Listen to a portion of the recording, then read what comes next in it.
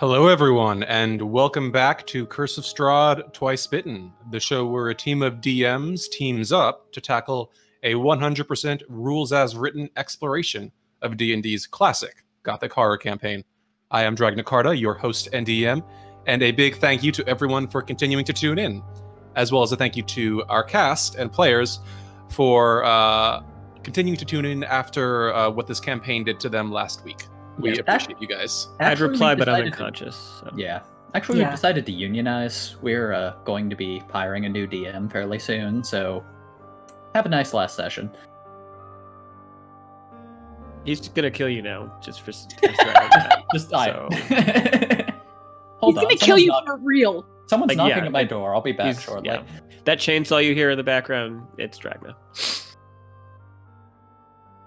All right. So, uh, with that, as I I promise not to chainsaw too many PCs, uh, but with that, I think that's all we got for now. I think we're good to get started. So, uh, with that, thank you again to everyone for returning this week, and let's get started with Curse of Strahd Twice Bitten.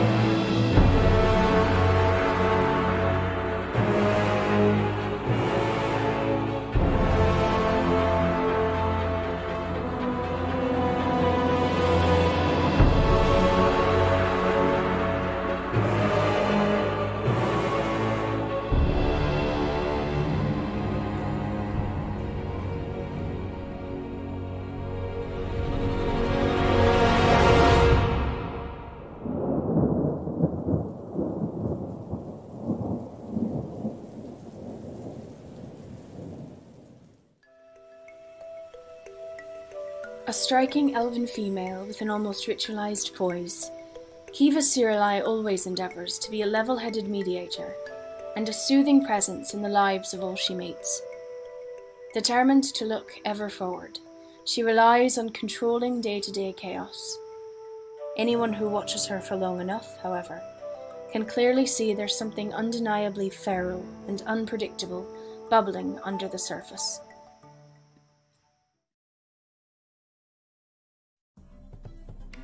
In the company of these fine strangers, he is just Metreon. But across the Sword Coast, he's known as Metreon the Magnificent. He is a tiefling whose body and dress carry the signatures of a nomadic performer, as evidenced by the rougher edges of his costume and his sinewy frame covered in faded tattoos. Though he may not look like a typical magician, rest assured, he cleans up quite handsomely.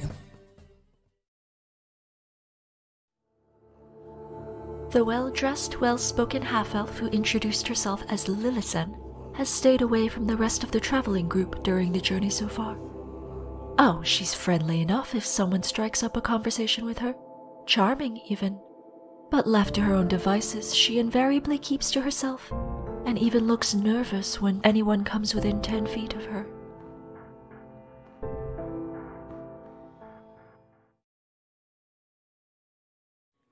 Amity, a terrifying deviloid with a tail that will knock your drink over if she gets too excited.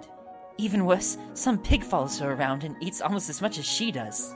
Yet, she's generous and easy to befriend, especially if you get her talking about her book of fables. Just, if she compares you to a fox, it's hard to tell if that's a compliment. Erthrindir is a high elf man who looks perpetually like he's never quite gotten enough sleep. After his departure from Elven society, he found himself out in the wilderness, working as a ranger in the deep, deep woods. However, this did little to quell his passion for history, and he's found himself on the road to Neverwinter, hoping to track down a book that might hold the answer to a question he's held for a long, long time.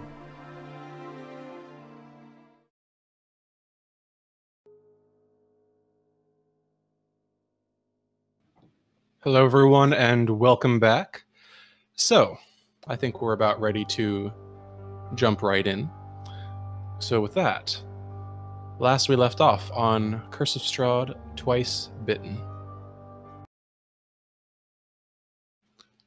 Our motley crew had met on the long road to Neverwinter when they were spirited away to a dark and unfamiliar land.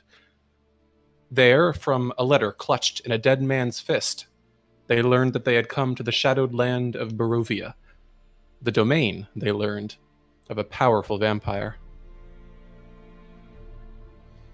The characters fled the dark woods for a dreary village that lay beneath the shadow of a dark and twisted castle.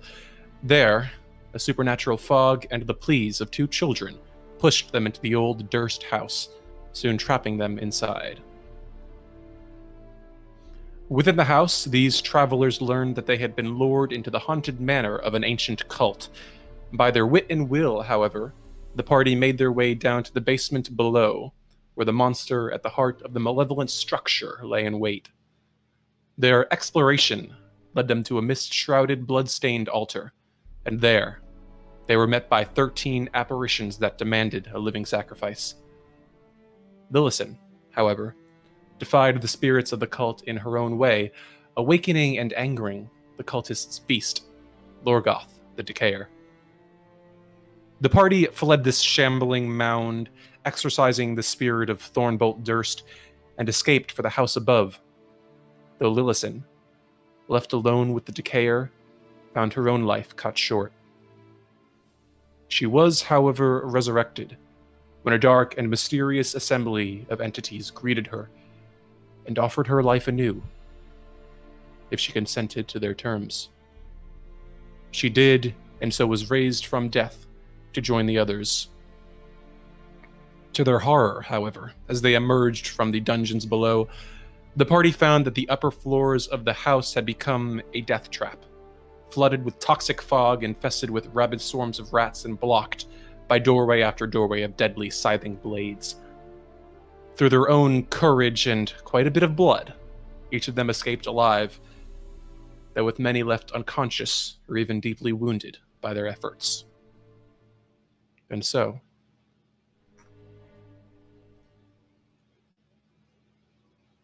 Earthrendir.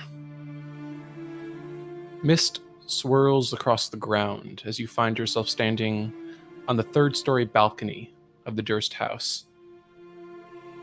You can hear a thin, constant drizzle that begins to form puddles on the ground below, the muddy earth giving way to slick, wet cobblestones as you had seen before. The fog that you had seen previously that had ushered you into the house has receded, now leaving visible the tall shapes of village dwellings. The windows of each house stare out from pools of blackness, no sound cutting the silence, save for a mournful sobbing that echoes through the streets from a distance. Your gaze is drawn to a deep shadow that looms over the village, and as your vision drifts upward, you can see the castle again from before. A dark, twisted structure, its spires arcing through the overcast clouds like a lance piercing the clouded, darkening sky. And as you look around at the four unconscious bodies of your companions, you realize night is coming soon.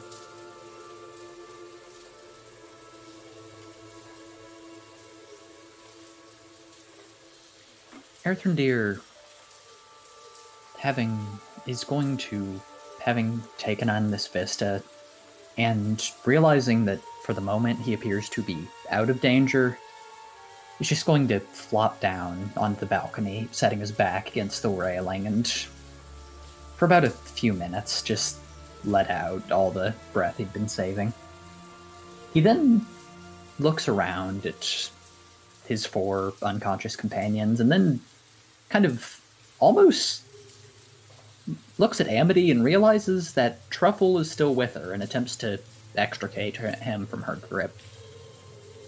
As you do, you look toward her body to see if you can find the pig. And as you do, you hear a soft oinking from behind you and feel something rubbing against the backside of your uh, calf. Glancing behind you, notice that evidently during your uh, time gathering your breath, Truffle has managed to find himself behind you. And as you look up, you hear him snuffle quietly with concern as he presses his snout up against your pant leg and looks up at you with big dark eyes. Hey, little guy. I, uh. Man, you should not be this friendly towards me. I tried to make you bacon. Despite this, he reaches down to scratch him behind the ears and then looks around.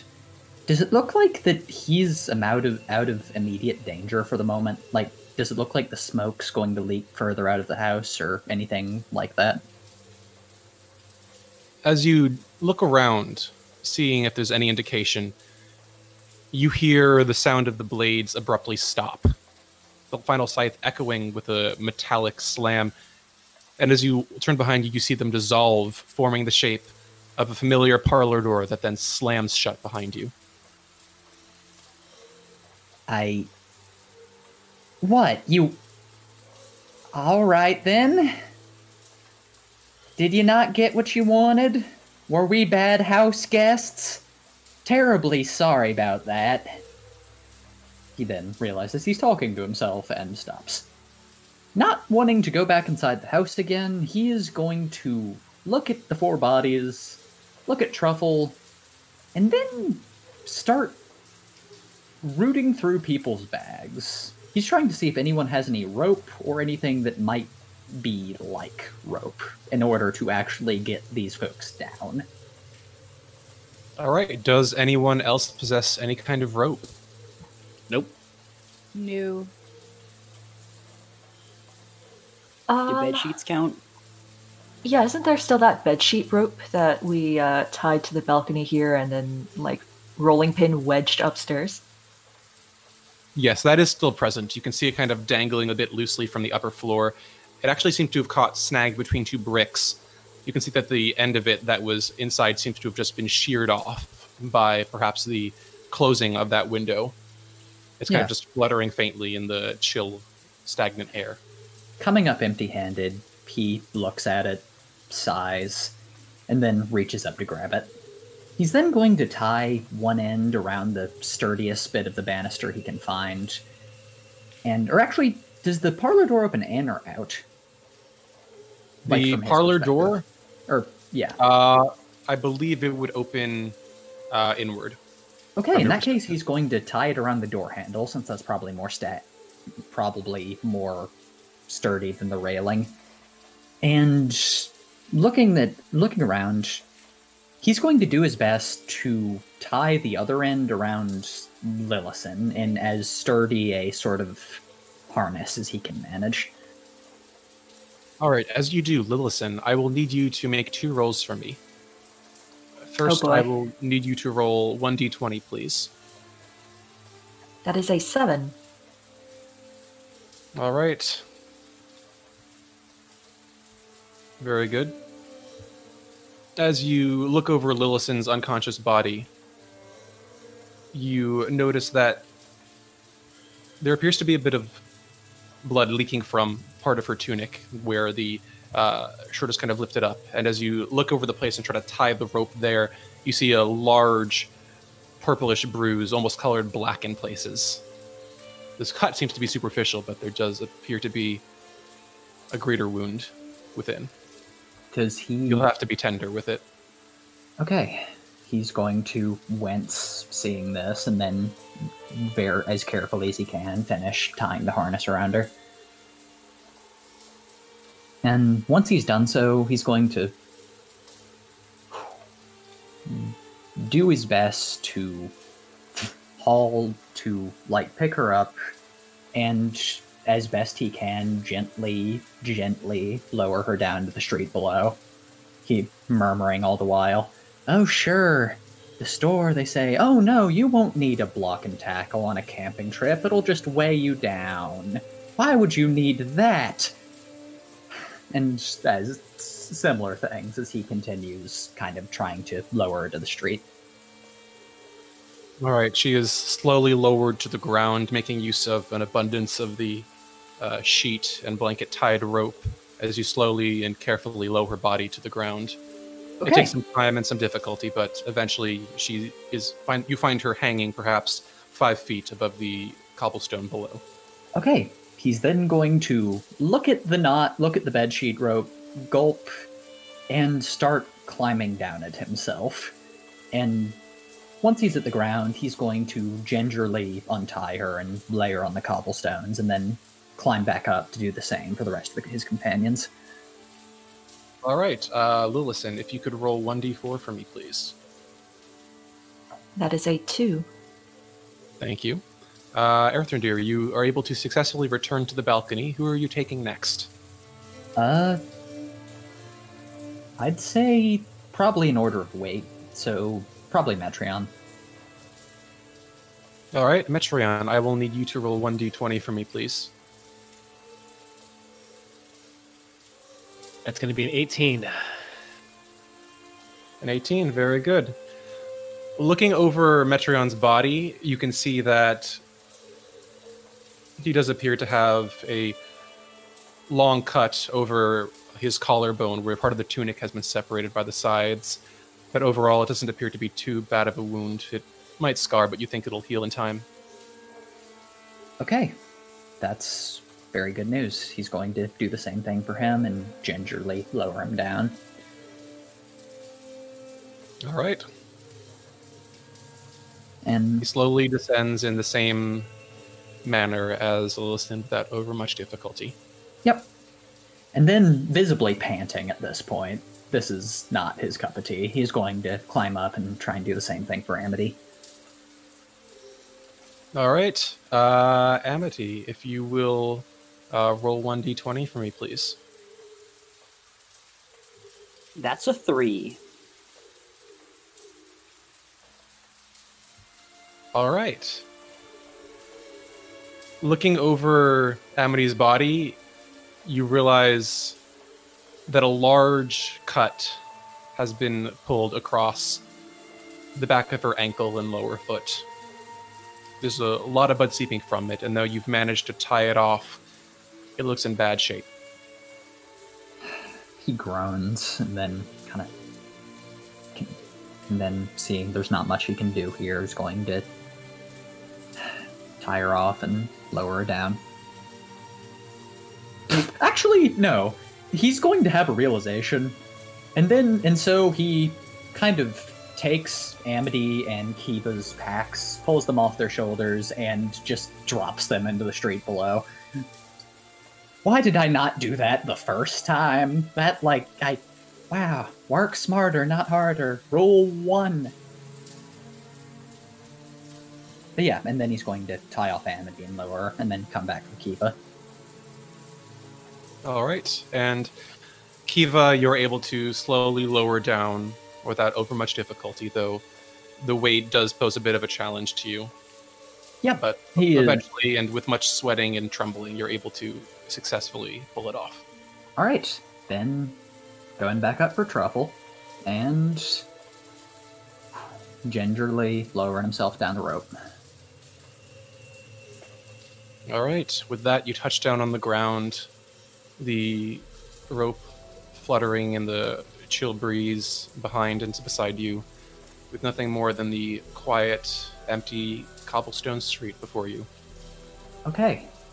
He's going to look at the four others and then kind of drag them to the other side of the street from Death House, which he throws fearful glances back at every so often. Does it look normal? No more like from the front? No more scythe blades and poison gas or anything? Make a perception check. Alrighty.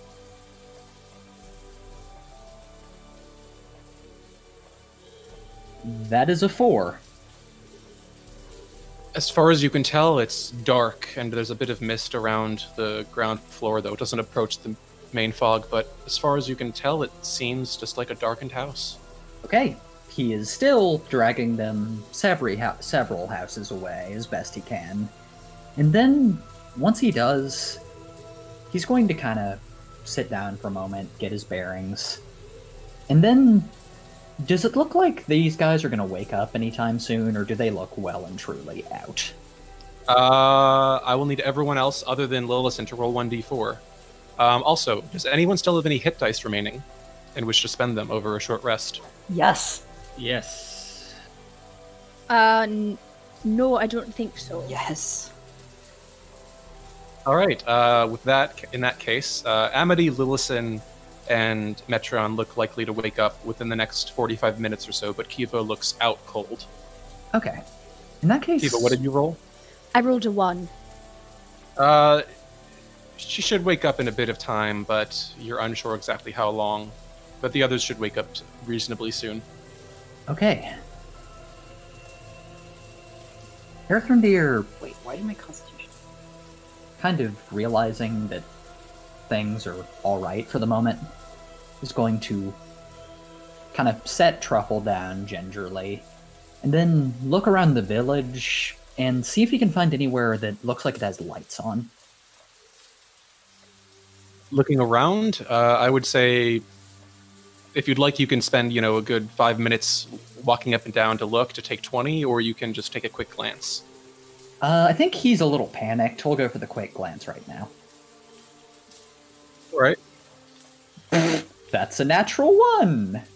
Pretty much all of the houses have boarded up or shuttered windows. It, given the the mist and just the drizzle falling, it's difficult to tell which ones may be illuminated and which ones would not be.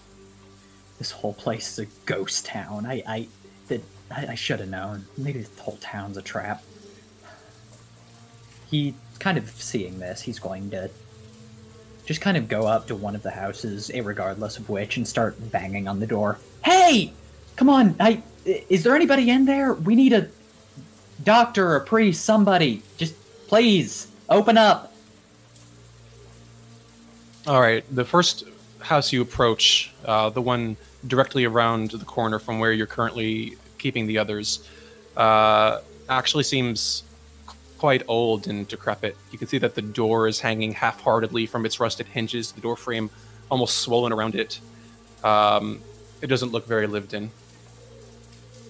He's going to sigh and then kind of walk back to the others. You said it's raining. Uh, it's a light drizzle. It's not, you know, drenching or anything, but it's just just unpleasant enough to make your clothes clothes a bit, you know, sodden and damp. A bit of mist just to make you feel a bit of a shiver. Okay. Earthrendir is going to rummage around in his own pack, pull out the tarp that he's been sleeping under in lieu of a tent, and do his best to kind of drape it over everyone's bodies who he's propped up against a wall, kind of shielding them from the rain. And then he's going to pull that over himself and Truffle, if he allows him, and kind of sit with them and wait for them to wake up. He doesn't really want to leave them alone in this town, even to, you know, go a few blocks away. You And- feel, as you talk him closer, you feel Truffle kind of snuggle up to you on the side, his little form shivering slightly. Hey there, little buddy. Uh, yeah, no, it's real cold, isn't it? But, uh, it's better than being in there. I- I'm glad you, uh, made it out. I, uh, I stand by what I said, but, uh, I'm glad I didn't have to kill you. Both for, and my sake, both for your sake and because I'm pretty sure Amity would have ripped out my teeth. And yeah, then he's going to settle down, keeping a nervous eye on the Durst house all the while, and wait. Truffle looks up at you with big, dark, uh, not understanding animal eyes. The meaning of your words sliding off of him, but as he just looks up at you intently, and then he stands up, slowly turns around in a circle, his little curly tail bobbing behind him, and then plops down beside you once again, burying his snout beneath the fabric of your tunic. Earthendeer chokes up a little, but other kind of scratches his head and continues his watch. Another 30 minutes go by, and you hear A soft groan and stirring from Metreon, then Lillison and Amity soon following. Uh, uh, uh, Metreon, feeling like a coldness on his face, just instinctively goes to wipe it. Um, and he, his eyes start to flutter open, and he's looking around, and they immediately go wide as he realizes he's not in that fucking house anymore. Uh, and he starts looking around. Oh, holy shit! Holy shit! And uh, he immediately goes in, like, as he sees Amity start to wake up, he scoops her up and like hugs her, uh, and then draws back and instinctively goes to hug Lillison since he sees her waking up, but then realizes and then pivots back and then hugs Amity again. Welcome back to the land of the living. I was afraid you weren't, weren't going to be rejoining us. How, how do we get out? Ah, Uh, barely. I, uh, we, after you got, you all got knocked out, uh, Amity, Lillison, and I managed. wait, wait, wait. What? What? And he start and Metreon starts to point at Lillison. The fuck is that? Is she a I- fucking ghost? And uh, he starts to reach for his dagger or crossbow, just panicked. Hey, hey, hey, hey, hey! Calm down, calm down. She's alive. She's breathing. I checked. What you My- mean she's breathing? I mean, I mean, like, uh, ooh, uh, I should, uh, hold on. Mm. Uh, alright, apparently I can't breathe very deeply. That hurts a lot. yeah, I think you've got some broken ribs or something. I thought he was dead. No, I didn't die. Yeah, I, she just came up from behind us and out of the basement. I'm very happy you made it. Yeah, the, apologies for the delay. Oh, I think I just blacked out down there for a moment. Uh, well, uh, don't think any of us can blame you. But, uh, how about me- you, Metreon? You feeling alright? Like, I, you didn't look too badly hurt when I was lowering you down, but, uh, you never know with the internal stuff. I mean, my back is fucking killing me. Uh, and he starts to rub where uh, the first blade sliced down his shoulders. And then uh, was- he starts to wipe away some of the blood from his collar where his tunic was split. Well, at least, at least my. And he starts to show off the pendant that he still has. Does the pendant look the same? Like there's no. Or does he still have it? I mean, like, was it an apparition too? Uh, do you mean the pendant that you took from the jewelry box? Yeah, the pendant and the gold rings that he had. They seem to be unaffected and still on your person. Uh, he kisses the the, the pendant. Uh, looks like we still got this then. Whatever those fucking blades were, they ain't, ain't fucked this up too hard. How, how did we get down here though? Oh, I, uh, I lowered you down. I used that bed sheet rope and a bit of engineering to take you down one by one, climb back up, do the same thing. Damn thing nearly snapped, though. I, uh, first thing I do when we're, we get out here and get into a general store, I'm buying some actual rope. Yeah, cheers, thanks a lot. Uh, and Metreon looks over at Amity and starts to kind of like sees that maybe she's a little sluggish in the wake, uh, but then starts to push uh, like push her shoulder in. Oi, love, you good? Amity, as Oh. he pushes you, you feel a sudden pain lancing through your lower leg. And looking down, you realize you can't feel your right foot.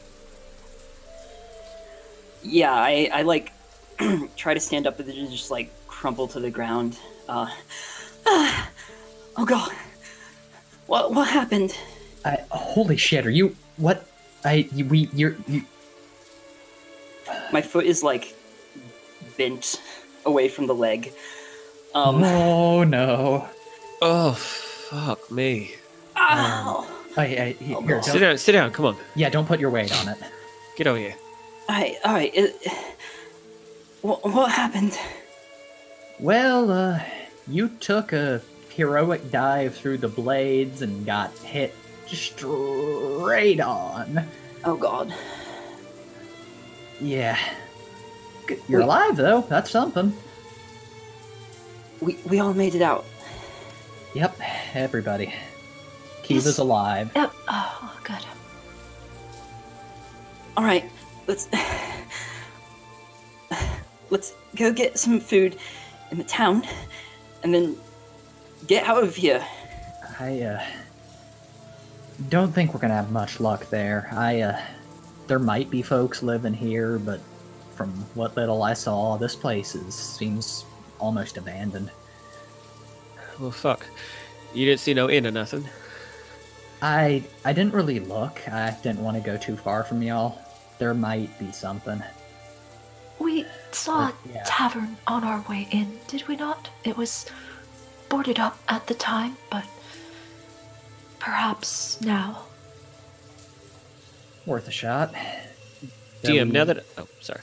Go ahead. No, uh, I was just gonna ask. Now that I'm awake, uh, can I see if any other like buildings have lights on, or if there seem to be any occupants?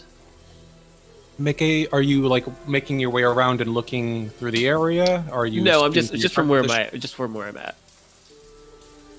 Make a perception check for me. Uh, Eleven. 11 looking around uh, from your current position um, you do notice that um, there is a house uh, toward the main uh, avenue that cuts through town that just appear to have a slight bit of light seeping through its windows Uh, there's a there's a house over there. Looks like it's got lights on. Oh, that's something. At, at minimum, they can point us to a priest or a doctor or something. Don't go inside. I have. You ain't got to tell us twice, love. yeah, I uh, I'm I'm not sure I'm trusting a building till I'm back at my cabin, frankly. Speaking of which, uh, on our way out, y'all still down to burn this place down, like from afar? Uh, I, I don't I don't care at this point. I just want to fucking leave. Uh, DM, do we see the mists? Are they still pervasive? Are they still swarming around everything? no they're just i mean there are small you know little stragglers of mist that are just kind of floating across the ground but it's not anywhere close to the thick uh, boiling fog that you saw earlier it just seems to be you know little cloudlets isolated from each other At least that fucking mist is gone. Yeah, Hey, uh, Randy, uh, why don't you go ahead and uh, maybe just go knock on that door, see if anyone's in there who can help us. Uh, Alright. I'll, I can join you, but I gotta. And uh, Metreon sort of motions to his face, uh, pointing to some of the smeared makeup that's now run down his face and uh, his hair. I'm just gonna touch right, it a right, yeah, good, good idea.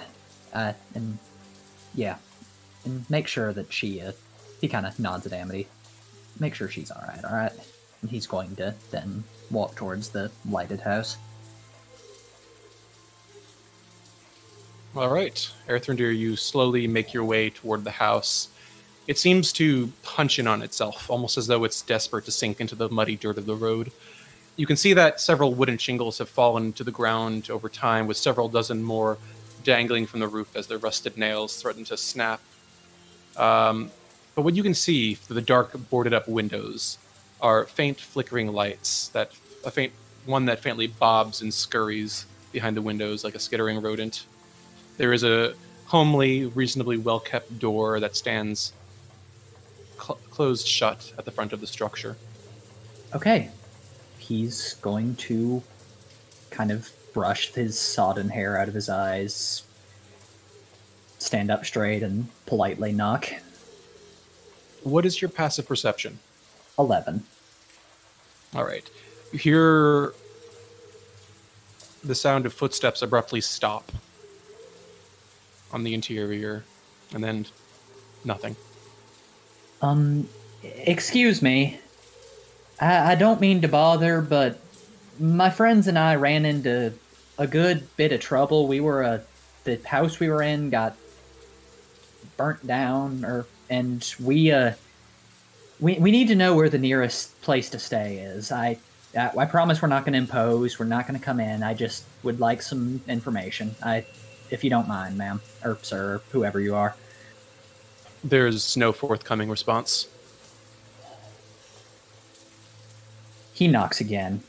I I know you're in there. I, I I've got again, I'm not coming in. I will leave you alone, but we are very badly hurt and I uh if we don't find something, we're going to be very badly off. If you just want to like slip a note under the door or something, that's fine. I understand being wary of strangers, but please.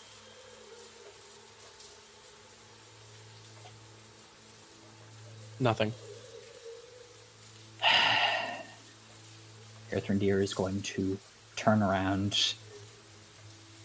Are there any other houses nearby with lights on? Looking around, there doesn't appear to be, but as you scan the area, you hear the sound of small wooden wheels rolling across the damp cobbles.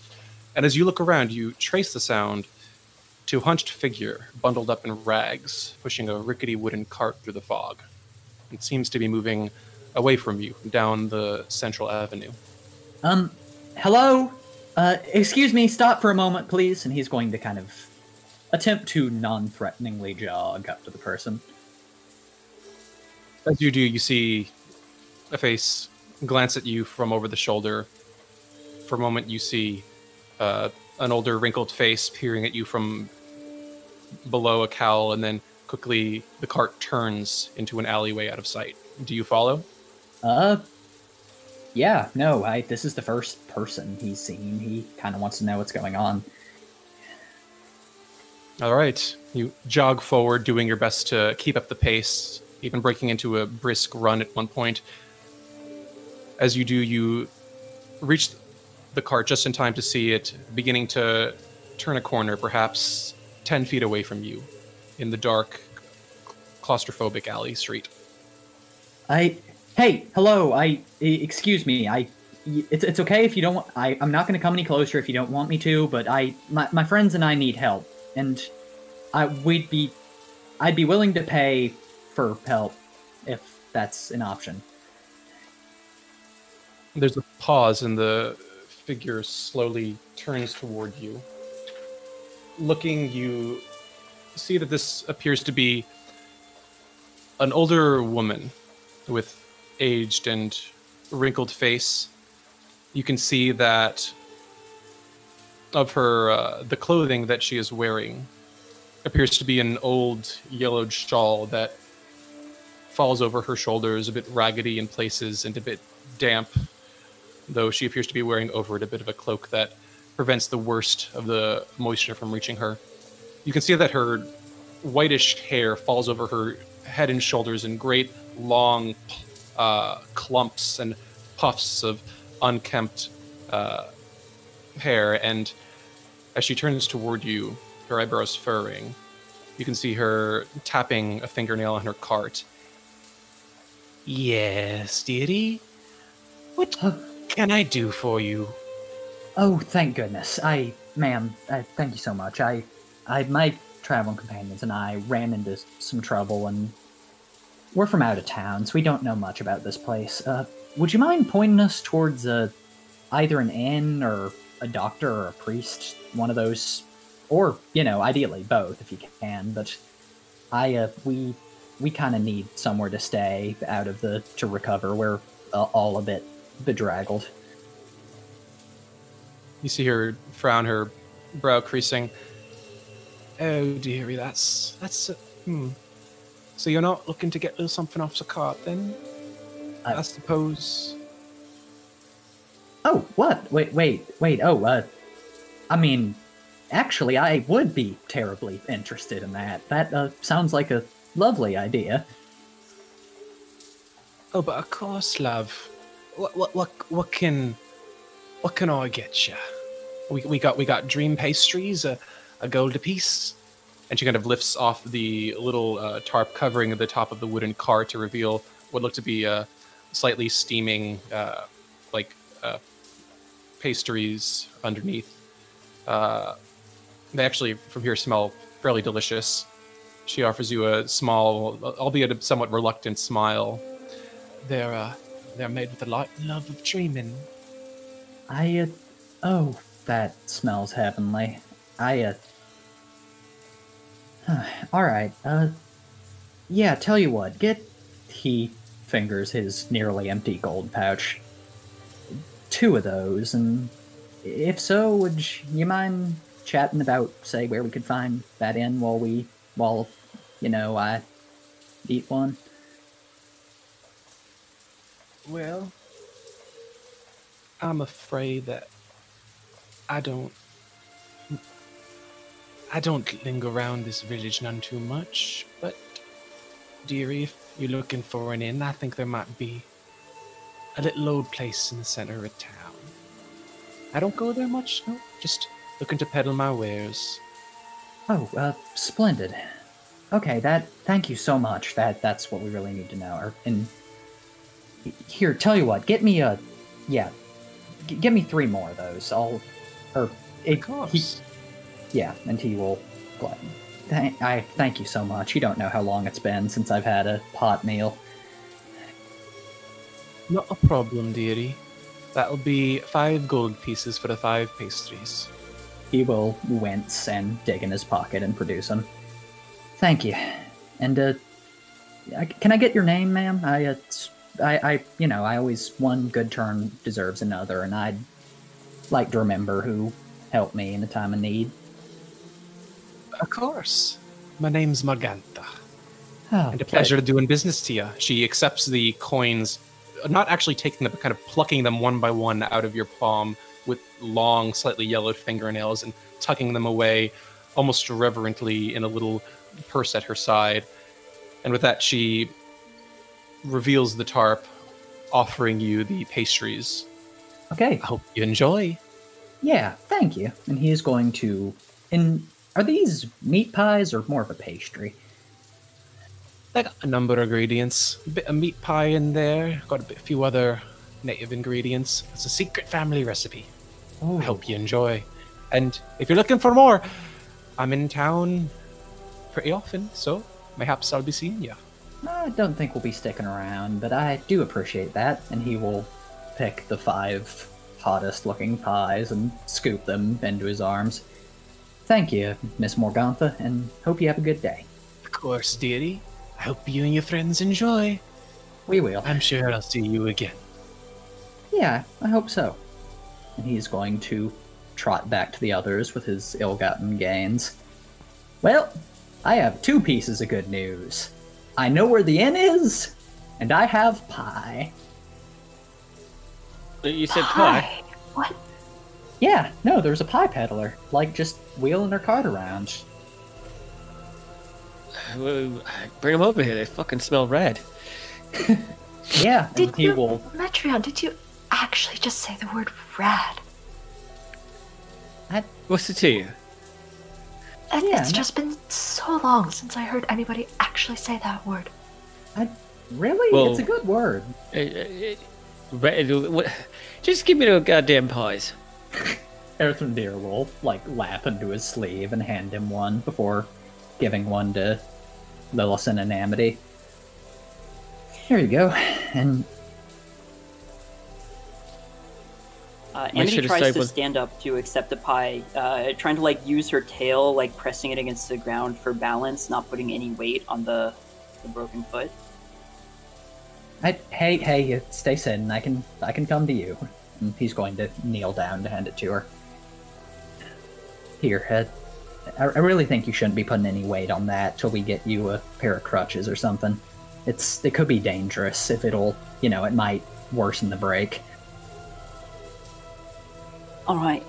Amity starts uh, stuffing her face into the pie. Mm, how long was I out for? Ah, oh, this is good. This is actually really good. Oh, yeah, Yeah, they- Metreon is scarfing it down. Oh, fuck. You know, this is. Oh, fuck. This is. Oh, I haven't had a good hot meal in ages. And he just continues to. Well, I mean, no, no offense to your stew love, but this is this is just next level. Yeah. Erthander, um, how, uh, how much should we pay you back? Uh, just gold apiece. L- They're a little expensive, but I imagine with, you know, her line of business, you kind of have to do that to get by. I mean, it sounds like these are worth it. And she's going to withdraw a gold coin and flip it through the air towards Erthander before um, starting in on hers. He attempts to catch it as best he can. Thank you. And he will do the same. I anybody have a spare fork? I uh forgot to bring cutlery. Just fucking eat it. I I, I don't want to I don't want to mess up my fingernails. I worked at Fine. Here, You here, kind of- no, uh, uh, I have a mess kit in my bag. Oh, you're a lifesaver, and he will gladly accept that. Oh man. And he digs in.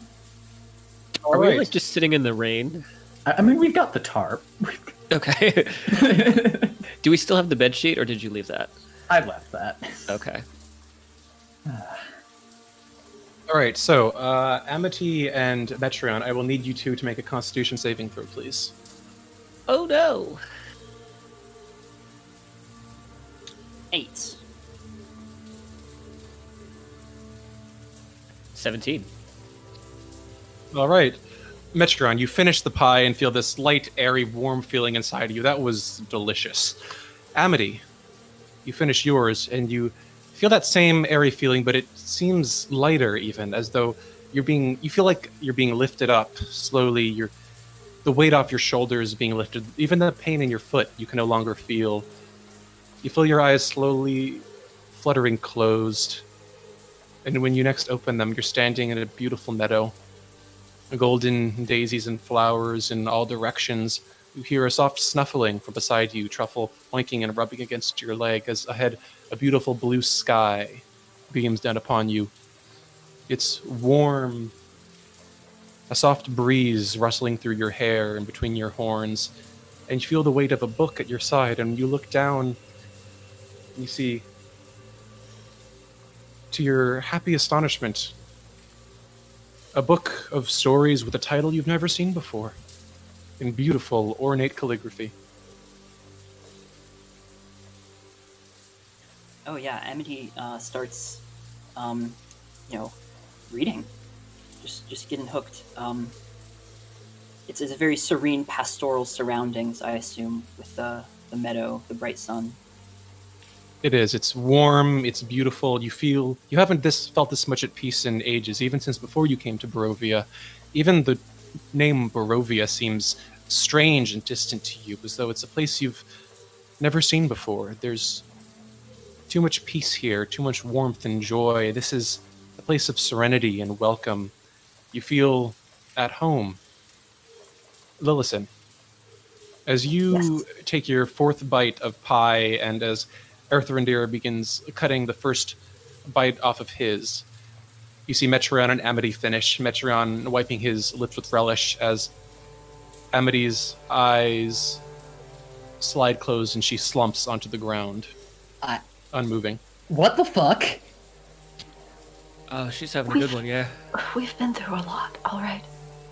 I yeah, but she just toppled. Like that. Maybe she might be losing blood or something. Hold on. And he's going to try. We'll and- check her leg, but I mean, I've seen this before. It- I think she's just having a good ride, you know. I mean, we just we just saved our lives, you know, and yeah, I think she's just finally at ease. She's got a hot meal in her. I think she's doing all right. Yeah, but she just kind of crumpled. Like, you know, normally there's a bit of time where you curl into the cozy armchair before you fall asleep. I But you're probably right. He is going to check her over to see if she if he sees any evidence of like blood loss or anything though. Looking over her, make a medicine check. Three. As far as you can tell, she seems to still be breathing. She doesn't seem to be in overall terrible condition. Overall, the tiredness that you feel in your body is somewhat repressive, but you don't notice anything that seems to be immediately wrong with her. She just seems to be quietly non-responsive. All right. Que- question, Amity, did you feed Anita Truffle? Um, I think that as I was saying, like, oh, this is really good, I was gonna like offer Truffle a bite. I'm not sure whether I managed to to get that to him before I fell unconscious. Uh, I would say that you know you might have offered him a bit of a crumb, but the pretty much the entirety of the pie was consumed by Amity. Lillison is going to look over to Metreon while she carefully sort of tries to prop herself up um, to a better sitting position. how do you feel? I mean, I feel ragged as fuck. Uh, just got some. He kind of exposes the gash on his collarbone. Uh, cut through some of these tattoos of mine. Gonna have to touch those up later. Uh, got a cut on my back too, but I mean, otherwise, you know, I got some. I'll be much better once we find that inn. Uh, hopefully, they have a a bottle of wine or three. Uh, but uh, otherwise, I've, I'm peachy. What about you? I mean, you know, uh, having. Uh, what happened down there? I, I mean, as she takes another bite of pie and uh, waits while she chews and swallows before resuming. I fell and I blacked out for a moment, and I suppose perhaps that thing might be, I don't know, like a, a bear or something that loses interest in prey when they're not moving or something like that. Because when I came to again, it was just a minute or so later and it was moving away. And I went to catch up with the rest of you. And it had only been a few minutes, it seemed. Oh, playing dead. That's uh, smart of you. Yes, well, I wish I could say that it was a conscious choice of mine. Well, just don't tell anyone it wasn't, and you know, make the best of it. She just smiles a little bit and uh, eats the rest of her pie. Yeah, Arthur Deer's doing the same now that he has procured fork. Oh, I uh Yeah, no, I'm I'm with you. Like Amity's a good cook, but oh my goodness. I uh, Right? It's the seasoning, it's the f- juicy meat. What's in like it, it, I gotta find out. I gotta find out what she put in there. She was all cagey, like she's got secret spices, which, in my experience, usually means about a pound of butter. But I mean, a gold piece for a small little mincemeat pie. I mean, it's it's she's got to be having something in there that's great. Yeah, this golden Yeah. flaky crust. Oh, I would. Oh. I might have to find her again. yeah, no, that bit's the butter. Can't make decent crust without enough butter to drown a small cheddar. Well, that's a grim metaphor, but yeah, no, it. Man, Metreon stares blankly at you. E- never mind. So, uh, how are you feeling? I know you've got a pretty nasty cut, and also the that plate basement wasn't exactly kind to you. I just want to get. I just want to get out of here. How's Yeah. uh, how's Blue Girl over there doing? He looks over at Kiva. She's breathing. I uh, don't know much else. I uh, I hope she's okay. Even after the shit she pulled, I want her to be all right. It's heavy stuff then. Yeah, no, I, I, uh, I, I did not expect her to. I mean, I guess it makes a bit of sense with how she'd been acting, but still, her whole family. Poor thing. That's a lot to have to foist onto a bunch of strangers. Should we try to wake her? Should we just leave her be? I think she needs it, and I think we need it too. Or speaking of which, is are you are you feeling better now that that ghost's out of you? I know it was kind of that can't have been fun. Oh yeah, no, I'm feeling great. I'm feeling uh, feeling real good. Yeah, uh, great. Thank goodness you were uh, you were acting real weird. It was a not a fun time, but glad to hear you're better. What's with you, man? Um, should we perhaps go find that inn and put in a word for a, a few rooms? That's a good idea. I'd rather be in a bed, shagged up with a bottle of wine, and you know, not wet. That At this point, sound like I will need you to make Yeah. a Constitution saving throw, please, as you take the last bite of My pie. my favorite. That's a seven. Erthrindir and Metreon, as soon as those words escape Lillison's lips, you watch her eyes suddenly flutter closed and she slumps to the ground. I Oi, you Oh. good there? it, it, it's like Amity. She's just out. Yeah. I mean, she's been knocked around a few times. Yeah, but uh, maybe hold it. I'm trying to remember. Did did she inhale the mist, or was that did she stay inside? I really can't remember. Uh, I mean, uh, yeah. I mean, she was out there with you and Amity when you tried when you three tried to leave. Well, I guess if I pass out, then we know that that stuff really takes it out of you. But, geez, I hope she's all right. Maybe it's an allergic reaction or something, or no, no not these. Uh, like I said, I've seen these these expressions on people before. Uh, usually, it's after imbibing certain uh, uh, certain herbal remedies. Maybe it's uh, uh, an herb that's in the pie. Maybe that's why it's one gold. I mean, Oh, what? You think the old granny is running a drug trade? listen, I'm not mad at it. I don't knock a hustle. yeah, no, I in a place like this, it might be one of your only ways to get by, but I uh he kind of looks down at his pie, shrugs, and finishes the rest. Well, honestly, I could use that right now if that is the case. Earthrendir, give me a Constitution saving throw, please.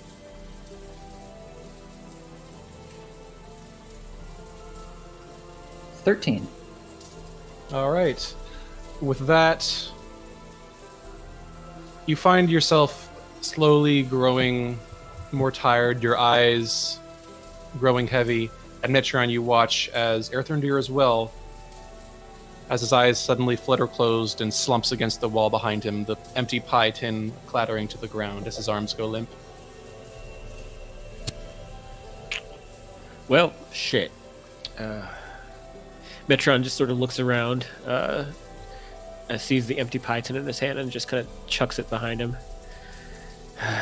well, I guess I'll let you all rest. Um, how is uh, Kiva doing? Kiva appears to be breathing steadily, her chest rising and falling. She might wake up soon. Seeing that everyone's just kind of conked out, uh, Metreon is actually going to start to put on his disguise, his makeup. Uh, and he's going to put himself together, try to cover up the wound, uh, wipe off the blood that's on the coat at least. And he's going to go ahead. He'll actually he'll drag all all of them to kind of cluster them together. And uh, is the tarp something I could take down? Uh, Earthrendir? Uh, yeah, no, it's literally just a plastic sheet, or not plastic, but cloth. You can pretty easily just pull it back and fold it. Okay. Yeah, uh, he'll take the, uh, I guess it'd be like leather or something, right? Uh, but like whatever kind of tarp it is, he'll uh, unfasten it uh, and he'll cover them in it just so that they don't get too wet uh, while he goes. And he's going to actually look for this inn. All right. As you do, leaving them behind, Lillison, you feel yourself sinking into a warm, comfortable darkness. For the space around you is brightened by a warm amber light. You are find yourself seated in a comfortable, well-crafted chair of plush pillows and backing, well carved mahogany, sitting at a large dining table, itself inset with elegant displays of gilded leaves and designs of trees and cornucopias of fruits and vegetables. Around you, illuminated by the light of the many flickering candles and candelabras that lend a warm, cheery glow to the atmosphere of the room, you see several other people. Some a bit older than you, a few others of similar age, a few of younger. Each of them dressed in bright, fine clothing. You hear the muffled buzz of polite, friendly conversation. There's a thick, sweet smell, delightful, wafting off of a thick pitcher of wine at the center of the table, and a beautiful outlay of food, comforting and warm and delicious before you, your own plate loaded high. There's laughter and warm, friendly conversation, and as you look around it all, there's a hand on your shoulder, and looking up, you see an older man, his hair graying at the temples, smiling down at you, giving your shoulder a squeeze, and then turning back to his own plate as the conversation and the laughter resumes.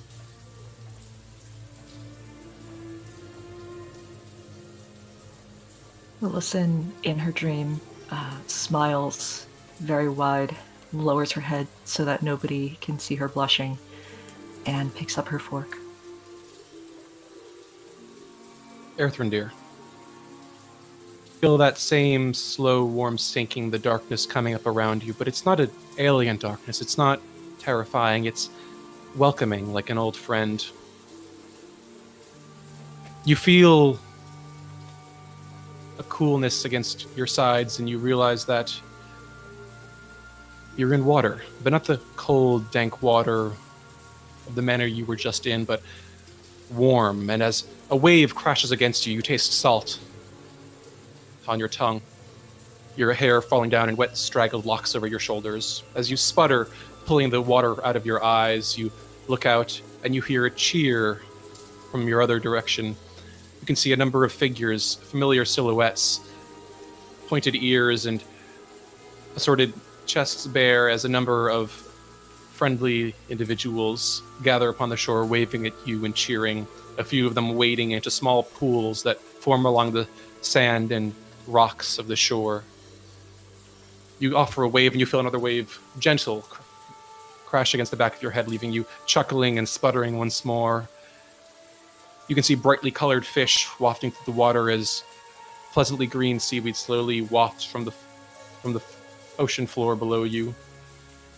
Behind the figures on shore, you can see a number of docks of warm chestnut oak jutting out into the water. Behind the docks, you can see clusters of people in bright colors greens and reds and yellows gathering, speaking, doing business, gathering and celebrating, and behind them, silhouetted against great, majestic walls of wood and stone, a beautiful, homely city that rises over the backdrop of a deep, evergreen, viridian forest beyond. Small wafts of smoke gently rising from the towers, and the soft and gentle, welcoming roar of the ocean mixing with the distant sound of life. He is going to wave back at his friends on the shore and then kind and then giving them a smile. He is going to turn back and as best and dive down as deep as he can just enjoying the water running through his hair and eventually scanning the ocean floor for shells and sand dollars as he sinks into the sea It's it's warm and beautiful and comfortable, and behind you, the small, cozy city rises up over the waves of the shore. The wood and stone buildings rising up against the backdrop of the forest, and slowly you feel yourself losing your conscious thoughts to the gentle waves as they crash upon the shore. Metreon, Yes. I believe you were making your way toward the aforementioned tavern. Uh, or at least trying to find it, yeah. Of course. With that, you leave the rest of the members of your party behind, clutching your makeshift cloak to your shoulders to avoid the worst of the damp, slowly trudging through the dark cobblestone street. You give a few wary glances at a few hunched over buildings that look ready to and hopeful to vanish in the mire. A few of them cracked and decrepit, others boarded up with faint flickers of light beyond their boarded up or closed tight shutters. And as you make your way forward, you can see the street opening up into a larger central square. You can see that here a single shaft of light thrusts illumination into this main square, its brightness looking like a solid pillar in the heavy fog. You can see above the gaping doorway of a building to your right, a sign hangs precariously askew, proclaiming this structure to be the Blood on the Vine Tavern. Yeah, uh, he pulls over his hood so that the you know the any kind of moisture uh, isn't like affecting the shoe polish that's in his hair. Um, he's wrapped his tail around his his uh, waist so it looks more like a belt. Um, he's painted his face and hands in the uh, the light tan pancake makeup that he carries with him.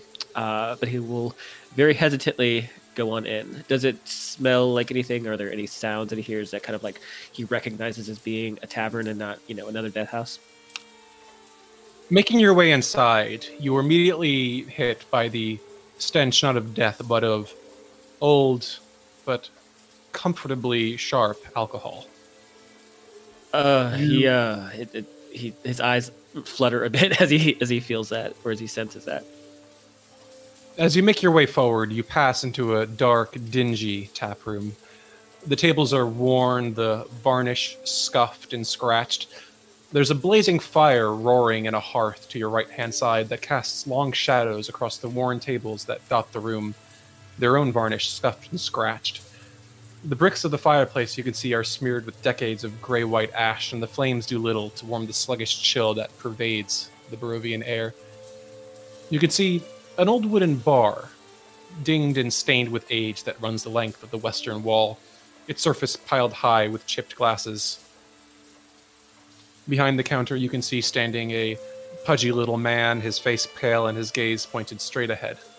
He doesn't so much as glance toward you, his attention focused on the musty glass he's polishing.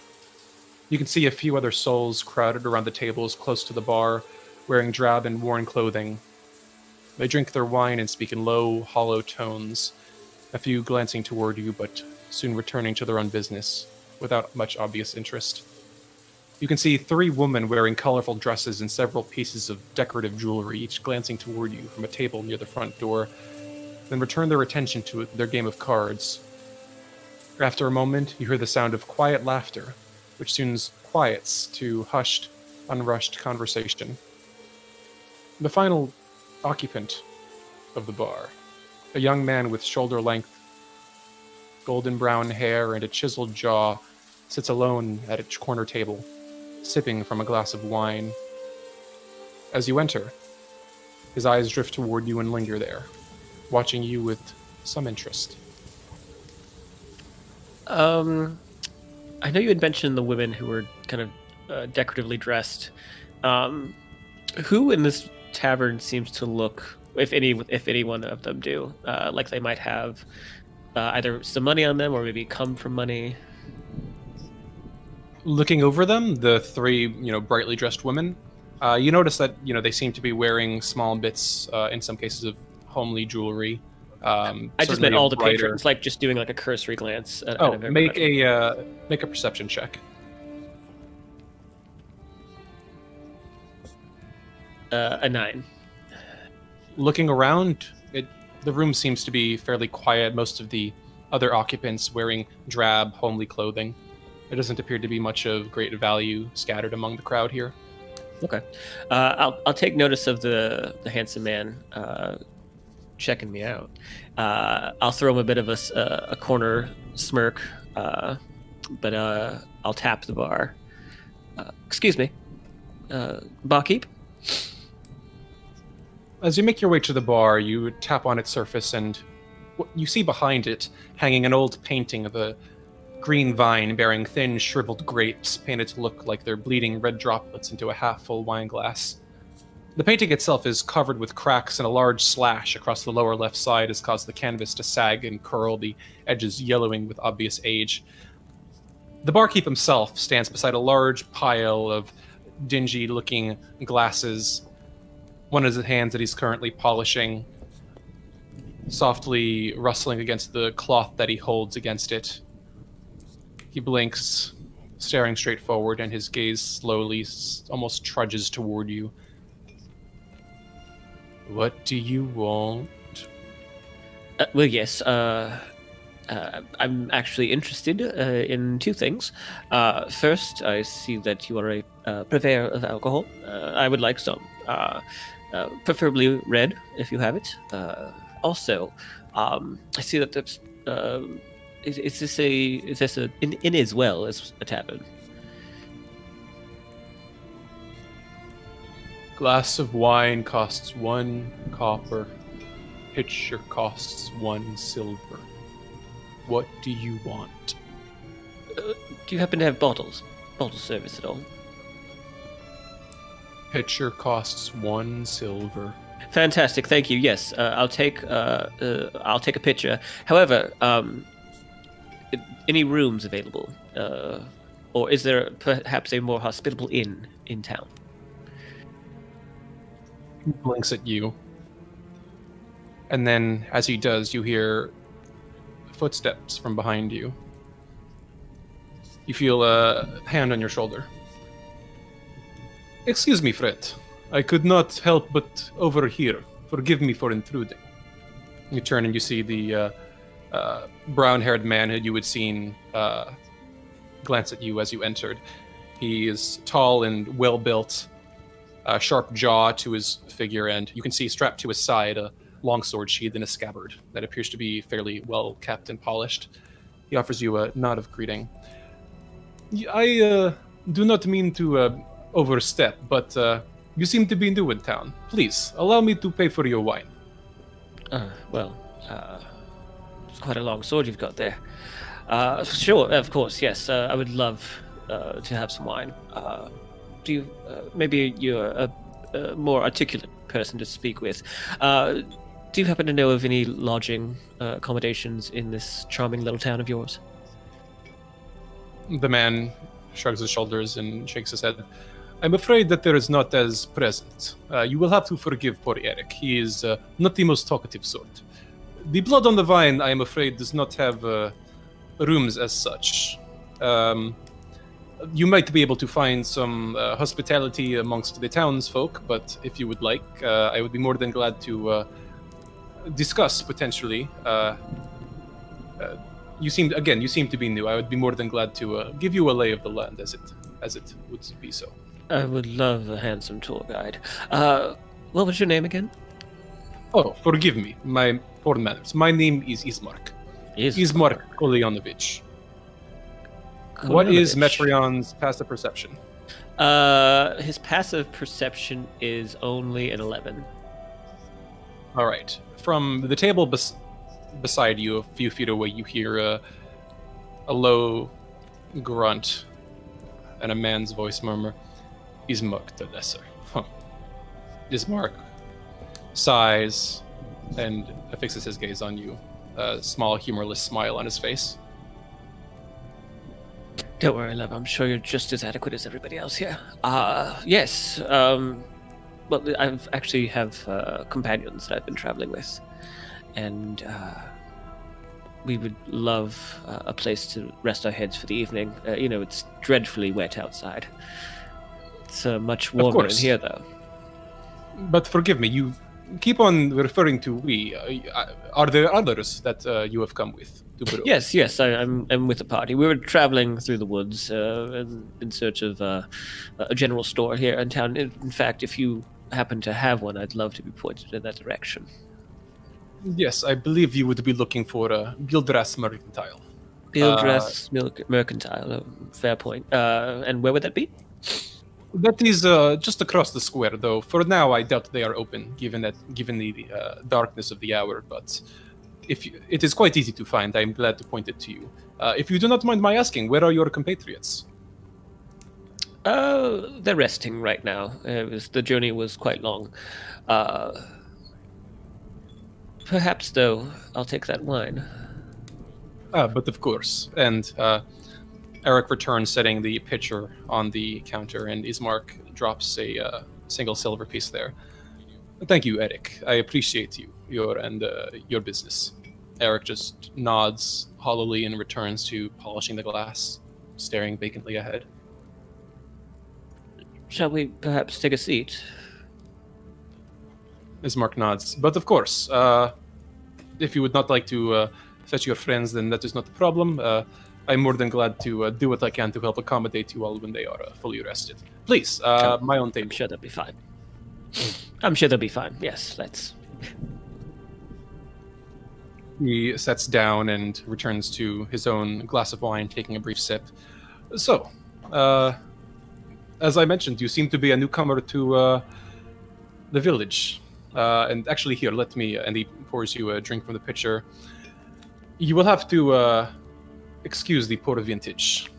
It is. Uh, I'm afraid that Barovia is too far beneath the castle's shadow to receive uh, frequent shipments of uh, better make. I'm I'm sure it's adequate. I I've been without for some days now, and uh, I just want to a taste, if anything. Uh, and he'll uh, he'll take a sip. It is reasonably good wine. There's a bit of a grape. Uh, the grape flavor is a little more pronounced. It's a nice purplish uh, vintage, and it goes down relatively easily. It's not delicious, but it's perfectly serviceable. Well, it does its job, doesn't it? It will. It will suffice for uh, most of my uh, neighbors' needs. Tell me about your charming little town. I we saw a, a rather uh, interesting house on the way in. Uh, uh, it didn't seem to be occupied, though. Uh, there were perhaps uh, some children playing in the yard, but uh, very strange looking. Do you know anything about it? You will have to be more specific. I don't know of many homes with uh, children playing a three-story, uh, a three-story house, uh, kind of a, maybe like a, a old purplish mauve siding, uh, dark slatted wood. Uh, two children, uh, older. Daughter, an older girl and a, a younger sibling boy, I, perhaps didn't seem to be occupied. Ismark's face pales a bit. That oh, most uh, Barovians tend to avoid that particular uh, structure. I see. I see. Well, uh, I'll I'll do I'll do make sure to let my uh, companions know to avoid it if possible. Uh, so, uh, you said that the general store it, it would not be open at this hour. Um, what would we do for the night? Well, there is. I am something of a purveyor of uh, law in this village, and I have a certain number of guest rooms at my family's house that I may be willing to provide. But uh, unfortunately, there is a bit of a dilemma that my family is facing, and I would prefer to perhaps first speak with, uh, well, suffice it to say that uh, I am looking for assistance with a matter that is of some concern to me, and it somewhat concerns any uh, guest domiciles that I might be willing to offer. Uh, Metreon gently places his hand on top of Ismark's. Uh, of course we would, uh, I'm sure my companions, once they are uh, rested, would be willing to assist uh, in exchange for lodging, of course. Uh, where is your family estate? Is it? Did you say? Uh, how, how large was the house? It is uh, my father's manor. It is not far from here on the south end of town.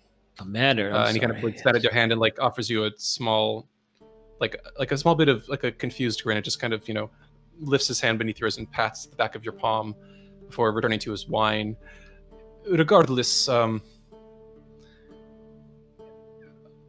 I think that uh, I would, if you think that your uh, compatriots would be amenable to helping, it is uh, a simple matter of uh, a concern facing a family member of mine. We were hoping for assistance uh, relocating her to uh, a nearby village. Do you think they would be willing to assist with that?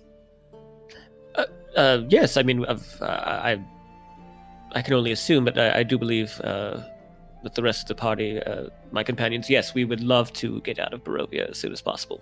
Uh, so if it means escorting this family member of yours, then I'm sure it can be negotiated. But all right then, that sounds very heartening. Thank you. I am glad to hear of it.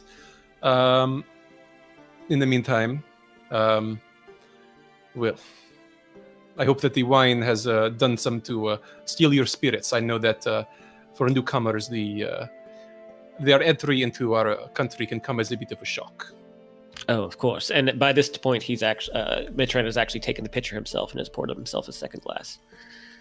Yes, no, the uh, the accommodations were quite jarring. Uh, I come from uh, uh, a much more urban setting, uh, a metropolis, if you will. Uh, Waterdeep, have you heard of it? He frowns. I'm afraid that I have not. Uh, I've no knowledge of uh, any Waterdeep. But uh, then again, Barovia's history has made it a bit of a, a fairly isolated place. There is not really much news of other nations that comes through our borders. How tragic. Well, I'll tell you all about it. Uh, and at this point, uh, uh, Metreon will start to maybe regale him with a, uh, a bit of very vague but still colorful uh, kind of overview of what Waterdeep is, uh, how sprawling it is, how massive it is. All right, Ismark listens with some vague interest. And it's at this point, Kiva, that your eyes snap open and you inhale slowly and you see a slow drizzle falling from the sky above, a black night sky overcast with cloud and fog covering the space above you. So Kiva is going to take some time to just sort of get her bearings. Um, does she see the rest of the group sort of around her, or is she sort of alone in this scenario? You see around you, uh, Earthrendir, Lillison, and Amity all evidently sleeping or unconscious or otherwise unmoving on the sides of the wall beside you. Metreon is nowhere in sight.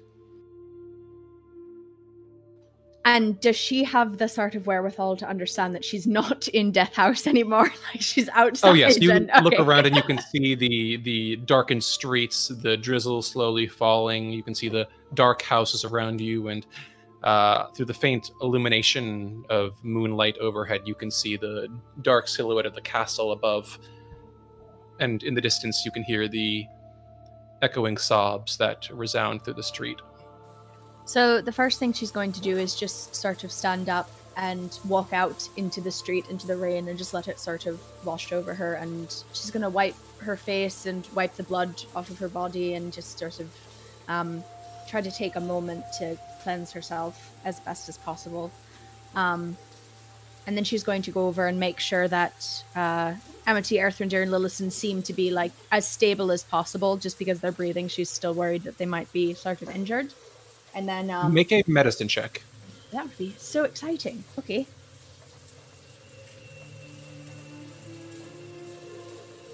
That is a 17. All right, looking over them, they don't appear to be overly injured, though. Something about Amity's foot and a large bruise on Lillison's uh, stomach gives you some reason for concern. Amity, in particular, seems like the foot is uh, heavily damaged. But looking over them, they seem strangely peaceful in their sleep, though it seems strangely light. And as you look over them, you realize that they don't seem to be sleeping as you've known non elves to do. They seem to be almost trancing. A light fluttering of their eyelids, their breathing too light and shallow to be a sufficient deep sleep. It's strange. You've not seen younger lived races expressing this kind of behavior before. Um, after sort of checking all of them, she's going to take a moment and realize that Lillison is with them, and that's going to sort of freak her out a little bit. She is going to try to. She's going to touch Lillison and sort of push the hair out of her face and try to see if she'll wake up. She doesn't wake up at that immediate touch, but as you feel her skin, it's cold and somewhat clammy. Though, from how much of that is her skin itself and the drizzle and mist that is spilled over her, you cannot quite say. Do you try to shake her awake, or just seeing if that gentle touch pushes her? She's going to gently try to shake her awake if possible. All right. With that, Lillison, the space around you, the you feel the warm and welcoming air of the dining room that you're sitting in, the comfortable and friendly conversation, the sound of laughter. And then those senses slowly fade. You reach and grasp for that for them. You feel the table growing more distant as your chair is pulled away from it into darkness. The cheery, happy scene slowly pulling away from you as the happy conversation, the joyous meal continues, but without you. You slowly begin to fall and fall as the darkness swallows you up, and your eyes open, and you see Kiva staring down at you. No, no, don't, don't leave. Don't, don't. Ow. Um, love, uh, who are you talking to? Uh, I, uh, I was, uh, having a dream. I apologize. No, uh, don't apologize. I, I'm so glad to see you. I, I really thought you were gone. I, um, uh, no, I just lagged behind a little bit. I am sorry.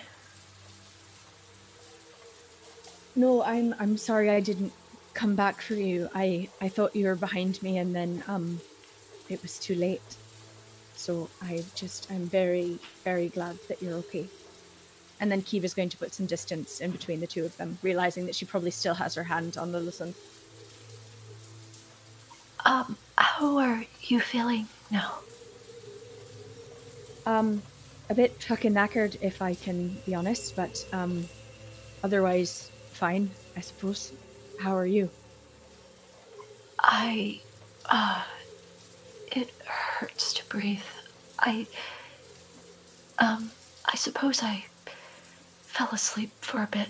Um, uh, last I remembered, uh, oh yes, uh, Earthrendir found, um, a pastry cart and brought back some hot food for all of us, and he also found out that there was, uh, a ta- uh, an inn or a tavern somewhere nearby, and I think somebody was going to go and, and see if there were rooms. Um, are you hungry? Uh, no, I, I, I'm not that hungry right now. Actually, I'm. I sort of feel sick still after everything that happened. If that makes sense. All right. Um. Also, uh, Amity's foot. There's something wrong with it. Um, when. Uh, where's? Oh, I suppose Metreon must have gone. Well, should we? I mean, maybe I should go after Metreon and see if I can find him. If you want to stay here with the others, or I can, I can stay here with you. I. Well. Come to think of it, perhaps Metreon is not the best person to send to a tavern. So, um, if you would go find him, I think that would be good. Absolutely. Um, can I bring you anything while I'm there?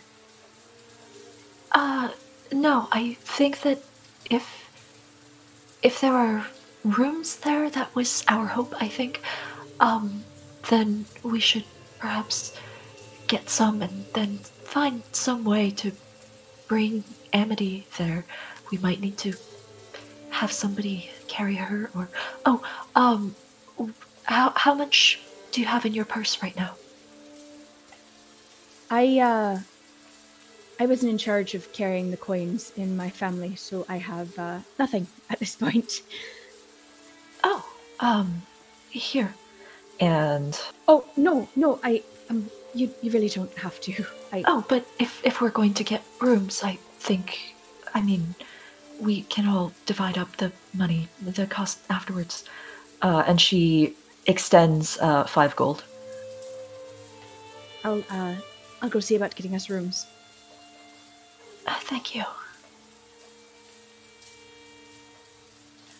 All right, so at this point, Kiva is going to go off and look for the tavern and Metreon. All right. You make your way through the dark, misted streets passing behind, beside the dark alleyways and slowly making your way toward the central square. And there you see the lone shaft of light plunging from the dark Blood on the Vine Tavern to your right hand side. Uh, without hesitation, she's going to just go inside. All right, you enter into the door and pass inside, seeing the dark and dreary tavern within. A few of the patrons turning to face you as you do. Your steps echo off of the old creaking wooden floor of the place. You can hear the clinking of glasses. Glancing around, it takes you but a moment as you notice the number of occupants of the pudgy barkeep, the woman in colorful dresses. In the corner of the room, you can see Metreon, his arms wide, a bit of color to his face, uh, as he seems to be regaling a young man with shoulder length brown hair and sitting alone beside him. The two of them appear to be uh, sh- having w- glasses of wine, though you can see that Metreon, as he as he does, is pouring himself another glass and happily downing a good amount of it. And you can hear Metreon's voice slightly raised in his gesticulating arms from this d- distance. And so I says, to you know, if you don't want to be a sheep, then don't go to the trades wards. But He you know, was- that's that's enough about me. Uh, oh, Kiva, uh, and I would say that uh, Metreon would see her since he's positioned. He he knows to never put his back towards the door. Um, so I would say that he he would probably see her uh, come in. You look much better than I feel, and Kiva's going to walk over to the two of them. Ismark, Ismark. This young uh, woman here, this lovely young thing, this is Kiva. Ismark inclines his head. It is a pleasure to meet you, uh, Mistress Lady Kiva. Uh, welcome to uh, the humble village of Barovia. I am told by uh, your friend Metreon that you have only uh, recently arrived. You could say that I'm a recent transplant, yes, but uh, Lady Kiva feels far too polite for someone of my stature. She's being modest. Love, come sit, sit, have a glass. Yes. Okay, um. Do you know, um. Ismark, is it? If, uh, if I can get rooms here, I was sort of sent by uh, one of the others to make sure that I acquired them. And since I'm carrying someone else's gold, I feel that it's important that I figure this out. I had actually uh, discussed this with your friend uh, before. Unfortunately, the Blood on the Vine does not have uh, rooms as such, but uh, we had uh, discussed a potential arrangement between the two of us. Uh, he said that uh, you and your friends might be interested in uh, helping with a bit of a problem that I'm facing. Uh, I'd be more than glad to see if I could put you up in the uh, guest rooms of my family's manor. It would not be a problem. Kiva looks carefully at Metreon and then sort of sits down at the table and says, That seems reasonable if I can ask you for some help as well. I would be glad to consider it. What uh, what is the manner of assistance you are looking for? Well, um, I'm wondering if I can get an audience with the Burgomaster. I found a letter from him and I would very much like to speak to him about um, a way out of Barovia. You see Ismark's face darken and his eyes downcast. I'm afraid that uh, you've come a bit late. My father passed away some recent days ago. Your father, I'm I'm so sorry. I had no I- idea. My condolences, love. It is all right. It is something my sister and I are still. Uh, we are still working through it, um, but it is it is a family matter. But I'm curious. How did you come to know of my father? We do not, uh, given the nature of our country, we do not often uh, have outsiders knowing of me or my family. When we arrived in Barovia, um, it seems that your father hired a letter carrier to try to get some word out, and um, well, we found the letter carrier, and I found the letter. Um, he said, "I'm assuming uh, Irina is your sister. Um, that she seemed to be in danger with um, quite a nasty uh, creature and um, told us to leave and never come back if possible. But it was too late. We were already inside and now we're trapped here. So um, I'm supposing if that letter was supposed to reach the outside world, that once we're in, we're rather stuck here. Is that an incorrect assumption?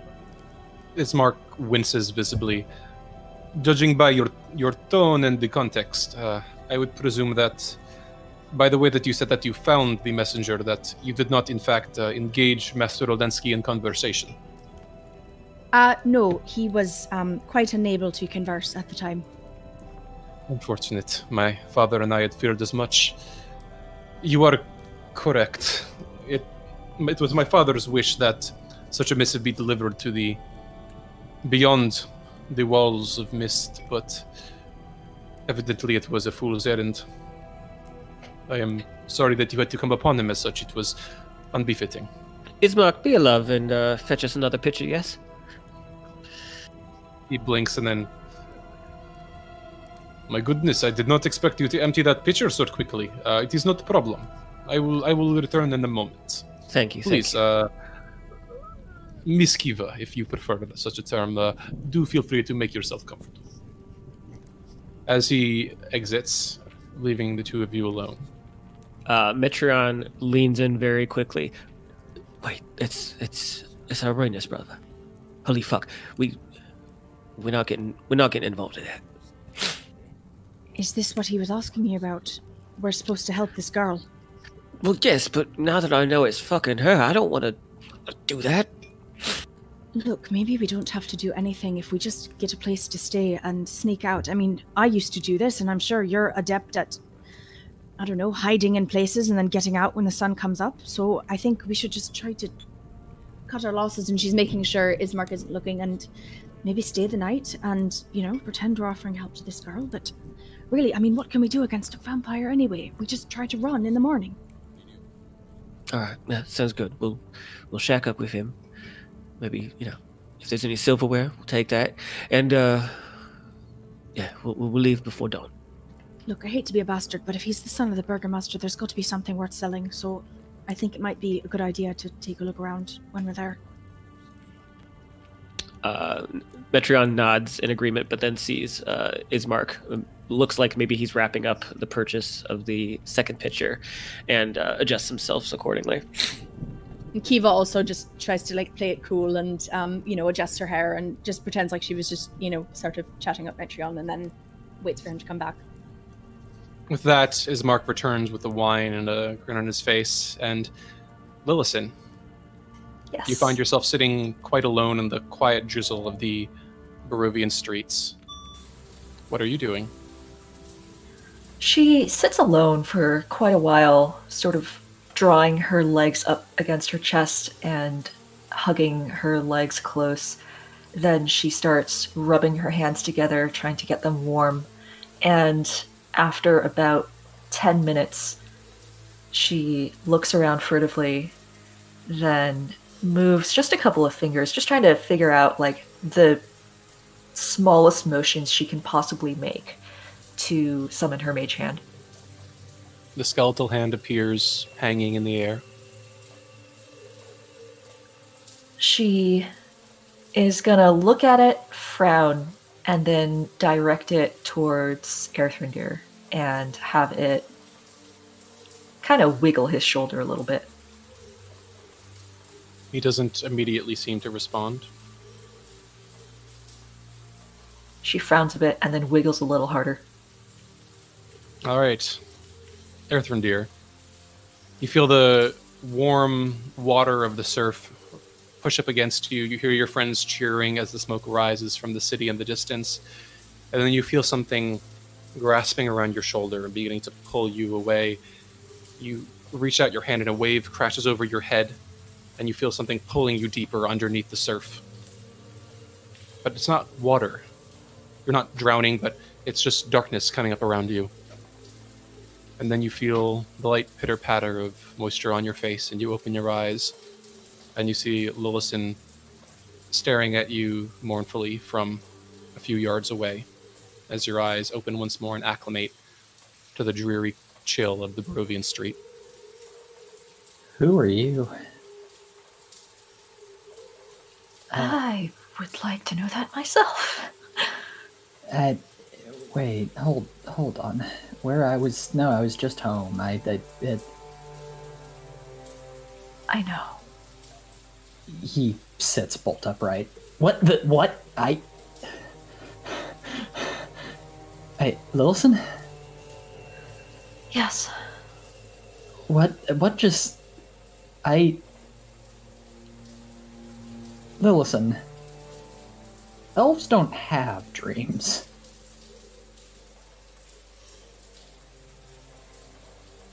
She just looks at him.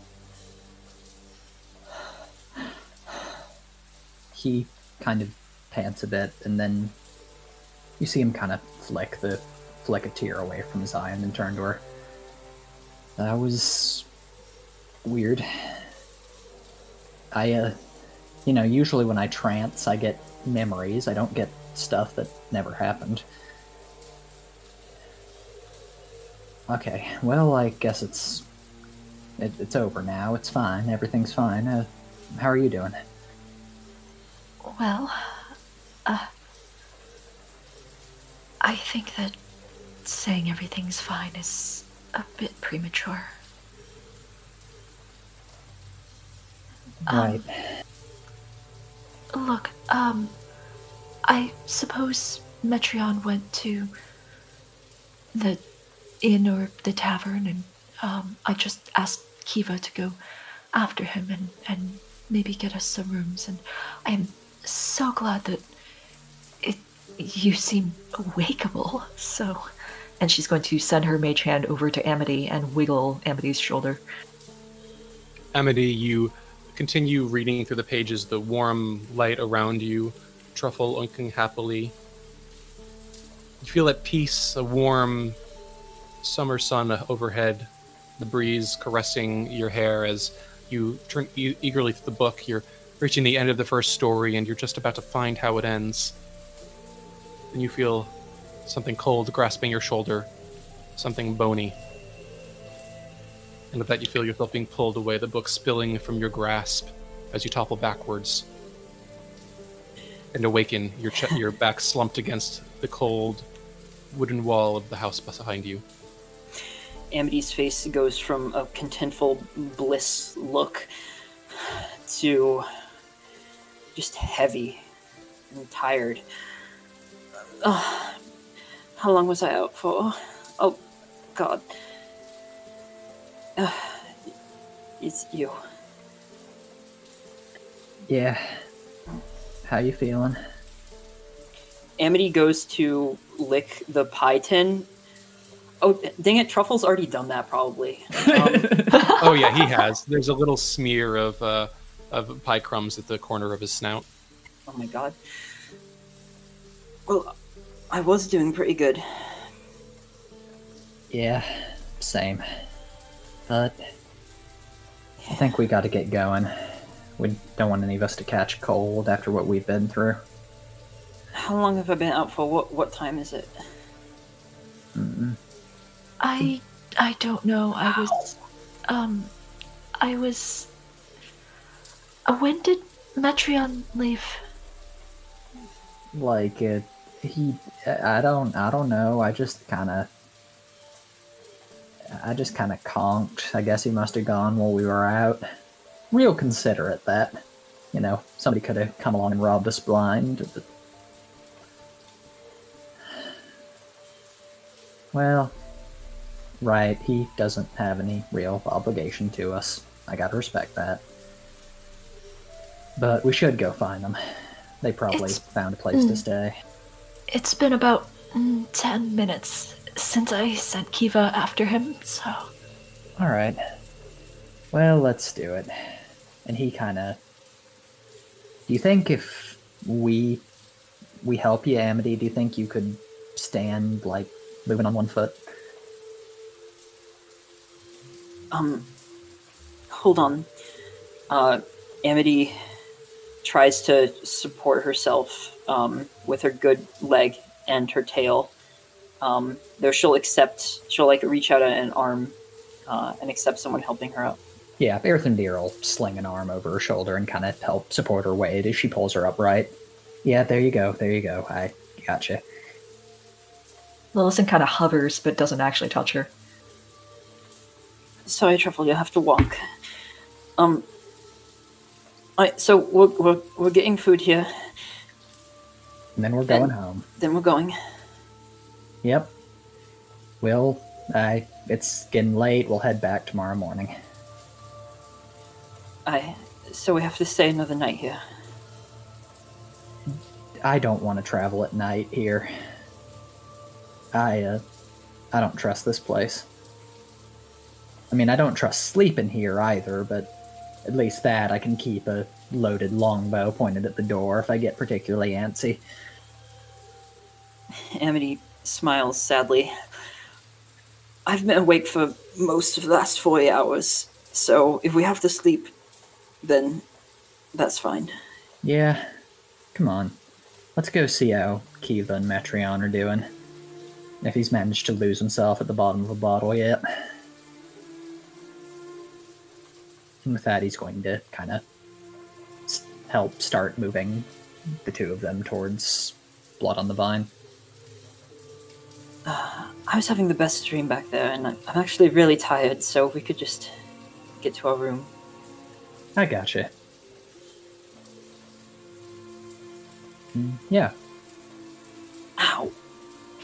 Is it. Ethan, do you. Do you know if we can like patch this thing up? You have you have healing magic. Tomorrow.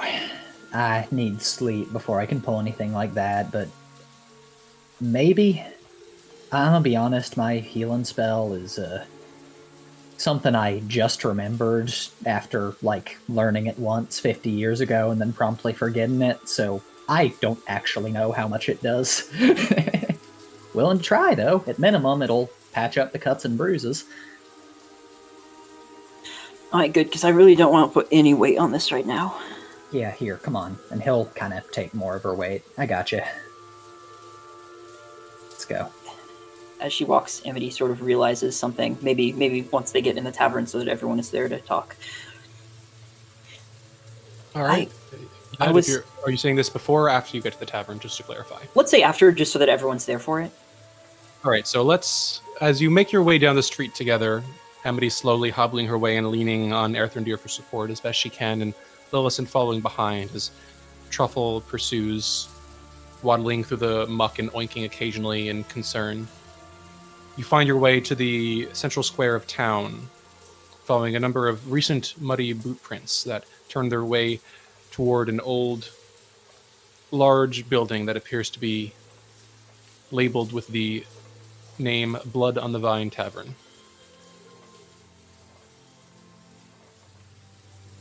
Together, you proceed inward through the door, passing into the dark and dingy tap room beyond.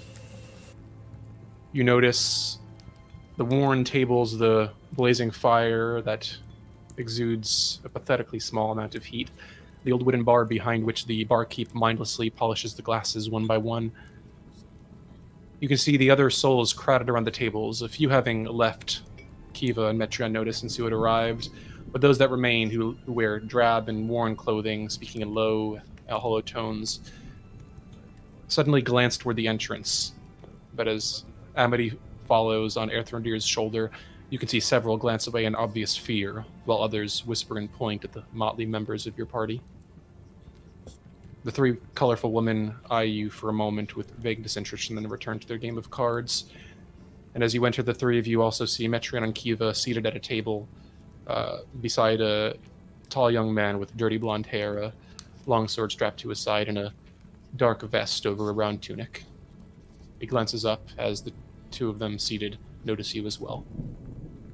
Well, you know, there's a bronze dragon apparently, but I I, I haven't seen it, so I don't. Uh, oh, uh, uh, Randy, uh, Amity, Lillison, these this is the rest of our party. Come, come, sit, please. All right. And he's going to kind of gingerly move over there as quickly as he can. well, we we didn't we did manage to wake up. Thanks for leaving us back there, by the way. I really enjoyed the taste of mud. I left a tarp on you. I it doesn't work fully. You gotta like put something on the edges just to other stop the rainwater from coming in. Else it's just kind of a Pish posh. Uh, barkeep, three more glasses, yes. Did we take the tarp with us? mm, Earthrendir did. He is Okay. keeping that tarp. Metreon, you watch as the barkeep just mindlessly turns and begins pouring out three more glasses, and then just leaves them on the counter, staring expectantly forward. Yeah. Ismark coughs and murmurs, "Excuse me, I'll get that. Not to worry." And he uh, excuses himself and moves over to the counter, and where you see him drop a few copper pieces on the counter.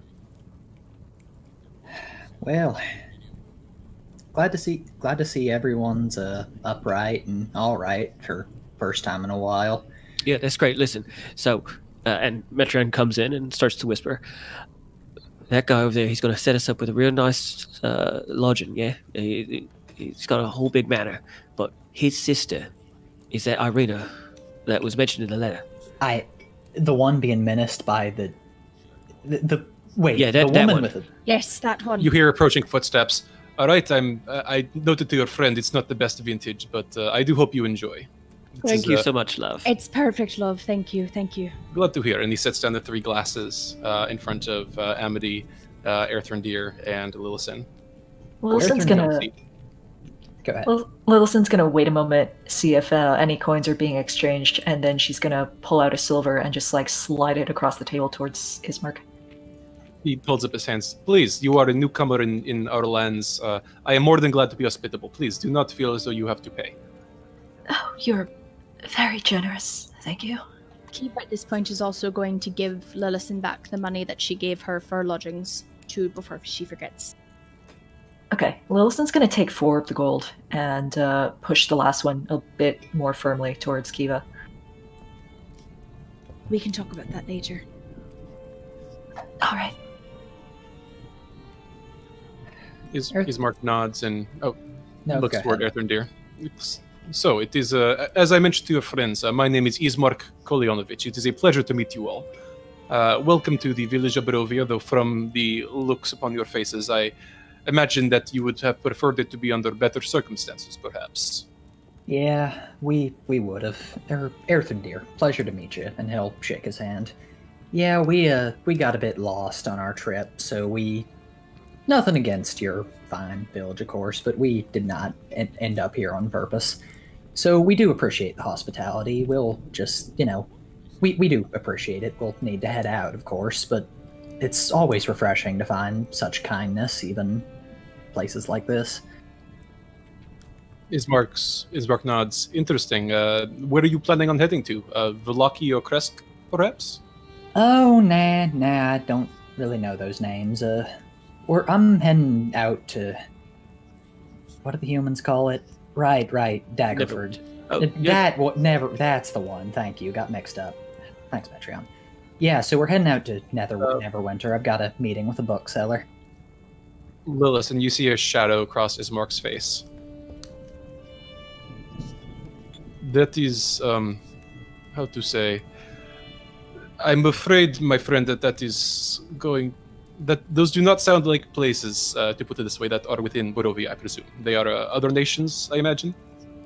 I- Yes, yes. Yeah, yeah. Well, I, I don't know how we crossed a national border, but you humans do like to live close together, so uh, makes sense. I'm Um, I, I. I'm sorry. That's. Oh, I'm sorry, uh, Miss Kiva. Love, I think what he's trying to say is that um, it seems as though Barovia is going to be much harder to leave than we initially thought. Well, I mean, obviously, we're in a foreign country. Like, that's gonna take some moving, and we have to, you know, get back to. Earthrendir, Ismark shakes his head it's at as Kiva's voice cuts through, and he waits for her. There's no way out. What are you talking about? I am afraid that uh, your friend is quite correct. I am sorry. Anyone who attempts to leave the land of Barovia is hemmed in by the walls of fog. You can choke on it and die or turn back. There is Amity- no escape, I am sorry. Amity sort of slams her drink down on the table.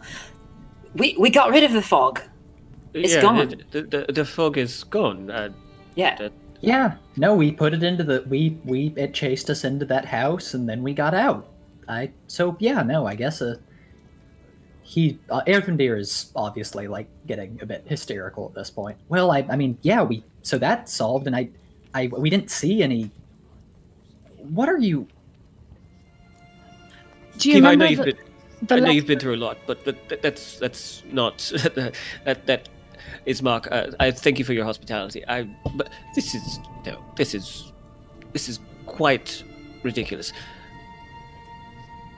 Yeah, but like I'm I'm with Metreon here. There I I I don't that's not a thing. That is not a thing that can happen. There's not like what? You're saying that once somebody gets past the border of your little podunk hamlet that they just get slapped by what? Mist? Earthrendir. How else do you explain him never hearing of a place like Neverwinter or Waterdeep or any of the places where we're from? I, He doesn't even know they exist. Well, yeah, no, isolated villages don't. They don't have a reason to. Earthrendir. We There, tried. there literally was mist. We, we saw- tried to leave that house. It turned us around. Yes, but, And but we- like Emily said, we got rid of it. We got rid of it in that basement. But we didn't get rid of the mist by the gates. I'm sure we didn't. There And wasn't Did you go any and by the check? gates. We didn't. Yeah, like we can just walk, walk, walk till we get to your border, and then we'll just. Like, have you? Do you know? Have you ever tried? Ismark looks like he's being very patient right now. he slowly sighs. I understand why you might feel doubtful. You, it is it is fine. I, I am not offended, and uh, you are doubtless uh, uncomfortable with the situation you have found yourselves in. But as Miss Kiva has shared with me, with the body of the man that you found near the outskirts of our land, Master Davin Nolensky, a friend of my father's, I'm afraid that he, like any other member of our community, has been quite unable to escape the mists or fog of Barovia for the outer world. Our land has been quite isolated for a long, long time, and I assure you, and I am deeply, deeply sorry for this, but there is no escaping this land. There is only the mist.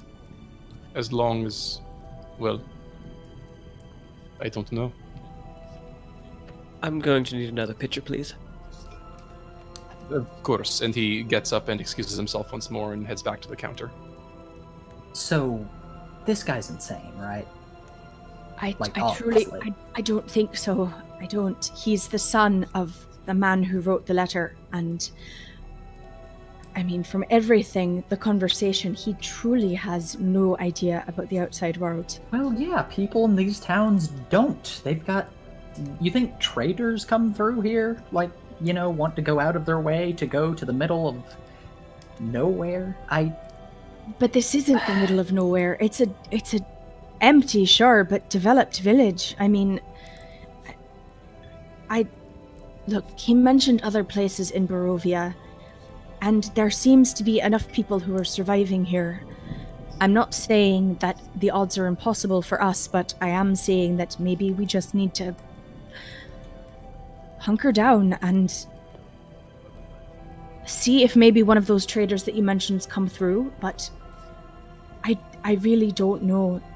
I, tr- I trust him. I don't know. I, I, I. No. We got to get out. That's the only way. if- Here, returning one of- footsteps, and Ismark returns with a pitcher. So I, I, I apologize for the wait. I hope you enjoy the wine. Uh, there is a, if nothing else, there is quite a bit of uh, purple grape mash number three to go around, eh? Please, who, who, who would like some more wine? I would like Thank you. wine. Yeah. I'll pass. Of course, and he pours it for uh, those who take it before assuming his own seat once more. Does it um does it come in bottles? I'm afraid that uh, the owner of this establishment does not deal in bottled wine. We could look into purchasing uh, or putting an order in when next the uh, cart arrives, but they have not come in quite a long time, a number of days or weeks at least. I do not know when the winery will make its next shipment. Lillison's going to look over at Metreon and she is going to say, If uh, I'm willing to uh, ask them to fill up my water skin, if you would let me have some out of your water skin for a while. Yeah, yeah, uh, yes, yes, of course. And, uh, and you would see uh, Metreon looks like he's in a bit of a daze. The realization of everything uh, has hit, and he's not looking at anyone directly in the eyes. He's looking through them almost. Yeah. All right, all right. So Go for it. you, you. So there's this mist that you said, and when you walk into it, you know it. It, it sort of turns you around. Sure, we dealt with that. Has what have you actually tried to get past this mist?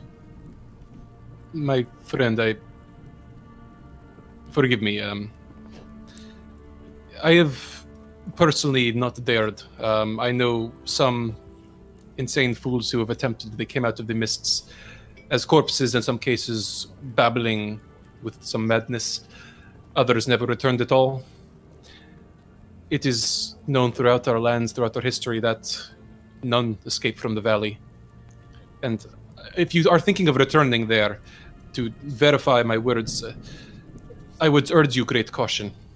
The you presumably have journeyed here through these Svalich woods, and well, well, you may have been lucky to arrive in our village. It is prowled by many ferocious beasts. I, w- I would urge you be wary, especially if you are to, go, are to go there at night. But even during the day, those woods are they can be deadly. All right. If you just do not do anything rash, my friend. I, I would ask you only that. Fine. So about this manor of yours. Yes, um, if you would like, uh, given that uh, I, I assume that this is all of the members of your uh, group that have come with you, unless there are any others that you were waiting for. No. There is a pig though. Truffles snuffles happily, uh, kind of poking his snout up uh, over Amity's chair, and Ismark chuckles. No, that is uh, a good little animal. I am sure that uh, he is welcome to join as well, as long as he is uh, quite well trained.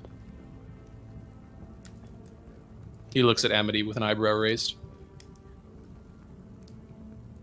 Oh, sorry. Could you repeat that real quick? Uh, He is welcome to stay as well, as long as he is, I presume, quite uh, well house trained. Oh, don't worry. He's he's he's very nice. Very good. Then, uh, of course, if you are all ready to uh, leave and if you all enjoyed your wine, then I'd be more than glad to take you to my home. It is after dark, so we will do our best to make our way through the streets as swiftly as we can.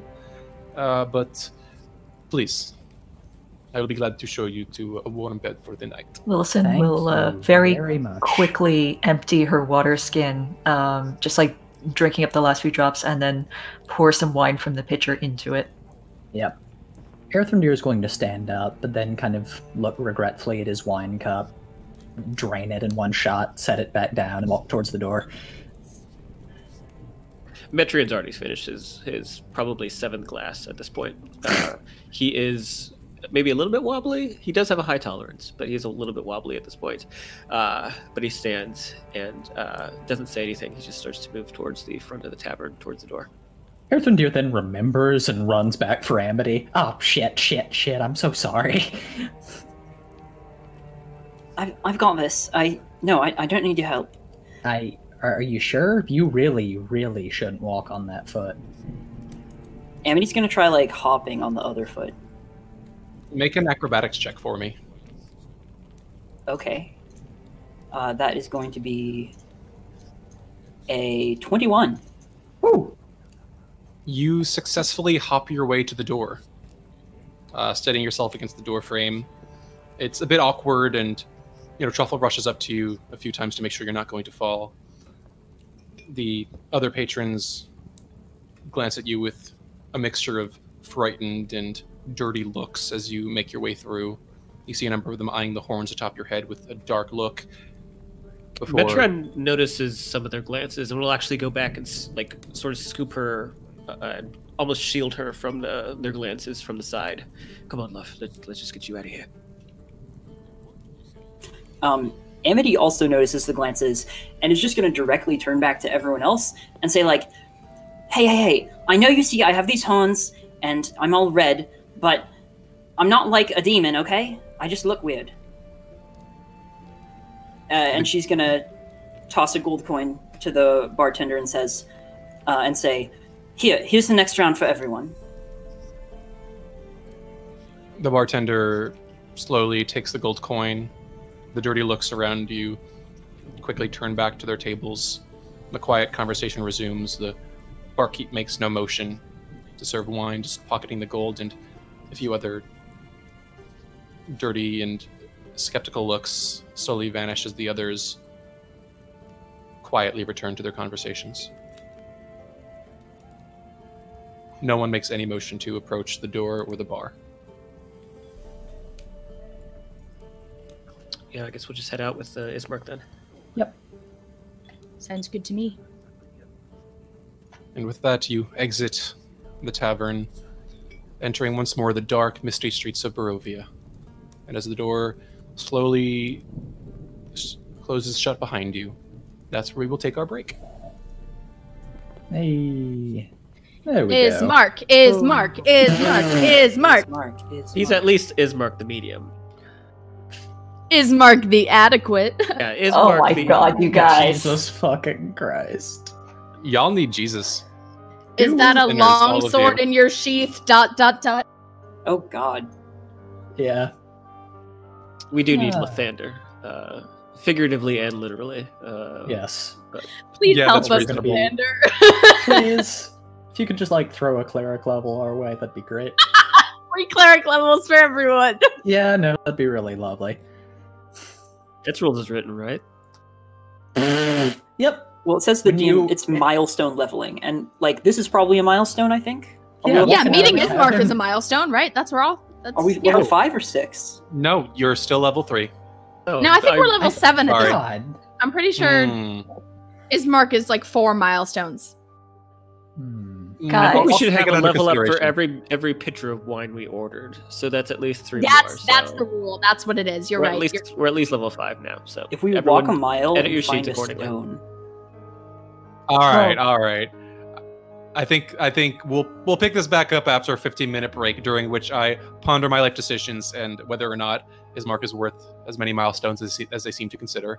Uh, until then, uh, please do enjoy a few other messages from our D&D community, including a new episode of our Fireside Chat series. Uh, this week we have on Zephyr uh, regarding the mechanics of creating an alternate universe campaign of an existing D&D module. Uh, so please enjoy, and we will see you back here soon.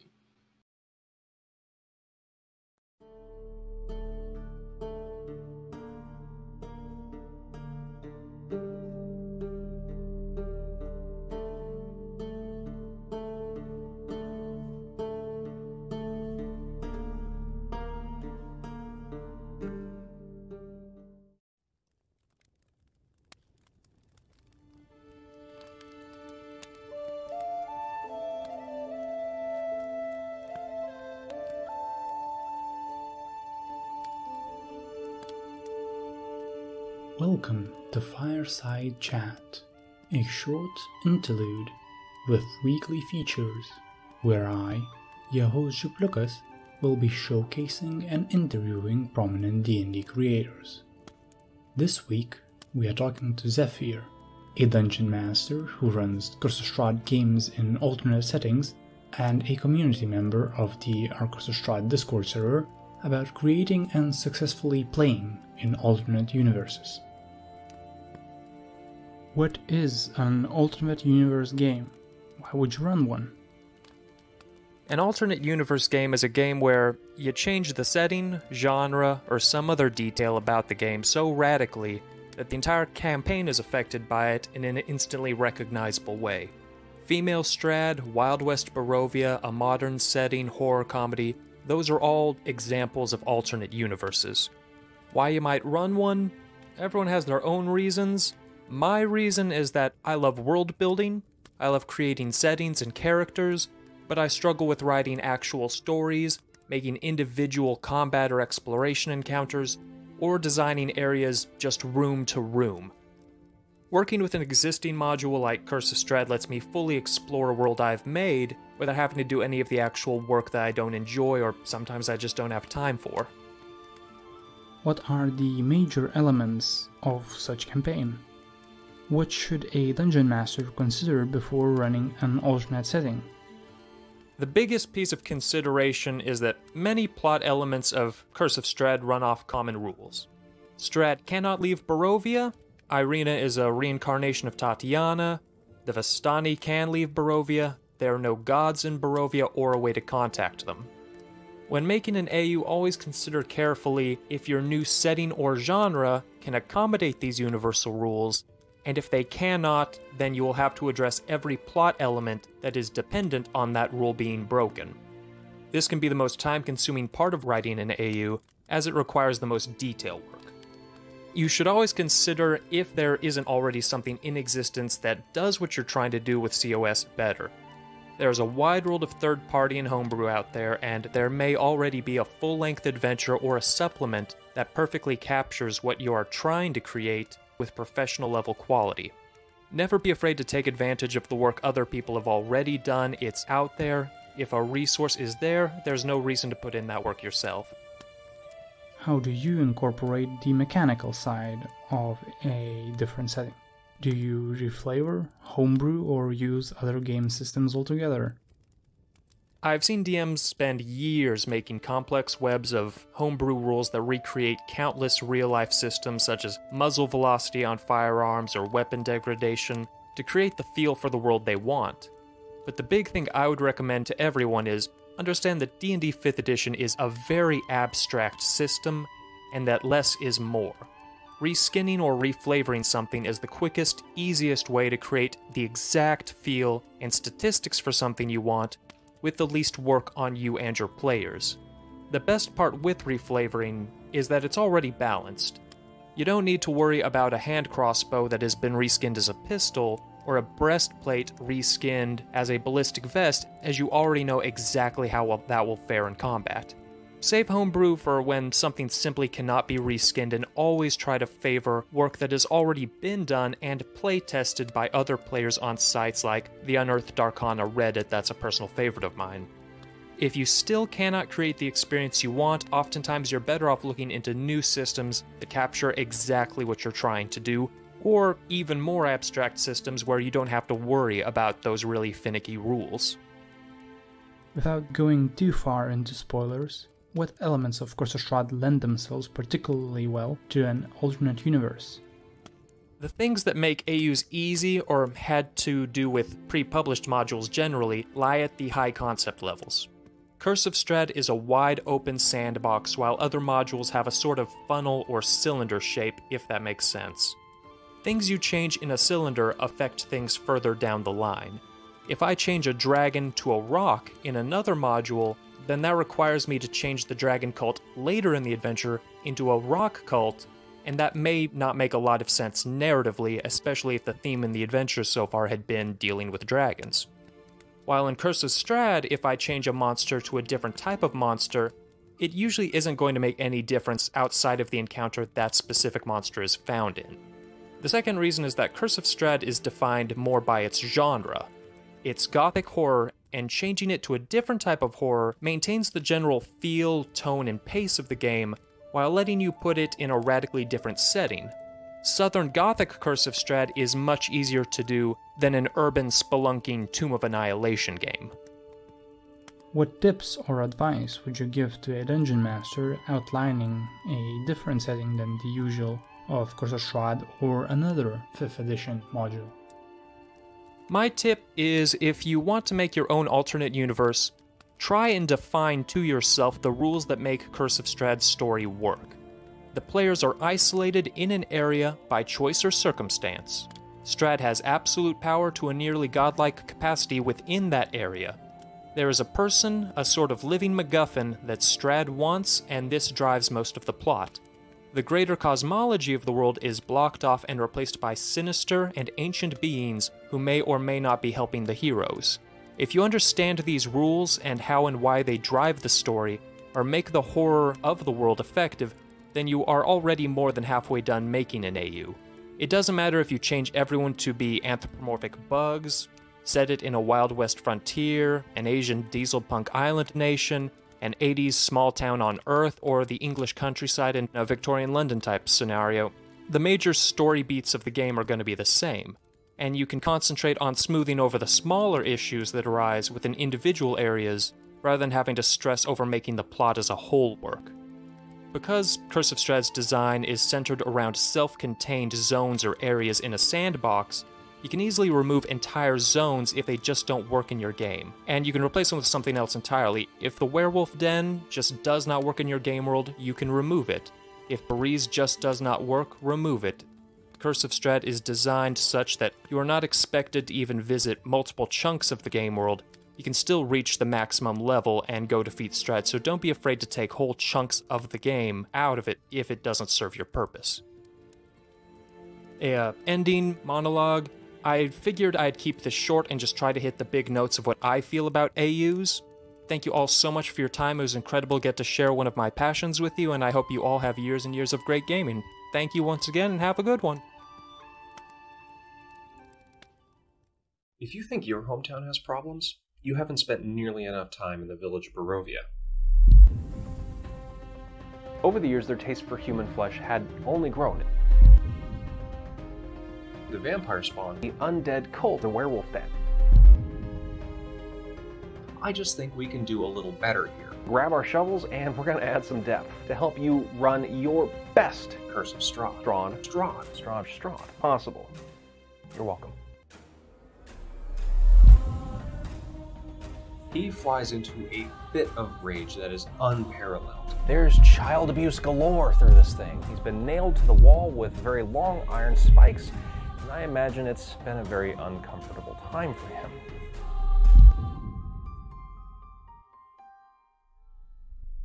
You see, in tracking a monster, one always needs proper bait.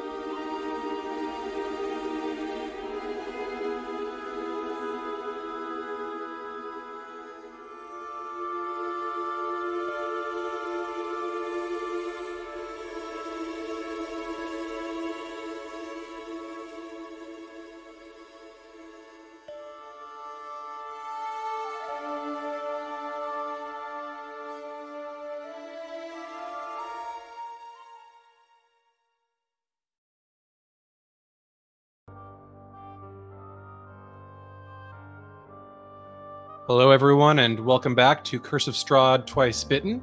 Hope you all enjoyed the break. Uh, before we begin, we just we do just have a few minor announcements. Uh, first, just a quick shout out uh, and thank you to our continuing virtual tabletop sponsor for this campaign, Foundry VTT, uh, for providing the scenes that you've or the technology that we've used to show the scenes up here, uh, which are themselves designed by the great James RPG Art on Patreon, uh, as well as you know dynamic lighting and other great features. Highly recommend checking them out. Uh, so, uh, Twy, what have you got? Yeah. Well, as you guys know, we have just recently hit Twitch affiliate, which I am still jazzed about. I did not expect that to happen when we started this little stream. And that means that, at long last, our three of our new emotes have been approved. We have Perkins Face, we have Doru, and of course, Truffle, who we can now safely keep because he made it out of Death House. Bless his little soul. Yay. Yeah, I am very happy. So yeah, no, if you would like to subscribe, then we'd be happy to have you. You have several options. During the month of September, your first month your first month of subbing is significantly discounted. And if you happen to have Amazon Prime, then odds are you have a Twitch Prime sub knocking around that, well, it'd be pretty cool. But and of course, any money that we get from this is going to back to- going to be going back towards supporting the stream and the Curse of Strahd community. So, but we're very thankful for all of your support and sticking with us. Absolutely. Thank you all so much. Uh, Serena, do you have some quick uh, social information? I do indeed. So, um, as you can see, designed by our very own um, Jack, we have some new buttons in the bottom that will take you to the Our Curse of Strahd Discord server, the Our Curse of Strahd YouTube channel that has our playlist um, for all of past all of our past episodes that you might have missed, to our Twitter uh, at Twice Bitten COS. Um, and to our podcast, um, which you can also find at anchor.fm uh, slash twice dash bitten. Um, and wherever you listen to your podcasts. Um, just a reminder that the Our Curse of Strahd um, Discord and as it is in the Reddit community are just uh, DM only. Um, so if you're a player, uh, spoilers will abound there. If you would like to submit artwork, ads, or memes, you can submit to um, our email, twicebittencos at gmail.com. Um, if you are sending art, fan art, anything like that, make sure you send it to the email as well, even if you've posted it somewhere like the Discord server or the Twitter. And we have a new Deadpool. Um, as of right now, it's closed because it's closed during sessions. Um, but I'll put the link in the chat for everyone. Um, the Deadpool will go until the next PC dies, um, and then the rules will be reset and the voting will reopen. Um, so just make sure you do that uh, whenever you can. All right. Thank you very much, uh, Serena. Uh, Kaya, anything to add? Yes, uh, just wanted to remind everybody that, as always, we are highly indebted to all of the uh, video game companies and independent composers who have allowed us to use their music for this stream. You can see those credits if you scroll down. Uh, there is a short list of the music credits, and if you click through on that panel, it will bring you to a sheet with every single track that we are using. Um, I've seen a couple of requests for the particular playlist that Dragna has put together. Um, any chance of those uh, being published anywhere, Dragna? Uh, at some point, I'll be able to look into it. Uh, just things are, you know, obviously a bit busy right now. But uh, if I have the time, I would definitely look to uh, make, uh, you know, at least the, the the lists themselves available for people to look at. So hopefully, I should be able to get that out at some point if Kaya reminds me. I will be sure to do that. Uh, speaking of reminders, uh, yes, we do have our podcast, which uh, Serena had already mentioned. Um, it is now up on most of the major places that you can find podcasts, including Spotify, Google Play, and uh, Apple Podcasts. Um, as of now, we have almost 1,200 plays, which is f- just mind blowing to me. Um, and also makes me feel like maybe I should put more time uh, into editing these things. But be that as it may, um, each episode is aired um, 12 days after the original uh, Twitch playdate because I go through and remove things like dead air, um, stray noises in the background, and uh, diversions, um, and re upload it for the best possible listening experience. The fireside chats are also uh, available for listening just as their own little series, so check those out. All right. Thank you, Kaya. And with that, I think that's all of the announcements that we have for this week. Thank you all for sticking around. And with that, let's dive right back in. And so, exiting the Blood on the Vine tavern, the door closes behind you, and the muffled conversation and clinking of glasses vanishes. As the light drizzle, the distant sobs return in the darkened streets of Barovia once more.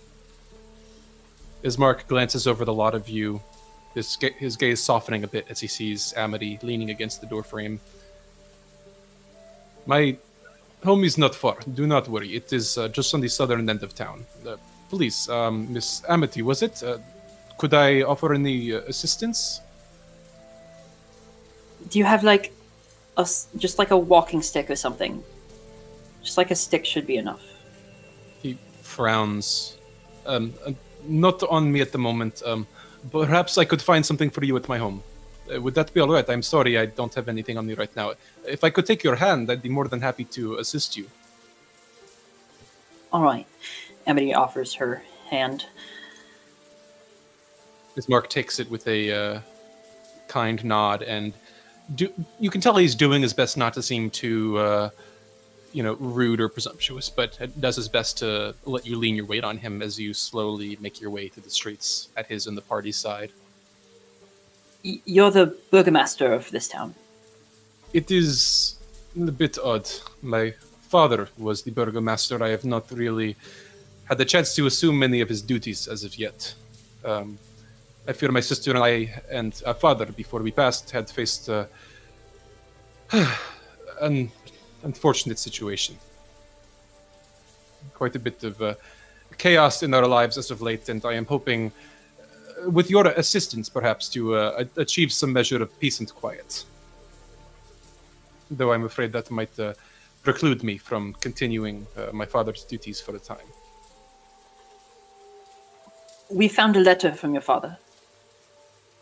Yes, uh, I was told by Miss Kiva, uh, uh, Master Olensky, it was a deep uh, tragedy what happened to him. I would ask if he had been buried, but I know that the woods are dangerous. I would not presume to ask such a thing of you. Hopefully, his body will find rest instead of joining the others. He closes his eyes and just forms a small uh, shape across his heart with his uh, fingers pointing outward and up toward his chin before opening them and continuing once more on the road. Sorry, you said others. Join in the others, yeah. It is best to avoid the. Uh, I, I mentioned that it is unpleasant to uh, travel the woods at night. There are spirits and other less wholesome things that wander its uh, gnarled brambles. What? I hope that Master Olensky finds peace. It might be a kinder end if he is. If he serves as food than if he seeks it. Um, Earthrendir looks like he is about to say something and then immediately shuts his mouth. Go for it. So the the creature in the letter, there are more of them than just the one who has been plaguing this place. The vampire. Ah. he looks confused for a moment and then nods. I, I see the confusion. There is. Well, there is a vampire that rules the land. Uh, he uh, dwells in Castle Ravenloft. He does not lurk the woods, I should hope. I sincerely hope, at least. Uh, I know that I believe that there may be other spawn of his that lurk in the land, but to my knowledge, I hope that they have not been sighted in the woods, no. Other uh, shambling things, I should say. Lillison is frowning, um, and she slowly says, You say he rules this land? That is correct. He is the Count of Barovia. Ah, so he rules this in a legalistic sense. It is a bit strange. You see, my people do not regard him as a respected lord as such. Rather, he is he is a devil, a curse placed upon our land. He and the darkness that he brings. We do not view him as one might view a, a caretaker, perhaps. No, he is a, a monster set upon us and our people. We do our best to avoid his notice. Generally, curses are placed upon people who have done wrong. Is there something that Barovia has done wrong? If only that we knew it. It is said amongst my people that the Devil's Strahd was sent because of a forgotten sin of our ancestors, a, the scorn of Old Mother Night, but I do not know. It is what is believed, it is what is understood, but I am no theologian, my friend. I only know that he is a monster. Wait, Kiva right, like rushes into her backpack and pulls out the letter that she got from Death House. This Strahd, and she's going to show the letter to Ismark. He frowns and look over the letter that you're uh, holding up to him. Strahd von Zarovich, yes, that is the name. I Dreadlord and Master seems quite appropriate for one such as him. But where did you find this? In we were in a house when we first got here, a, a manor. It, never mind. It it was in a, a, a secret room in the library, but the body that was over it was long deceased. How long has this man been in power? The devil has ruled our lands for centuries. We do not know. We have not known life without him. Whatever our ancestors did, it was long ago and lost to the mists. You said centuries. Aye, that I did. Bloody hell. Is he human? Was he human? That I do not know. I know not the nature of the vampire, but whatever he may have once been, he is certainly no longer. He is a beast. He is a creature of night, a creature of blood. He and his servants have long haunted our lands. As I said, it is best to evade him where possible, though, as you might have noticed, and he nods up to the shadow of the castle, faintly illuminated by the waxing moonlight. It is difficult in our little village, so close beneath its shadow. You said that your father was the burgomaster. That is correct. He served long and he served well. He was. He cared for this village, as I do as well, but he passed quite recently. Did did this office, did the power of his office come from the count, or was it elected by the people here? The burgomasters are. Well, it is. I suppose our village ways might seem strange to uh, city folk such as yourselves. I am not familiar, as I have said, with the ways of folk outside the Barovia, except insofar as those that have come here before. Um, it is uh, ancestral after a fashion, I suppose you could say, though I imagine that if the townsfolk were not pleased with uh, my father's performance, they could have d- found another. So, not directly appointed by this dread overlord. No, I have not. I have not personally encountered this devil. Though, Your sister has. that's correct. So I'm I'm sorry to be presumptuous, but I've never encountered a vampire before, and um, I don't think any of the rest of us have. So how exactly can we help your family? Before we get there, and I- before we take advantage of your hospitality, this feels like something that is beyond our wheelhouse. Of course, and I understand completely. You all look tired, and you. Well, I hope that that you are hardy folk to have made it here, especially after the experiences you may have had. I do not wish to put you at undue risk. You see, there is a town beyond here. It is called Vallaki. It lies in the heart of the valley. Um, it is my hope that, uh, well, it is uh, beyond the reach of Castle Ravenloft. Uh, it is, from what I have heard, well defended. uh, beyond the view of the castle and beyond, I hope, the reach of the devil himself. I believe and hope that if I can move my sister from Barovia to this better defended settlements, that we she may be free of his grasp, and I might be able to do what I can to find better comfort for her there. Pardon me a moment. Of course. You mean to say that the lord of your land, you know, big guy up in the castle, is been interested in your sister for one reason or another, and you think a change of location is going to put him off moving what, ten miles, fifteen? It is. I know it is a risky gamble, but it is our best chance. We have done our best to fortify our home, but yeah, like it, you've that it is well defended. The devil, the devil's creatures have assaulted our home. You will see when you arrive. It is not simply the devil, but his minions that me and my sister are concerned with. And if we can move her behind its fortified walls, its sentries and guards, we can keep her safe inside. For you see that a vampire cannot enter a residence without invitation. And if he cannot bring his beasts beyond the walls of Vallaki, it is our hope that there at least we will be safe. Has he? Has there ever been record of him in invading Vallaki? This Vallaki? Not to my knowledge. I confess that I have not been to Vallaki, but I, my father's uh, uh, knowledge that has been shared, that what I've heard from caravans that have come from there, I have heard that it is ruled by a baron, and that uh, it is, as I have said, quite well defended. So it is my hope that uh, it is beyond the reach of the devil.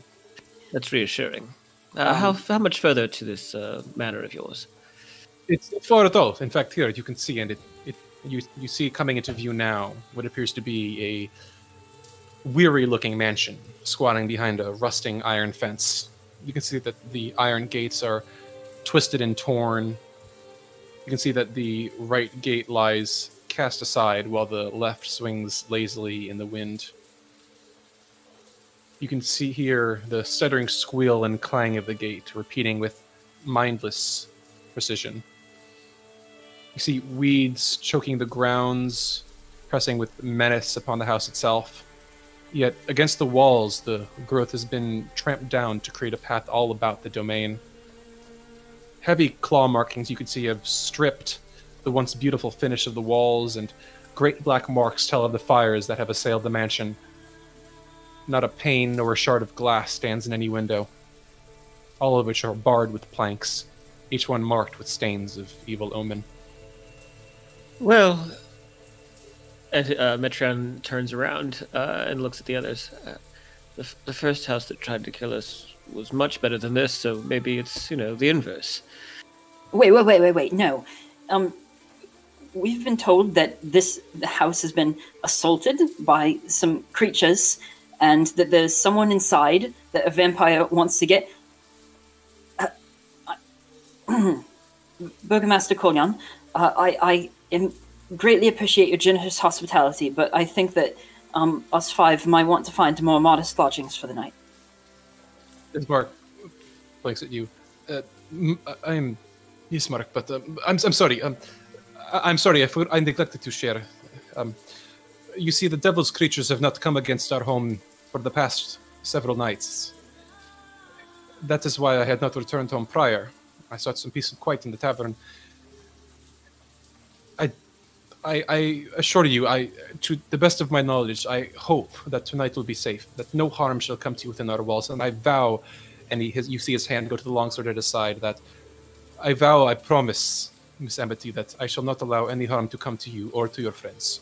Wait, I... you left your sister alone she is quite secure, I promise. The house is fortified. It is safe in there. I I just needed to find help. Please. So so pardon my questioning, but why haven't you tried to move her already? You seem more than capable of holding your own in a fight. Sized. It is risky alone. The roads can be dangerous and not as dangerous as a vampire or as dangerous as his minions, but I could not risk her. I needed to find more help. I could not dare move her alone. Uh, I, I take it I, I, that the plan would have been to move her in secrecy to have her disguised, and I assumed that sending her off with uh, perhaps a group of strangers would draw less attention than the two of you, who presumably are very well known around here. Mark sighs. It is not quite, though that is an interesting proposal. You see, I had thought to bring her myself uh, to ensure that she got there, but I needed extra hands to make the journey. I would, I could not bear to see her go without knowing that she had come to someplace safe and secure from this nightmare that we have been living. Um, but again, I could not have. I did not think that I could do it without others to help on the road. It is. I am sorry. Metreon has been sort of watching him, and having experienced Death House, even though he was kind of joking, he was also sort of he's not entirely convinced, and he's he's been observing uh, Ismark this whole time that they've been walking, and now we're in front of the house. He wants to. he- He's curious to know if he's actually telling the truth about all of this, or if he's keeping anything from from us. All right. Uh, if you'd like to inspect him, you can make an insight check to see if he seems to be holding anything back. Uh, that's seven. Seven. He's tough to read. He doesn't seem to be indicating much beside the somber, slightly mournful expression upon his face. He's so handsomely brooding, so I'm I'm totally distracted. Earthrendir is going to step forward. Mr. Ismark, sir. How about this? We will gladly take your hospitality for the night. We are all tired, and frankly, I don't want to know what happened if we try to stay the night out here. Probably nothing good. But in the morning, hopefully, post breakfast, we will have an answer for you about whether we are willing to help or not. We, I am, quite frankly, we've been through a tremendous amount. We're all sick, injured, in degrees of shock, I'd imagine. We need time. Miss Buck nods. I understand. It is not a problem, and I appreciate your willingness to entertain the uh, request I have made. Please, let us get out of the cold and the wet. Uh, my house is warm and comfortable. And he uh, holds the gate open, ushering you to proceed into the grounds of the manor. Ismark murmurs to the other, or wow, Earthrendir murmurs to the others. Can't be terribly warm with every pane of glass broken, but he will follow. Good help does seem hard to find these days. Wait, wait, wait. I, I honestly think that just a room in an inn would just be more comfortable and safer From- than this place. From what he said, there is no inn in the town. Look, I can stay up with you. I, I don't sleep, remember? So I can I can keep an eye on you all night if you'd like. Well, I'll crash with you if you must, uh, if it's of any consolation or comfort.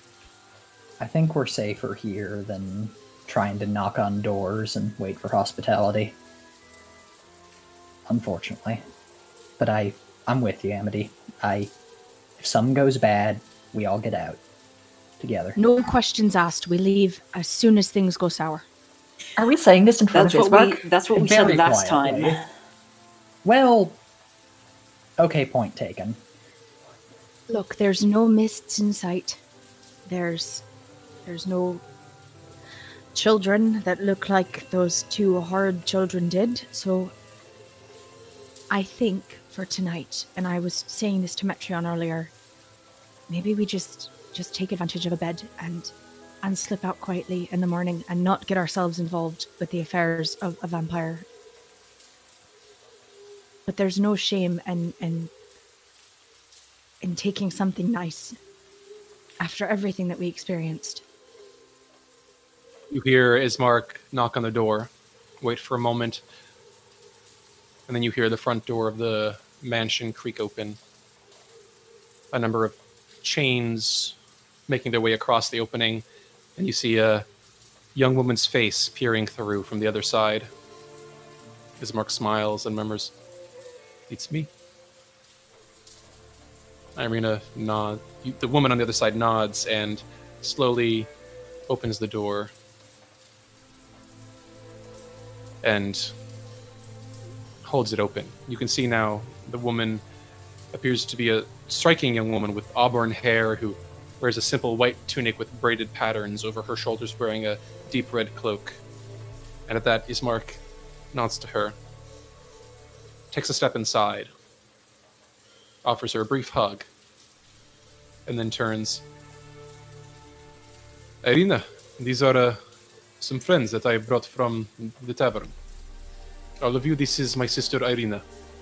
The woman inspects each, each of you for a moment and then nods her head. It is good to meet you all. I am Irina. Metreon uh, slides back his hood and does uh, this very stately bow. My radiance. Uh, and he extends his hand as if to, like, take it to kiss. He looks at your hand for a moment, a shadow crossing her face. Please excuse me if I do not invite you into the home.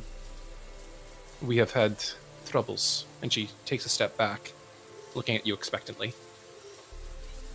Uh, Metreon smiles, kind of showing off his golden fang. It's no, it's no trouble at all. Uh, I do believe, though, that your brother could vet for us. He's Ismark sighs. If you would not mind, I cannot extend an invitation. I, I am sorry. If if you, he looks a bit of a twisted expression on his face. You just see Irina regarding you quietly as she says, "Well." Kiva will step forward and offer to shake her hand, and um, she's not really looking at Irina's face as much. Um, and she's going to look over at the rest of the group and then cross the threshold. Irina gives Kiva a nod and takes her hand. You see the light beginnings of a smile touch her face. Forgive me, I did not mean to be rude. It is. In the times that we have faced, you cannot be too careful. No, it's Thank you. um, it's fine. Nice to meet you. So then, may we come in? And as Metreon says that, he sort of like inches his hand through the threshold. Ismark sighs. As I mentioned, a vampire cannot enter a residence where they have not been invited. If you would. If you are not vampires, you will be able to step over the threshold. Oh, well, very good. Uh, and Metreon struts inside. You could have just said that, and I, I'm sorry, it is. I'm sorry, I thought. I, these days have been stressful. I appreciate each of you. And he regards Amity for a moment. Is she still outside? If everyone else goes in, then I guess Amity will go in. Lillison is also standing outside. Cool. Amity proceeds inside, joining the others, and Ismark's gaze falls upon Lillison. He raises an eyebrow silently. Sorry, if Lillison's outside, Amity's also outside. All right. Amity catches herself before finishing her way past the threshold. Come on in, both of you. Uh, it- it's much warmer in here. I understand the precaution. I. Hmm. It seems ill mannered to barge into a residence like this. But I suppose. And uh, she is going to take a look at Amity and say, Will you need a hand? Um, I'll. I can get in. Amity's sort of looking suspiciously at Lillison, but uh, only for because of the phrasing. Lillison nods and turns and walks in, trying to, you know, find a place that's as far away from everybody else as possible. And so she proceeds in with Amity, making her way into the old manor as Ismark moves and closes the door behind them. Forgive them, they're just very shy. Of course, it is not a problem. Um, though, for future reference, just so you are aware, I would caution you not to be so cavalier when inviting others inside. There are, well, Point taken. Amity sits down on the nearest chair or furniture or whatever. There's a house down the street. It's it's like big and, and, and with white wooden walls, three stories. Can you go down there and put some kind of sign on the door that's just like warning, don't come in? Or, or something. Oh my god, you're right. Somebody might stumble in there. Ismark's face looks grim. I am afraid that I believe I know the house of which you speak, and there have been. Well, most of the townsfolk know not to proceed near there, and. Well. It is. Suffice it to say that prior attempts to restrict whatever mind dwells beyond its walls have failed. I am sorry. Does that mean that signs have been taken down? Even I have not placed been outside? personally- It is. hmm. I have not been personally informed, but I suppose I can revisit it if that will ease your mind. I, no, Because no, the- please don't. The local people might know to avoid it, but anybody from the outside does not.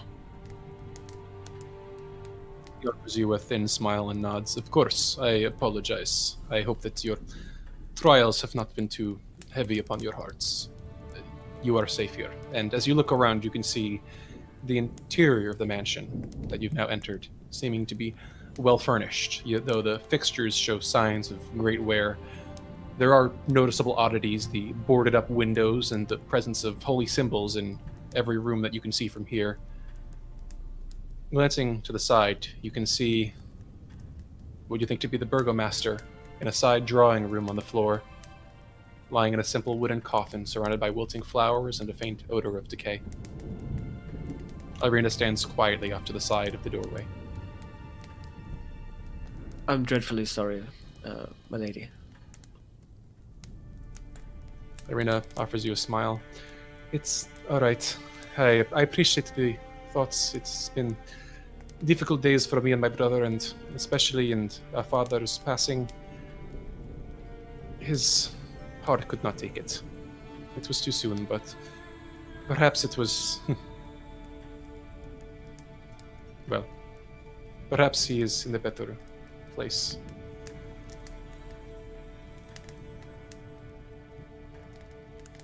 Do you have plans to bury him? Irina nods. I had hoped to bury him or see him buried into the uh, local cemetery. He must be put to rest so his spirit can dwell beyond with the Morning Lord. Ismark turns toward her. Irina, I thought we discussed this. It is. We will do what we can, but right now our priority needs to be seeing you to safety. And Irina shakes her head. No. Our father is dead, Ismark. The proper rites must be performed. You know that as well as I. Ismark fixes her a look. We can talk about this in the morning, and Irina shakes her head. We've talked about it. Please, let us attend to our guests. She turns toward the rest of you with a smile. Please, it is. We do not have much to offer at this point, given the. Uh, the weeks that we have endured as of late. But um, please, if you would like, I can see if uh, I'm sure that my brother can fix up a meal for you. I would be glad to see to it that you are comforted. If um, Ismark nods, they are staying the night. Perhaps uh, if you would not mind showing them to their rooms, I can put together a, an evening meal. And Irina nods. If you would, if if it would uh, not be too much trouble, I would be glad to show you some uh, some uh, open beds. We do have rooms if you would appreciate. If you show me to a mattress, that will be a greater kindness than I have seen in quite a while after the past few days I've had. Thank you. Irina chuckles. Of course, it's not a problem at all. Please, um, if you'll just follow me, it's they're uh, upstairs. We, I don't know that we have enough for all of you, but uh, we can do what we can to make you uh, comfortable. Please.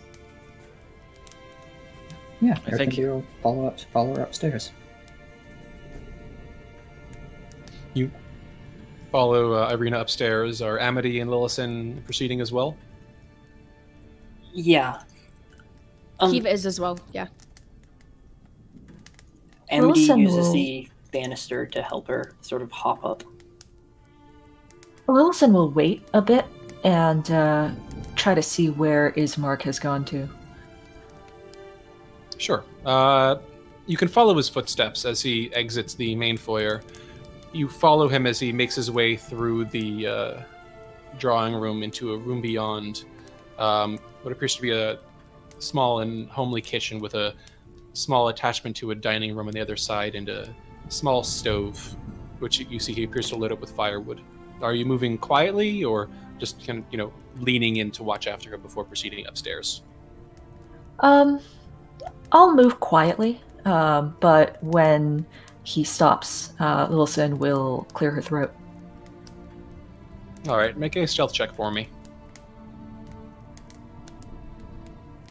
That is a 24. All right. Um, you quietly slink through the drawing room, passing the the coffin by and the slight scent of decay as you peer into the kitchen beyond. You see Ismark arranging a number of woods in the oven and beginning to stoke a flame as some smoke begins to rise through a chimney. Um, you see him beginning to move through a small pantry as he pulls out a, a few what appears to be hanging steaks and a few vegetables out of a bag and quietly humming to himself, he pulls out a chef's knife and begins to chop some potatoes. Um, excuse me. He blinks and turns around. Oh, excuse me, um, Miss Lillison. Uh, is there something that I can do to help you? Uh, quite the reverse, actually. I just wanted to say we're very deeply indebted to you for extending to us all this hospitality in your hour of grief. Is there anything I can do to help? Well, that uh, depends. Uh, uh, how uh, comfortable are you with uh, watching over a stew? Well, I. As long as I'm told what to watch for, I'm fairly willing to do so. Ismark chuckles. It is not a problem at all. Here, uh, and he holds out a wooden spoon to you. I'll uh, show you how to get all the ingredients put together. If you could keep an eye out for it boiling, so we know to adjust the flames while I uh, see to it about preparing these steaks. Okay. Um, Lillison is going to think about summoning the mage hand, then rethink it, and uh, edge just close to close enough to um, grasp the wooden spoon by the tips of her fingers.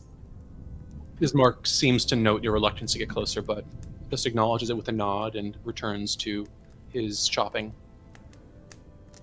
Lillison is going to be a sous chef for a while. All right, very good.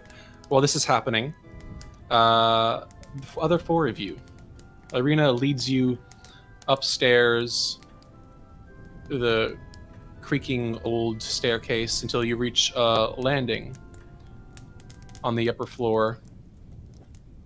There you can see the thin moonlight seeping in through the boarded up windows.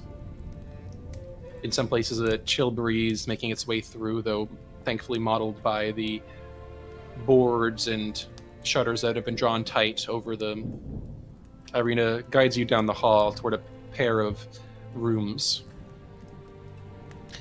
She opens the door, and you see within a single large, comfortable looking bed, as well as a slightly threadbare and aged rug in each, and a small chest set off to the side. Joining them, you see a single uh, large stone fireplace that appears to uh, verge into both of the rooms. Please forgive me. Uh, I would be glad to see if we could fetch some uh, firewood to get it warmed up in here. Uh, we were not expecting guests tonight. Um, but if you'd like to get yourself set up um, as best you can, I'm sorry it's not more, but um, again, I'm glad to do whatever I can to make sure that you're comfortable. I'm sorry for the trouble that you faced thus far. And So you're it's- fine. It's just the one bed in this room. Uh, one bed in each room. There are two rooms. Okay, gotcha. Kiva will help Amity um, get to one of the beds if she needs assistance, and then we'll offer to go get um, firewood to bring up to the rooms with Irina. As you're doing so, Irina watches you helping Amity. Uh, My, my, I'm sorry. Um, uh, are you injured in some way? Is, is there anything that I can do to help? Um, let's see. Um, my mother said um, ice water. That's what she always did for sprained ankles. Actually, I'm not sure if if the Earthrendir, if, if the bone is broken, could your magic fix it? I will let you know in the morning. Maybe. Uh, Amity uh, pulls up her Jindal to sort of look at her ankle uh, a little bit timorously. Um, is is the bone broken? Is if anyone knows anything about um, sprained ankles or, or broken ankles or whatever? If you Love, could- the, the, uh, a sprained ankle doesn't have blood like that. Yeah, can- it's, we can it's try- facing the wrong way. We can try. is the foot even connected? Is that it? without going into too many of the gory details, it um, there's been a large slash that appears to have impeded the movement of many of the muscles. It, looking over it, um, if any of you, you would like to attempt a medicine check, I'll allow it to get a better sense of the nature of the injury. I'll give it a try. Uh, I'll course. I'll help. Well, that's happening. Uh, Irina uh, holds up hand. Don't worry, I'll be right back. hold I just thought of something. Earthrendir. And she dips um, out of the room. Yeah. I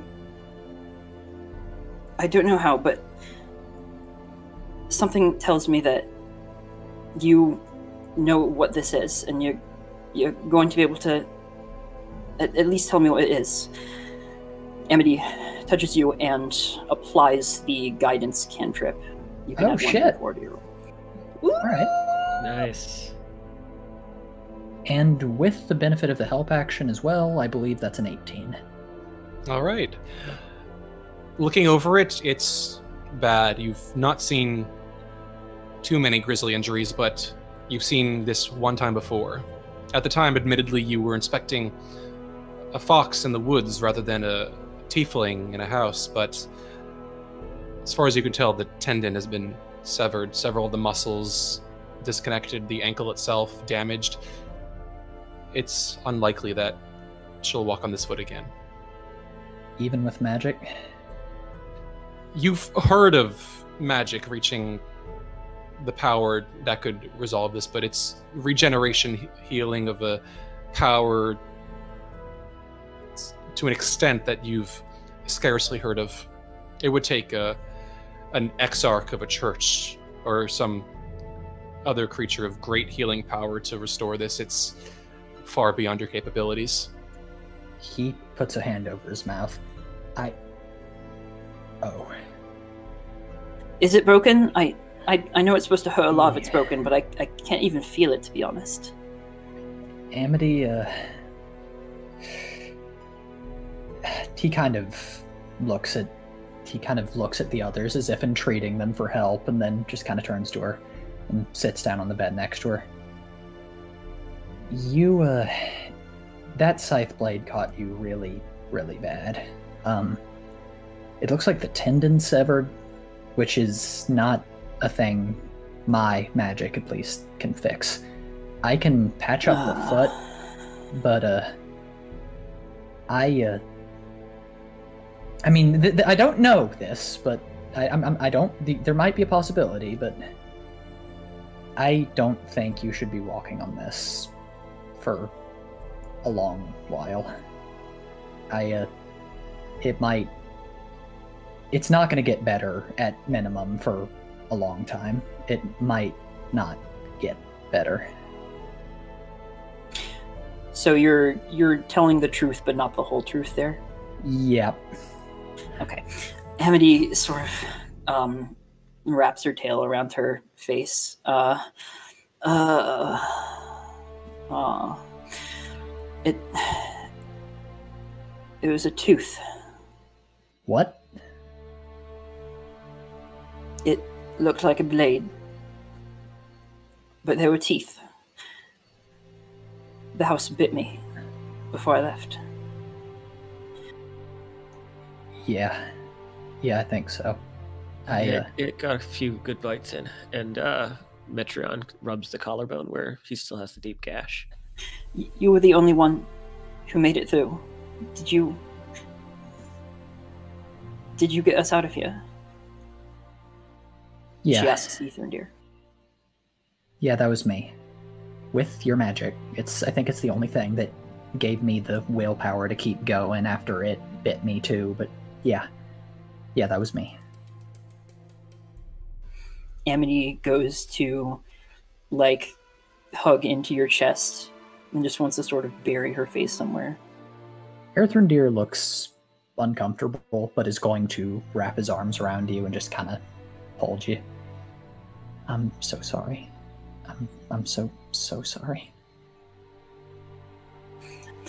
We we got out and we're gonna get out of here. The mist is it's, it's gonna be gone. And if it's not, then we'll find you know, if that house had an an altar at the bottom that we had to pillage, get rid of that mist, then the other mistresses has to have one too. Yeah. Yeah, you're right. We're gonna make it out of here. Don't worry. Don't worry. He's just going to kind of hold her as long as she's going to hold on to him. There's a moment of silence, and then you hear the door to the room open and close again. Or just open, rather. And you see Irina standing there in the hall, clutching something to her chest. From the looks of it, it seems to be the a long plank from a table or something that has been broken or shattered as such, and you can see that nails have been crudely put together through it, uh, attaching it to a few other pieces of debris.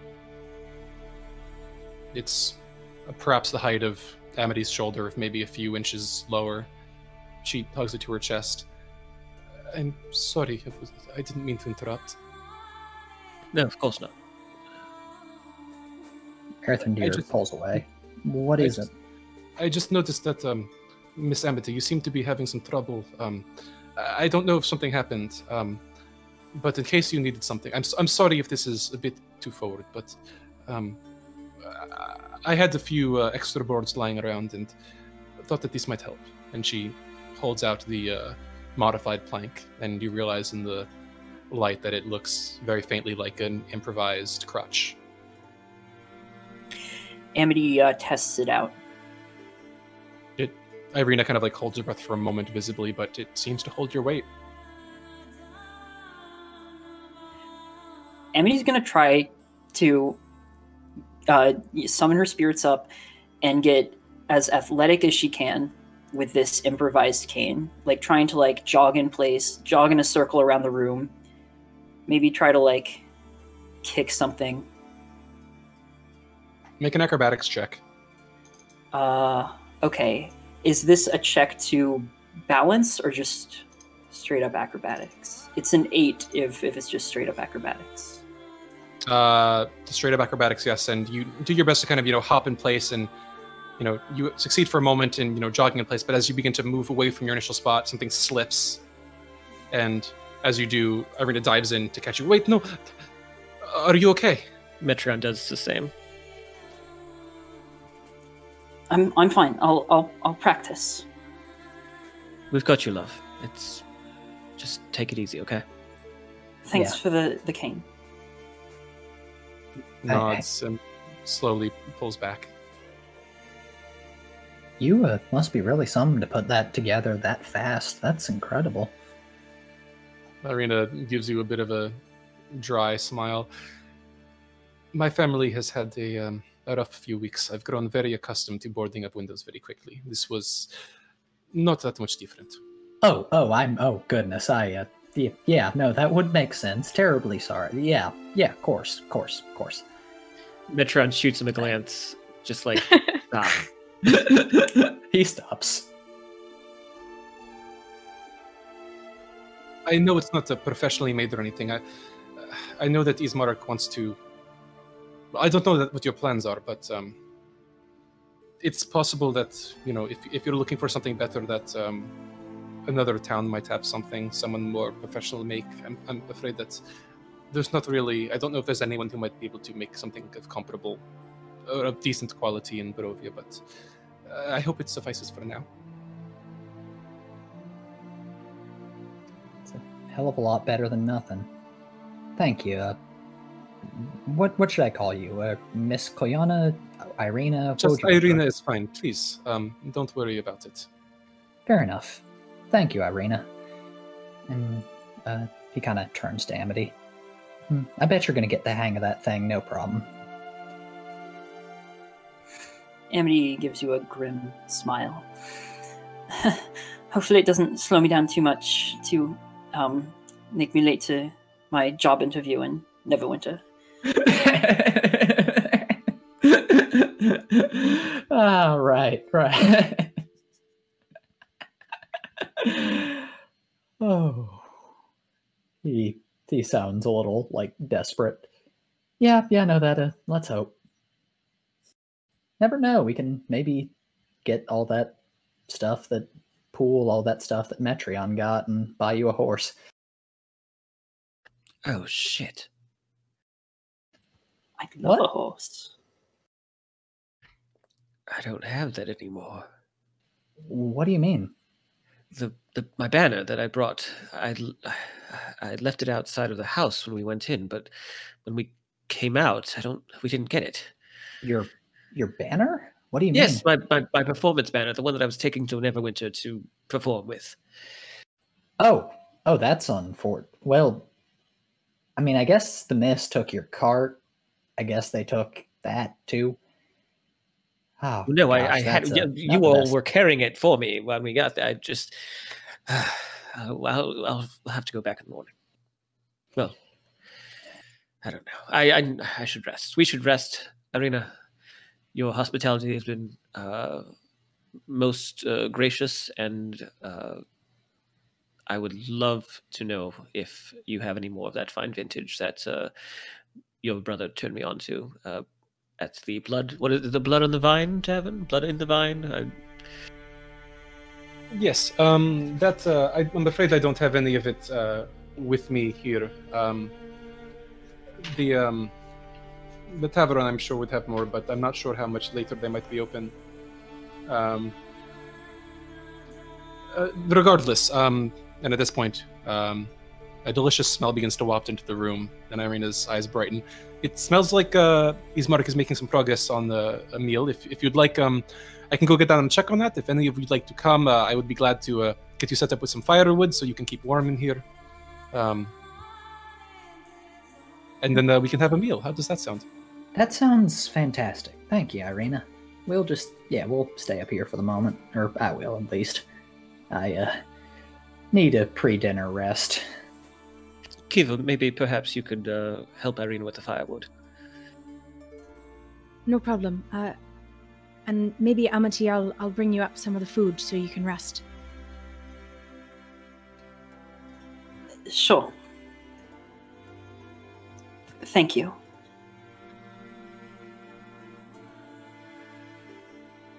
With that, Irina nods and she and exits the room. Kiva, I believe, following behind, and moves to fetch some firewood. And is there anything you'd like to do while she and Kiva are gone, or is there anything Lillison would like to be doing while she's sous chefing, or are you just resting for the moment? Earthrendir's just resting. Uh, Metreon is trying to decide which of the two rooms he's going to set himself up in. Uh, obviously, not the. He's, he would like a bed, so he's going to probably set himself up in the room that isn't being occupied uh, with Amity. Uh, so he'll kind of stake his claim, uh, put his bag down on it, and uh, he's gonna. Is do we know if there's any kind of like uh, bathroom or any kind of water on this floor? Uh, looking around, you did notice what appears to be a small, um, like a, a, a bathroom as such. Um, He just wants to like pass by. someplace so he can like clean off the blood that's on his back and on his collarbone. There does appear to be a bit of a, a, a pipe mechanism set up that could flush a bit of perhaps rainwater from the roof into a bucket, um, similar to the one you found in the previous house, but you know, functional this time.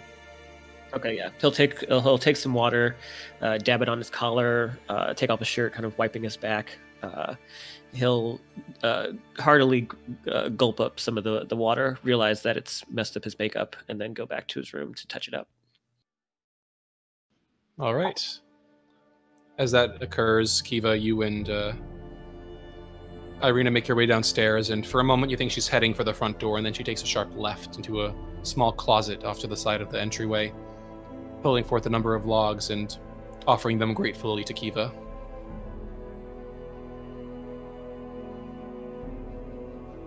Once you're, once she's passed over the firewood, she nods. I'll go check on um, my bro- brother to see. Um, I, I, I assume uh, Miss Lillison is with him. I'll be uh, back shortly. Stairs and deliver the firewood to both of the rooms. All right. Uh, Kiva returns to the room and sets up the firewood, and with without too much trouble, and after Irina returns, you're able to you know get a fairly cheery fire stoked reasonably quickly. A few moments later, you hear footsteps approaching up the stairs, and you see uh, Ismark and Ismark carrying a tray of several bowls and plates. Is Lillison helping with this? Um, so while Lillison had been sous chefing, um, she is going to have tried to get Ismark to just chat about some of the places in town, um, specifically asking more about this general store and then asking whether there are other like shops or anything like that. Ah, yes. So a brief rewind then. Um, back in the kitchen before you Ismark had brought the food upstairs. Um, Ismark gives you a look and shrugs. Well, I suppose the best that you would find regarding um, a store would be Bildrath's Mercantile, as I mentioned to your friend. Um, the owner can be a bit ornery, though his nephew is kindly enough. Um, he's not the most uh, negotiable with outsiders, though. So, other than that, we do not have many stores. Most of our commerce has closed up, or left, or fallen to more unsavory unsavory ends over the years. Barovia has not taken its time beneath the castle well, i I'm afraid. I've heard that Vallaki is much better off, though. So perhaps if you're looking to purchase something, if Bildrath does not have uh, sufficient quality that you seek, perhaps you might find something there. I did note that um, our friend Amity did tend to draw a lot of eyes. I assume that tieflings are not a common sight here. Mm, Not simply tieflings, is that if that's what they are called. Um, no, they are most certainly not. Um, uh, our folk, you see, um, we know that there are other exotic creatures beyond the mists, and on occasion outsiders do come to our lands, but we are ordinary folk.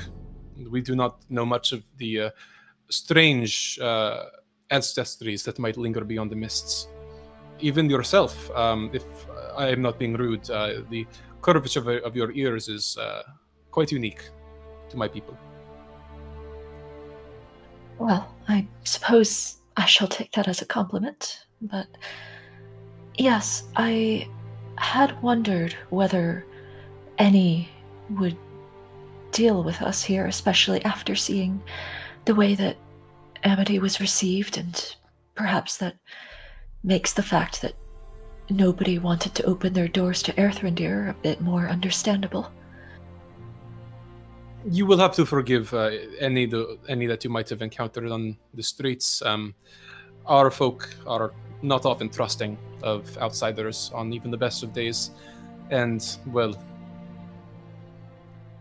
you will have to forgive my people for their hostility towards uh, Miss Amity, and they are unused to seeing um, such unfamiliar uh, biologies, I should say. And I- given the circumstances in which we live, it is it has become a the rational response, I'm afraid, for many to uh, fear what might be unfamiliar. Though I do agree that it is unjust. I I understand. It's very difficult to accept anything that you haven't really seen as part of your life before. But I was wondering, um, as I have said before, you're doing so much for us and we're so obliged, but would it be possible? We we're missing many um, useful supplies, and it, it sounds like this general store owner of yours may not wish to deal with us fairly or perhaps at all. Would you mind perhaps going on our behalf?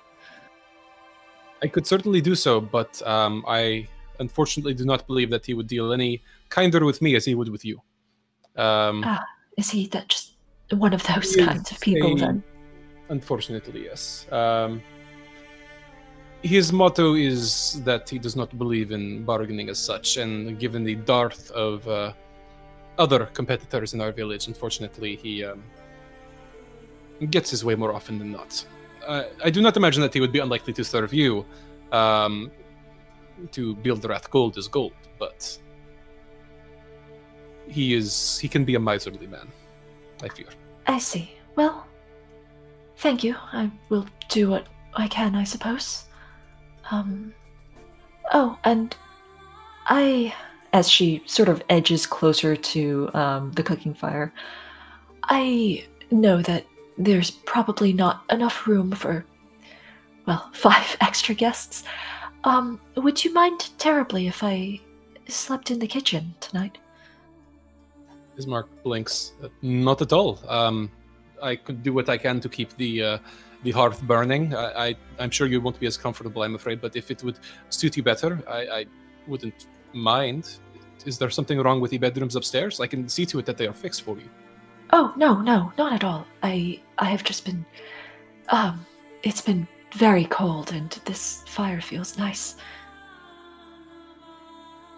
Of course, um, it would not be a problem at all. Thank you.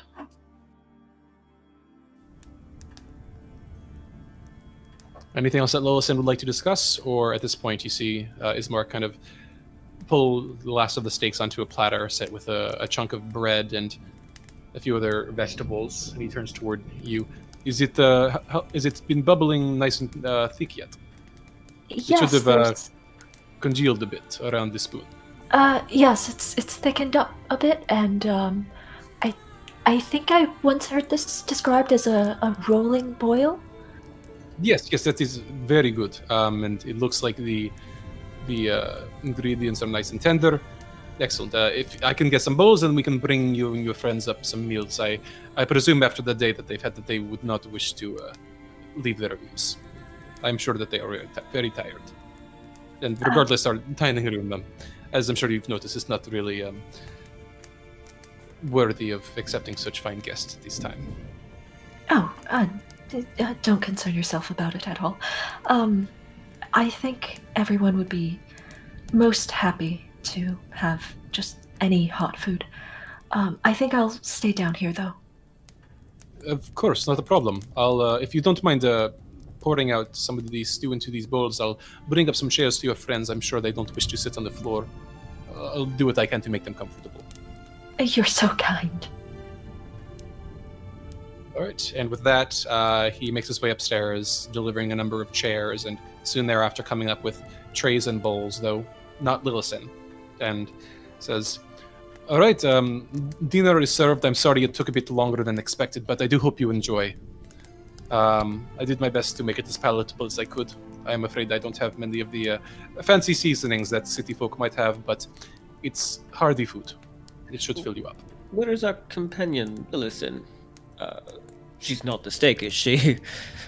Oh, no, not at all. That is that is wolf steak. Uh, that your friend said that she wished to stay downstairs. I believe she found the uh, the fireplace uh, of the hearth uh, quite warm and welcoming. I, I I can let her know if you wish to uh, speak with her further, but um, Nah, you've been you've been on your feet all day. You don't need to carry our messages down a flight of stairs. Just, just uh, if you could, uh, she does have uh, the wine skin. Uh, if you could be so gracious as to uh, ask her to either bring it up or perhaps pass it off to you.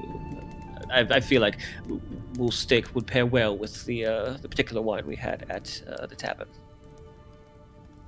He nods. Of course, I don't mind at all. One moment, please. And he ducks out of the room. Kiva takes her um, bowl and then she's also going to go downstairs and and sit with Lillison if Lillison will have her. Um, Lillison will, you know, you'll you'll find her sitting very close to the fire, sort of um, eating bemusedly out of her own bowl, and she looks up as Kiva approaches, and she kind of scoots backward a little bit. Don't worry, I, I won't make conversation. I just figured a warm place to eat might be nice. Oh, I don't mind conversation. Just, you know, don't get too close. Of course. Uh, Kiva will sort of sit on the opposite side of the room, uh, just, you know, politely, but, you know.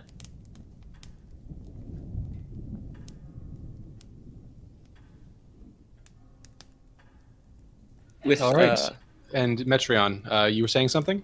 Yeah, no, I was just gonna say. Uh, so it's just Amity, Metreon, and Randy. In, er, I'm sorry, Earthrendir. in the uh, it's force of Yes, at this point. the three of you. You're fine. Um, You're fine. Irina excuses herself. Um, if, I, I, I'll, I'll leave you to it. I'm sure you're very tired. I'll uh, take my meal downstairs. No, no, no. Of course not. You, I, I insist you stay and have a meal with us. Blinks, then smiles a bit. Okay, um, if you're willing to have me, of course. Thank you very much for the invitation. Seems like such a lonely place around this here Barovia, especially in this manor of yours. It um, it can be a bit quiet at times, but um, my brother is uh, good company, and um, well, it's not often that we see outsiders either. We do what we can. Your your villagers, uh, people, your neighbors, they don't seem to take too kindly to my friend here. And uh, he tilts his head back towards Amity. She frowns, looking toward Amity. I'm sorry if you've faced any difficulties, and she kind of purses her lips. It um, I know some of our neighbors can be a bit um, unfriendly to outsiders. It's it's not their fault entirely. They many of them do not know much more beyond the village, but I, I'm sorry if you've encountered anything untoward. Your brother had mentioned there were uh, two other settlements nearby, V- uh, Val- Vallaki and uh, what was it, Krezk? Yes, that would be Vallaki and Krezk. Vallaki, thank you. Vallaki in the heart of the, the valley, and Krezk to the uh, to the west beyond it. Have you visited them? Have you visited them before? Do you perhaps know if there's the same chance for prejudice uh, for my friend here, of course? That much I do not know, I'm afraid. Um, Vallaki seems to be a larger town than Barovia. Perhaps it is more, um, uh, what's the word? Uh, Cosmopolitan. Yes, that's that. Thank you, thank you. Um, Krezk, um, I know that it is a village. It, it, it is quite fortified. Uh, as far as I know, they keep to themselves. But it is built around an old abbey, so perhaps they will. You will find more uh, welcome there. Oh, is it? Oh, That is splendid. what I've told. Yes, I don't know much more than that. I'm afraid. Ah, no, it seems like an interesting place to visit. We that'll that'd be that'd be cool. Although that does bring me to another question. I presume everyone here in this village is human, Yes, that is correct. but Well, yes. that's a that was a qualified yes. I'm sorry. Um, there's um, well, a superstition about um, a certain folk that occasionally come and go through the town. Um, Oh, so there three are of the three owners of the Blood on the Vine are. There is some suspicion of them. As far as I know, they are human, but um, some of uh, some of the others in the town do not quite agree. Well, fair enough, but the way your brother was talking earlier, it seemed like that, you know, people like us coming in wasn't uncommon. You know, so are there have you he's kind of struggling for what to say. Did any of them ever decide to stick around or are you just at a time where nobody's ever wandered in? She kind of frowns and doesn't quite meet your gaze. He's quiet for a moment.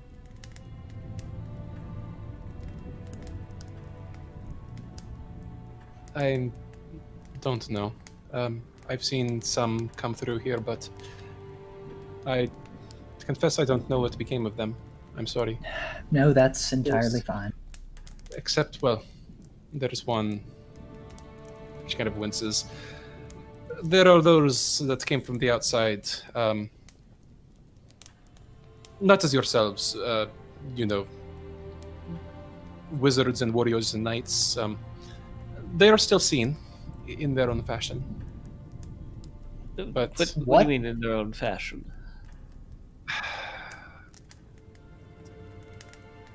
there is well i'm sorry I, I don't wish to discomfort just Ma'am, we're asking. if you go to the if you if you go to the cemetery at midnight you will see them that's I- all i would say. That is not comforting. they, they they are not harmful. They are not dangerous. It's just what i mean to express by this is that they're the best fate does not always meet those with the best intentions. I don't know what became of all of them but Are you saying that the dead walk? not the dead as such but their spirits in a fashion live on So, you've had folks like us come through here, and the only ones that you've ever seen again are the ones that are ghosts? Yes, but they they they made they did something that you have not done. Do not do not fear. They that's they are they are the remnants. difficult, man. They are the remnants of the devil's enemies. You are not. You have not opposed him. You have not angered him. You are. You're Look, saying there's- that the folks that come through like us are coming through to challenge Strahd? That was his name, right? Mr. von Zarovich? Slowly nods, uh, either because they wish to combat him or because they find themselves in Barovia and they come to the belief that his death will free them somehow. It is a damnable fate. I'm, I'm sorry, I didn't wish to turn your stomachs while you're eating. I'm sorry. It, it was Well, if I hadn't already finished my food, I'd probably not feel like eating any more of it. Uh, this is quite a tale you spun. Metreon, we asked. No, no, I, I don't put any blame on you, uh, Miss Irina. Uh, it's just a lot to take in. So, with that, uh, I'm going to excuse myself for the evening.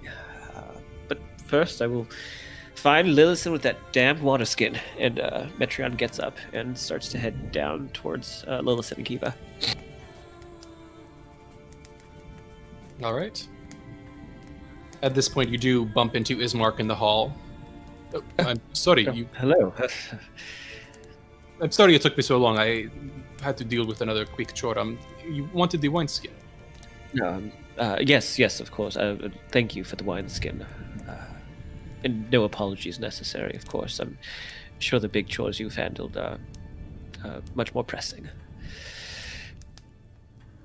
He quickly bows his head. Uh, Please, um, I, I will be. My sister and I will be asleep in our rooms. Um, but please let me know if you or your friends need anything. We are. We we are. Well, we are light sleepers these days.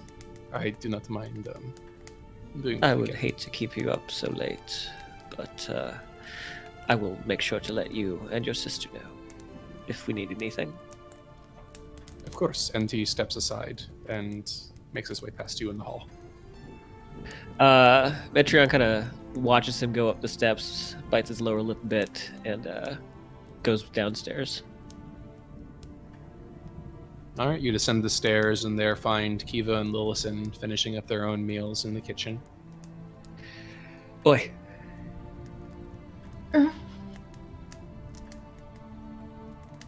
Thank you uh, again, Lil, for the water skin. So, uh, we staying here tonight. We uh, getting getting out of here in the morning.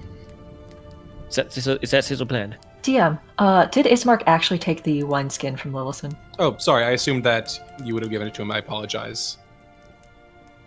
Uh, would she have given it to him if asked? Mm, hmm. Um, for the sake of simplicity, uh, let's just say yes. All right. Apologies. Um, if you want to continue. I. Hmm. Is is your thought that we just leave? Yeah, I mean, you what you want to you want to go on this uh, mission? The devil himself, uh, eyes all on us. No, of course not. But angering powerful people in a position of great respect is not a good idea. Listen, I, I don't care who I'm upsetting. If once we're out of here, they're they're, they're behind us. It, it, it's irrelevant. It's irrelevant to us. Assuming that we can leave them behind us, and if well- they claim if they claim that we are trapped, then well, it's best not to burn bridges before you know that you can cross the river. Well, I'm just saying, as we get to Vallaki, uh, you know, we leave this shithole behind. Uh, you know, maybe re up on some better supplies there, and uh, you know, maybe there's someone else there who knows a bit more than these old, old folklory folk.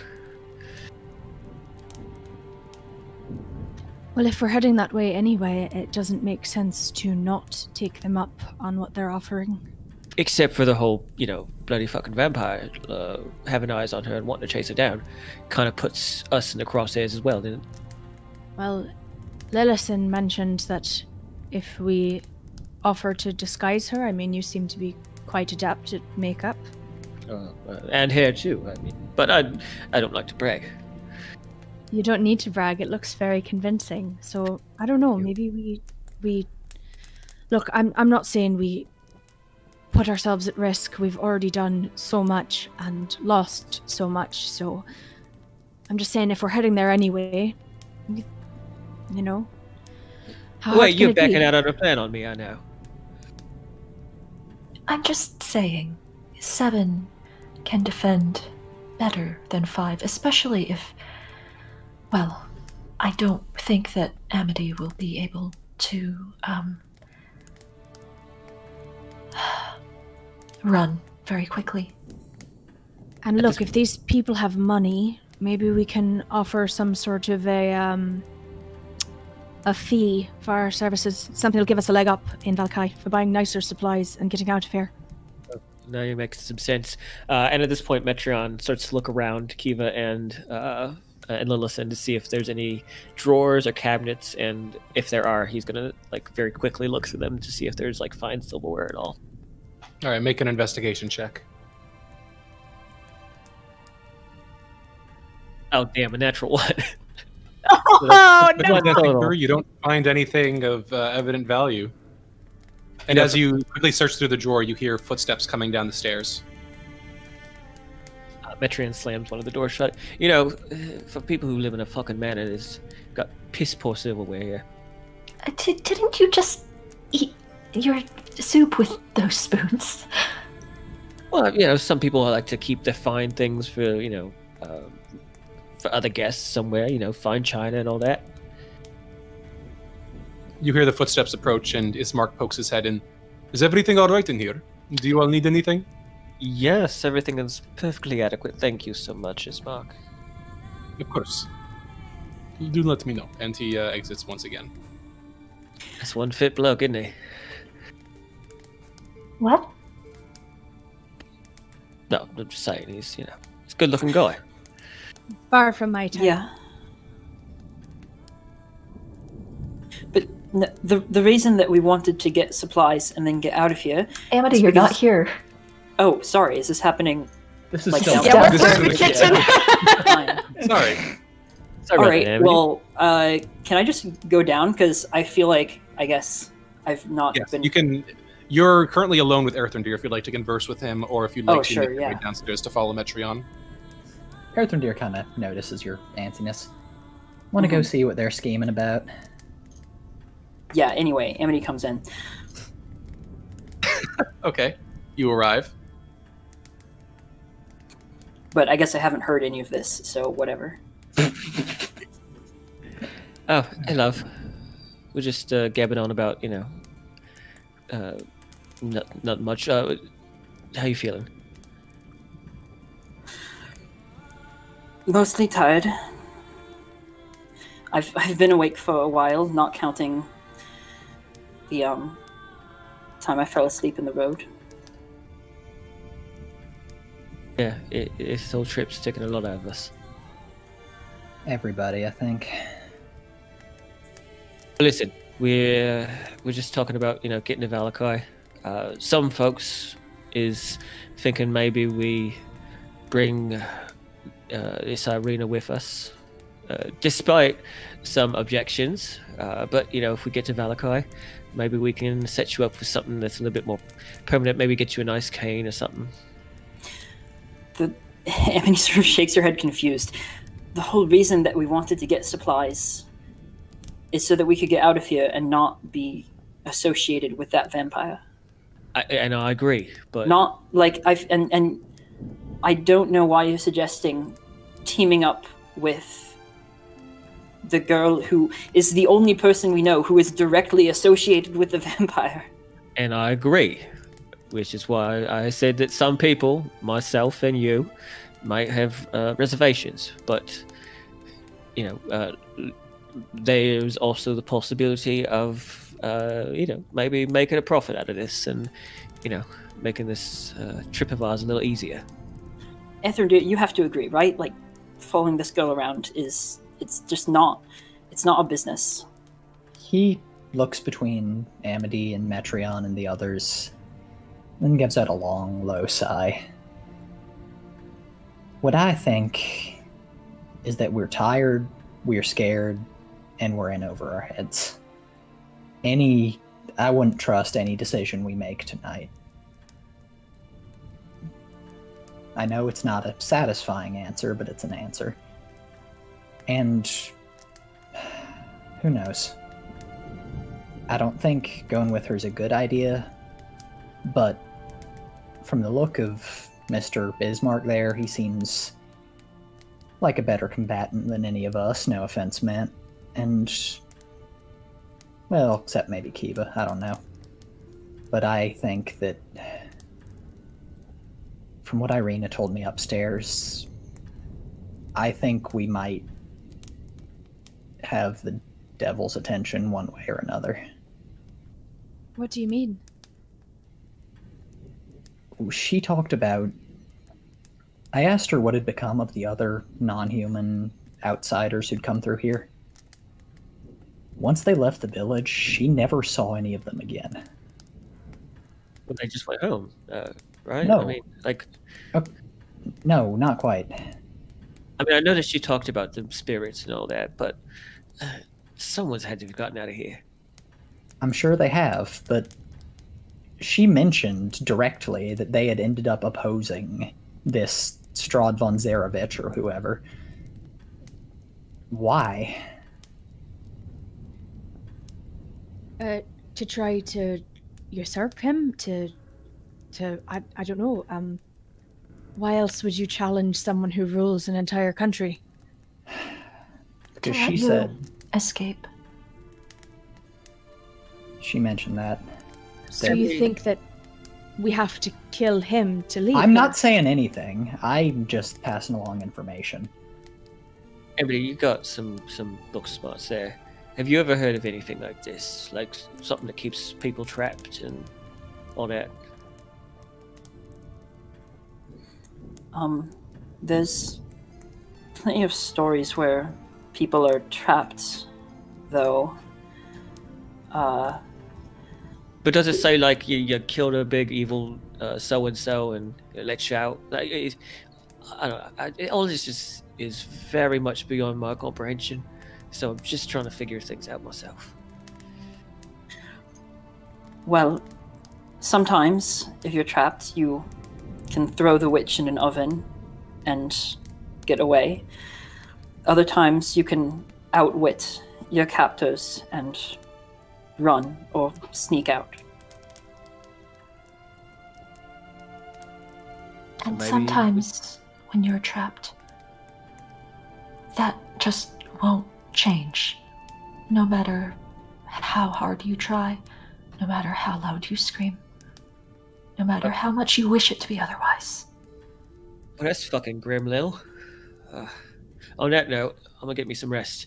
And uh, at this point, he starts to open up Lillison's uh, water skin and his own, and starts to pour some of it into his. And uh, once it's at least half full, he'll screw the top back onto Lillison's water skin and toss it back to her. Yeah. Did you have water left in yours? I don't have anything in this. In this, Should have filled yours up then too. I did. He jingles it in front of you and starts to leave. I, I meant back when we were. Oh, ah, fine. In, in a very low voice, Earthrendir murmurs, Alcoholism is a hell of a drug. I know. Oh, yeah. Uh, oh, dreadfully sorry. I didn't know if that hit close to home. I don't know your situation. Yeah. Oh, not no, not not my situation. I just figured that uh, keeping some would keep him. Yeah. Reasonable. Probably wise. He did get a little shirty in the house, rather unpleasantly. And then he kind of, listen. Tonight, I, uh, I think I've remembered a spell. Irina mentioned something about something at the graveyard that happens at midnight. I'm, I'm, I'm gonna go, but I'd be quite happy to have your companionship if you'd like to come along. What sort of something? Something about the spirits of those who came before us. She she said they weren't harmful, but I don't know anything else. I completely understand if you don't want to go. Lillison looks at Kiva.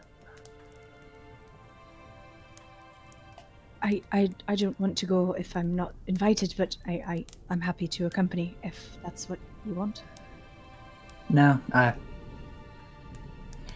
And then he kind of t- catches himself. I want you to do what you want. I, uh. I'm very happy we're at this arrangement right now where you're all safe and healthy, but. I think our ties to another are well and dissolved at this point. Anything beyond this is willingness. Your call. Uh, how DM? How much longer do we have until midnight? Looking out of the window, the moon has risen above the horizon, and it seems that by now it's fairly late at night. Perhaps another hour or two, best you can guess. Well, um, I I'm happy to go with you and and see what is going on. I mean, if it spirits, that's sort of um a morbid curiosity, pardon the pun, but um, I think after that, as long as we get some rest, I'm I'm fine to go along. Thank you. Metreon, Lillison? Or, sorry, Lillison? Uh, Amity's there, not Metreon. Yeah, Lillison? Amity?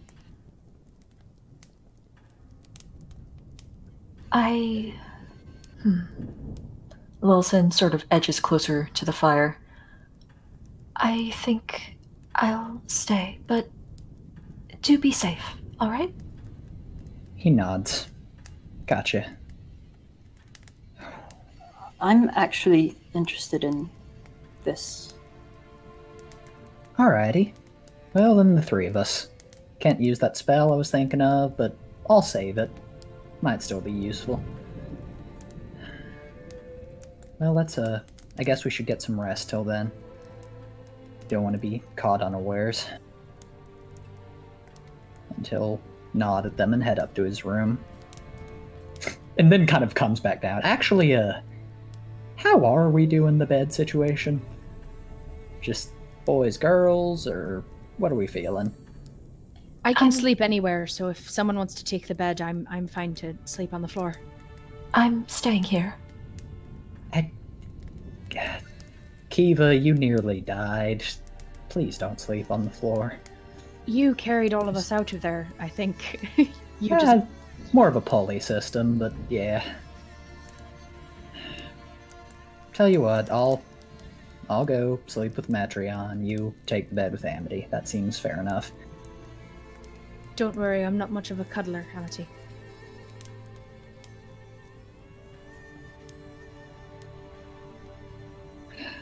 Well then, he's gonna head up to he's gonna head up and try and get an hour or so of transcend before he has to go. Before, this is- oh sorry, I was just saying before Kiva goes upstairs to follow, she's going to go into the room with um, Kolyan, and um, out of her backpack, she's going to um, pull a small like handkerchief, and inside there are just a couple sprigs of lavender, um, and she's just going to lay them um, on Kolyan's body, and uh, make a little sign um, in Elvish, and then head upstairs.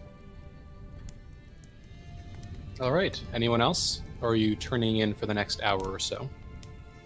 Uh, Metreon has gone up to the room that wasn't occupied by Amity. Uh, he's taken over the bed, and everything that was in his sack, like all his makeup and all the other stuff that he's been carrying with him, is just kind of splayed out very messily on the bed, uh, as well as his coat, his, his tunic, um, and he's just kind of like he's he's uh, just kind of going through everything uh, until he goes to, to rest. Yeah, no, Earthrendir kind of barges in as he's doing it and just looks at the bed. Uh, you mind terribly clearing that off?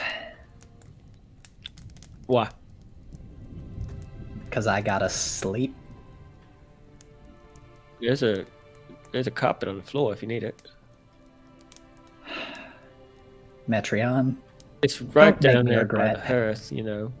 I'm sure it's much Don't make me re- there. Metreon, I lowered you to the ground from the third floor balcony.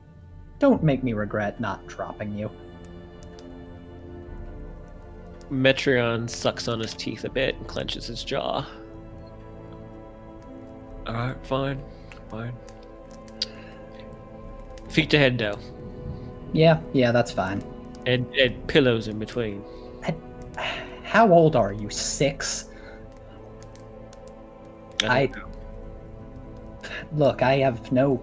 I- I'm fine if you want personal space, but I promise you that I'm gonna leave you well alone. Good, good, yeah. And uh, Metreon will begrudgingly scoop things back into his bag, uh, and like start putting in the pillows in between the bed. Earthrendir lets out a long sigh, and then just kind of starts stripping off his robe and tunic, and then kind of settles in, settles in, feet to head, determinedly looking the other way as he builds the pillow wall. Yeah, he's just gonna finish the, the pillow wall and then wipe off the rest of his makeup. Uh, he leaves some of the, the shoe polish in his hair, which makes it kind of a grayish white at this point. Um, but yeah, he'll turn in. All right. With that, each of you turns in now. When those that trance, keeping an eye on the passage of time, and eventually, Earthrendir and Kiva, you feel that an hour or so has passed, and it's perhaps 30, 40 minutes to midnight. Earthrendir awakes groggily, looks around, sees Metreon, scowls, and, like, delicately extricates himself from the weird kind of contraption they've put together. I'll say too that uh, Metreon is a very wild sleeper, so point he would have his arms would have been like crossed over the pillow fort. Uh, his tail probably would have whipped you at some point, but uh, and he snores very loudly.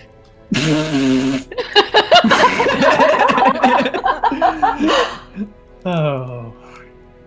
Earthrendir is going to slightly spitefully take one of the pillows from the pillow wall and just cut or he's going to no he's going to slightly spitefully take one of the pillows from beneath Metreon's head and put it on his side and then just kind of head out of the room All right. So who is meeting in the foyer? Uh, Kiva will go as soon as she's awake and, and ready.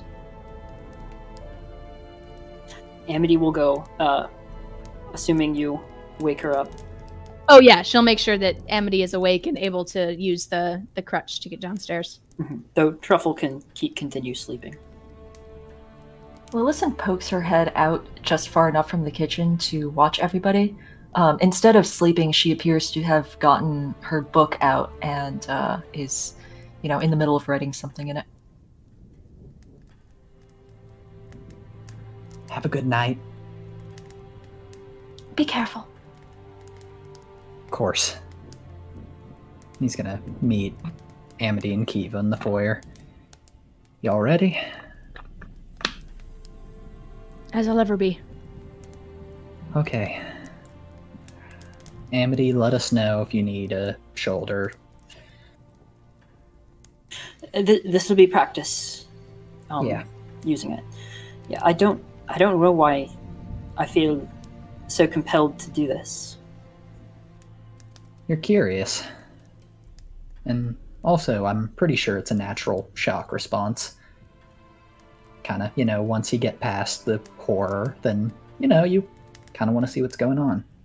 And I'm sure it'll make for a great story for both of you.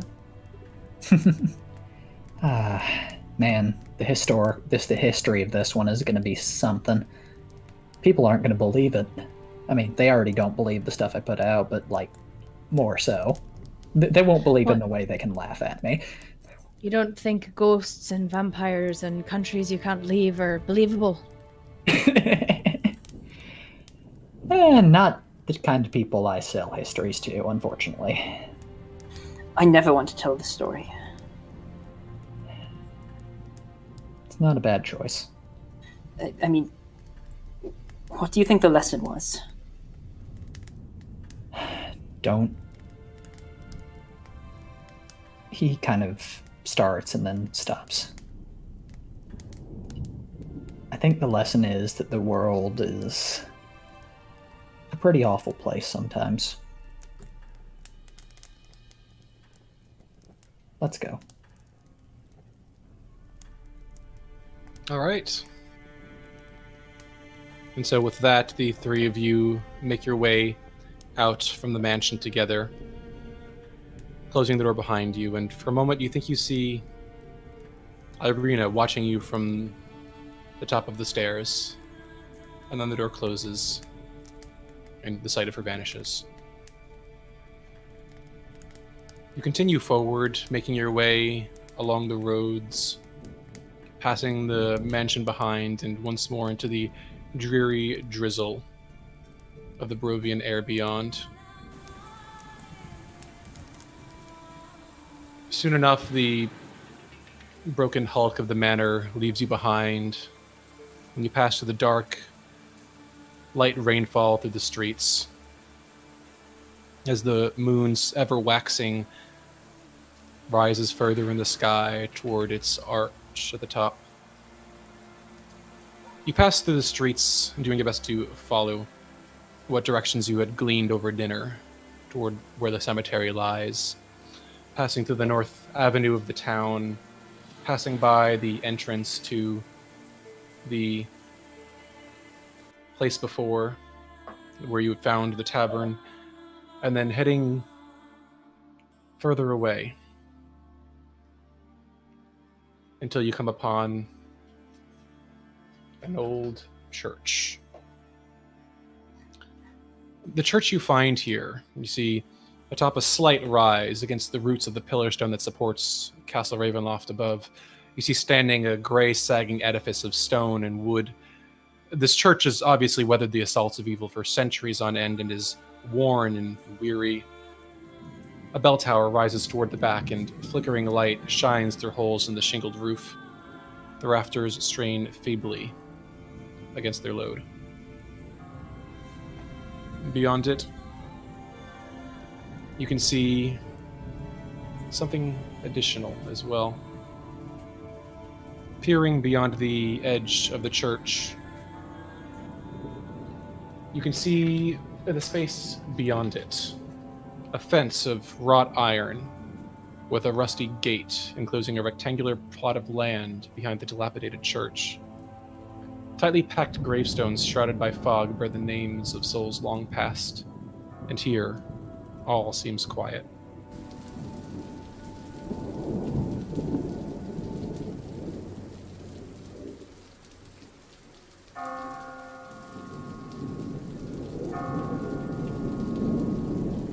We're here. Earthrendir is going to take a look at the others and then kind of walk towards the entrance to the graveyard. Did she say what exactly we should be looking for? She didn't want to. I guess we'll find out then. Yeah. And yeah, he'll approach the entrance and take a look around. You make your way forward. The gate to the graveyard is not incredibly difficult to make your way through. It creaks and groans with a faint shriek as you make your way inside. You pass inside the interior of the fence and make your way through the graveyard. The old headstones standing silently amongst the rows of sod and muddy earth. Overhead, the moon seems nearly ripe to reach its apex for the night.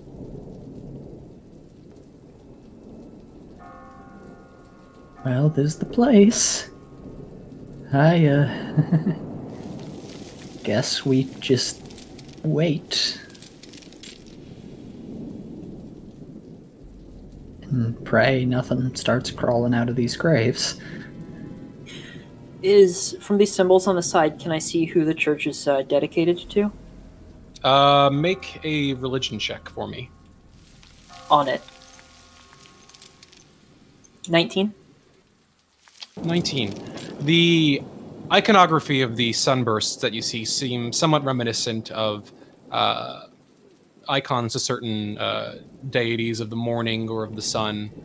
Um, you're reminded briefly of the icons of uh, that you've seen in other towns, the god of the dawn, but these are slightly different. They're, they seem to be sunbursts with the center hollow. The depictions of Lathanders are usually a rising dawn. It's slight difference in iconography that make you wonder if it's this exact same deity, though it seems to be devoted to a god of some sort of sun or morning.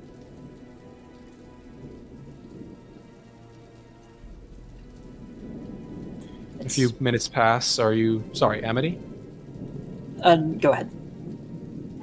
Is there anything else you'd like to say, or are you just going to settle back and wait? I think Earthrendir's good. He's a little too spooked to make small talk. Likewise. All right. With that, you settle back in, leaning against the walls of the church or the fence, as you might find most comfortable. The thin drizzle continuing to fall as the darkness suffuses the night overhead. A few minutes pass. Five, then ten. Not but you alone with the mist and the dead in the graveyard. And then an eerie green light suffuses the graveyard. Earthrendir's immediately on his guard, just yank, like half tracing the glyph for firebolt in the air as he stumbles backward. Kiva's got her sword drawn, and she's sort of also holding the shield up in uh, in a protective way. Amity's just watching. You notice that the moon is at its perfect apex overhead, midnight, and as you watch, from this eerie green light emerges a ghostly procession. Wavering images of doty women toting great swords, woodwise men with slender bows, dwarves with glittering axes, and archaically dressed mages with beards and strange pointed hats. All these and more march forth from the graveyard, their numbers growing by the second. Earthrendir is like almost hyperventilating, and he kind of steps to the side of the procession as best he can and just looks at Amity, his eyes wide. I. What. What. Who are these? Are these the people that came here before us?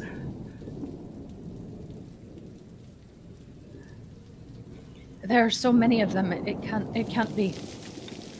I. It. What do you mean? He- Hello? Emily calls out. Uh, uh, my name is Amity. Who, who are you? As, as far as you can tell, the spirits pay you no heed. They continue marching forth, and as you watch the head of the procession, they begin to march through the closed cemetery gate, passing through it as if there is nothing there. And as you watch, they begin to make their way down the road, passing around the corner of the church and making their way into town. As you watch, the head of the procession slowly turns out of sight, and the others continue to follow in their wake.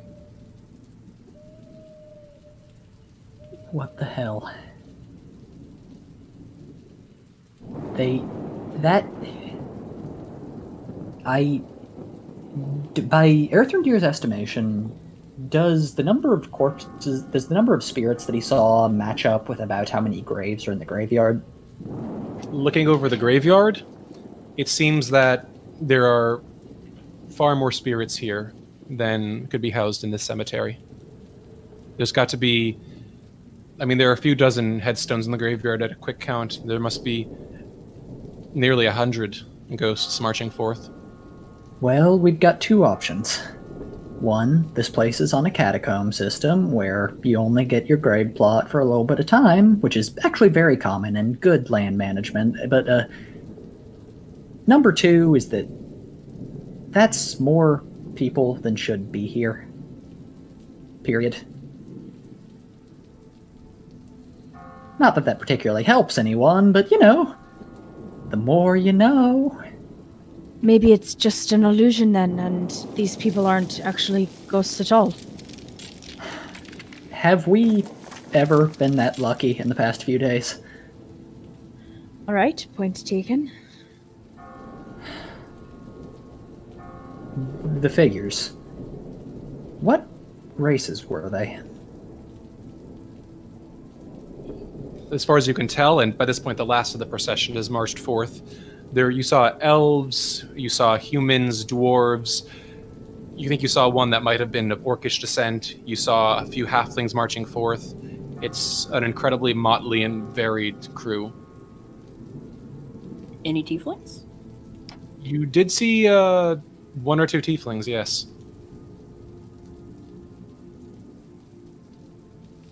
We should follow them.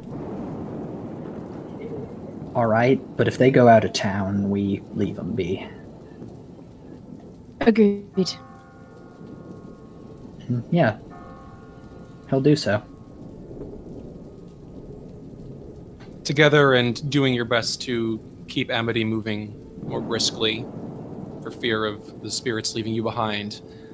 You make your way through the dark streets, following the spirits along as they process like the grave through the empty streets of Barovia. As you watch, they march, taking a right fork when they reach the first intersection out of the church and proceed further, making their way past the boarded up, dark homes and structures. You follow them for a few minutes more, and as you watch, they take another right turn and begin marching down the road to the southwest of town.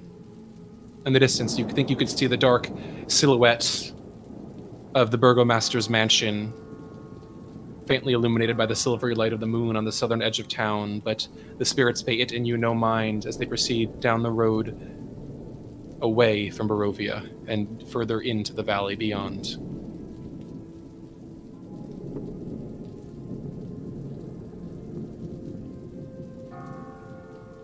As you watch, you hear the fluttering of leathery wings and a soft chirping, and on the edges of the buildings around you, you see a few dozen bats hanging, perched, upside down from the roofs. Glancing over them, they seem to be watching you intently, as you yourselves watch the procession move past.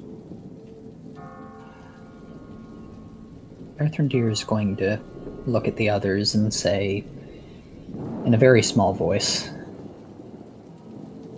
I I know I said this in the house, but we're gonna die here, aren't we?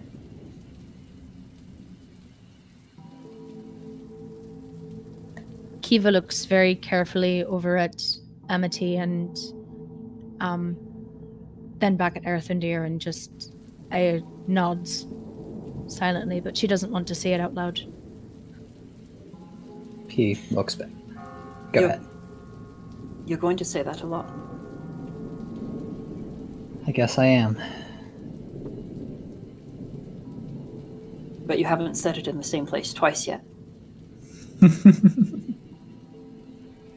That is an alarmingly good point.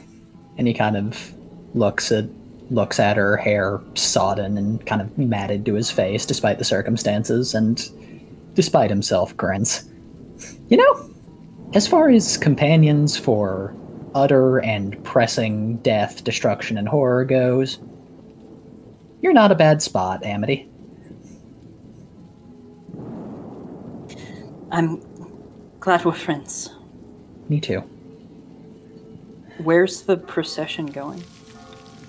As far as you can see, they now have continued perhaps a quarter mile down the road.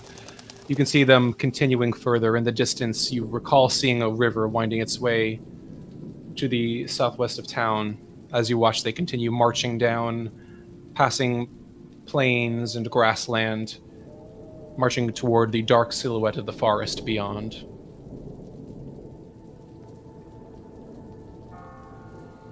We should get home. Last thing any of us need is a cold. I, I want to see where they're going. And you've already suffered a several near-death experiences today. Right, sorry. I'm not your father. I'm do what you like. But I'm going home. And he looks at Kiva. You coming? Um, I don't know that I should uh, leave her alone just in case something happens. Can Can you get back? Okay. Yeah. Yeah, I can.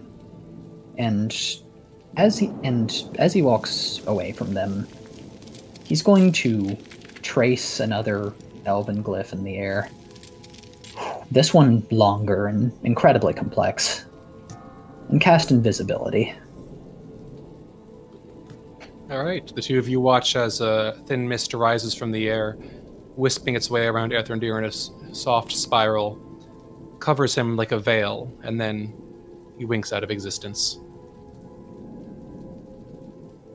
He goes home.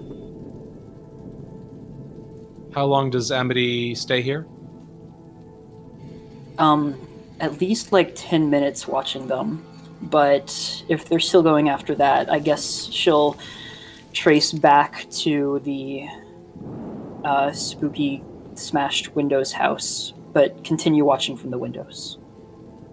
All right, and with that, the lot of you, one by one, Kiva accompanying Amity, Earthrendir before the others, make your way back to the house, and together as Amity watches the procession slowly retreating into the darkness, you return to your rest and there gather for the night. And so,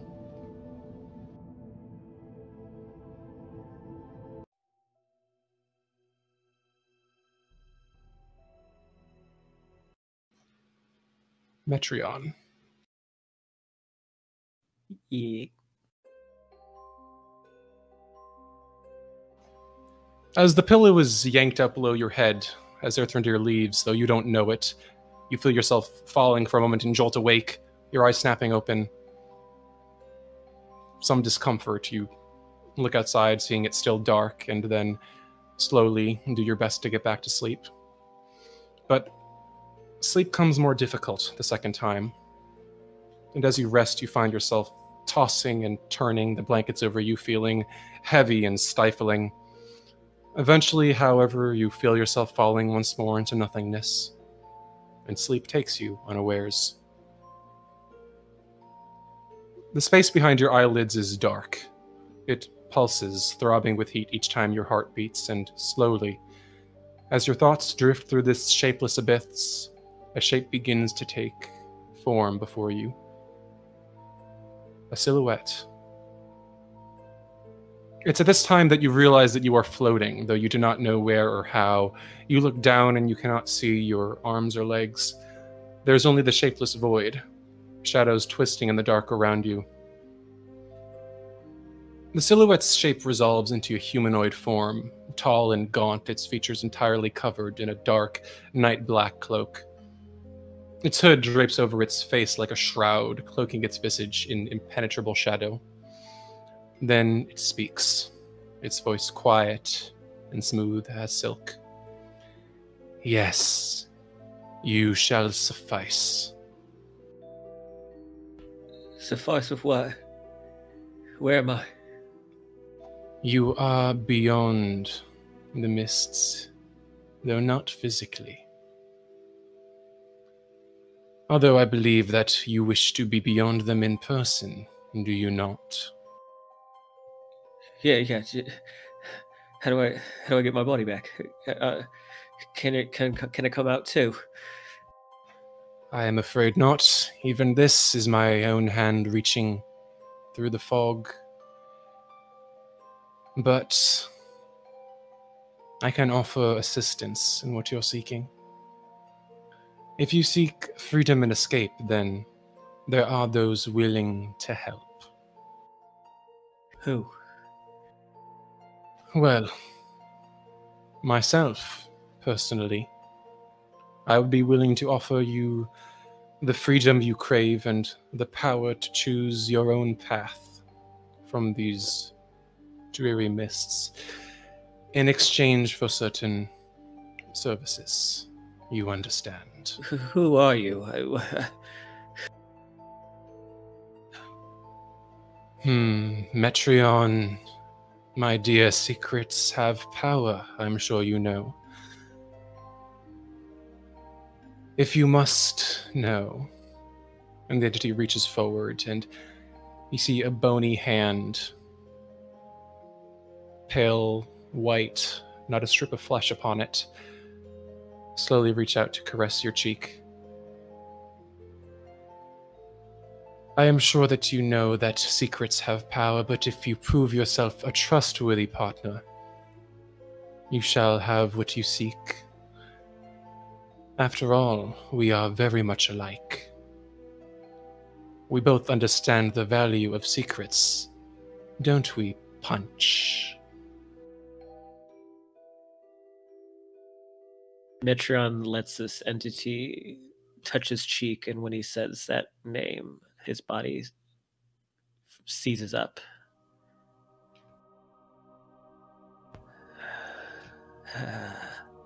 How you get in my head like that? The bony hand withdraws and vanishes beneath the cloak. If you are to know more of this arrangement and how it came about, you must prove yourself reliable. If you accept my offer, I shall see to it that you have more information. If you are open to it, I will describe the services that I seek. I assure you, you shall not find them intolerable. How do I? Yeah, but I mean, how do I even know that? that yeah, you could get into my head, but how do I know that you can get me out of here? Some things you will have to take on faith. And there's a soft, humorless chuckle. But suffice it to say that the power that I shall grant you in exchange for this bargain will be. It should suffice as a down payment, perhaps.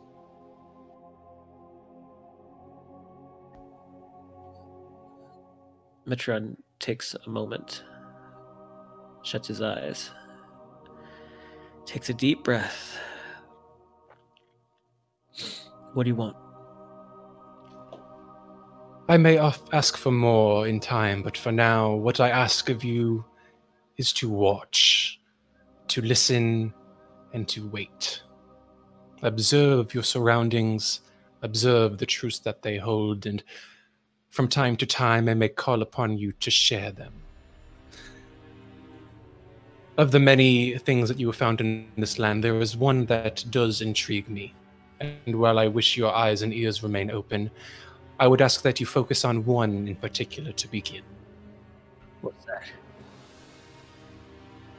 The woman you know as Lillison. Much occurred in the time that you were separated beneath Durst House. I would ask you to uncover the events that took place and the nature of any entities you may or she may have encountered. Without tipping your hand, of course. Right. I could, I could do that, and and I'll do that, and you get me out of here. That's the deal, yeah. That is the deal. That is the beginning of the services I shall ask, but in time I shall ensure that you are advanced to a position where your escape is within your reach. If you continue your side of our arrangementship, the means of your escape shall be revealed to you. Is that sufficient? Yeah. Yeah, it is. Just, just whatever you could do, get me out of here. Uh, I can't be here no more. The entity nods beneath its dark, impenetrable hood and slowly reaches out a bony hand. I believe it is custom of your people to shake on these manners of agreements. Metreon takes another deep breath and glares into the darkness before looking down at his palm. He spits in it and extends it. The creature's hand is cold. But as you take it, the entity nods beneath its cloak and says, Very good. You shall know what to do when you awaken. And to answer your question, you may call me the Wounded One. And slowly you watch as the darkness begins to gather around it, its shape growing blurry and more difficult to make out.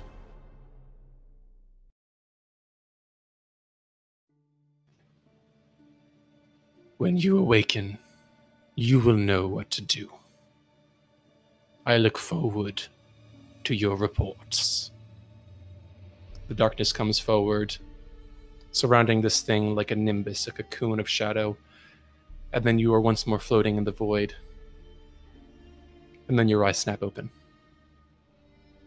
You sit bolt upright in bed,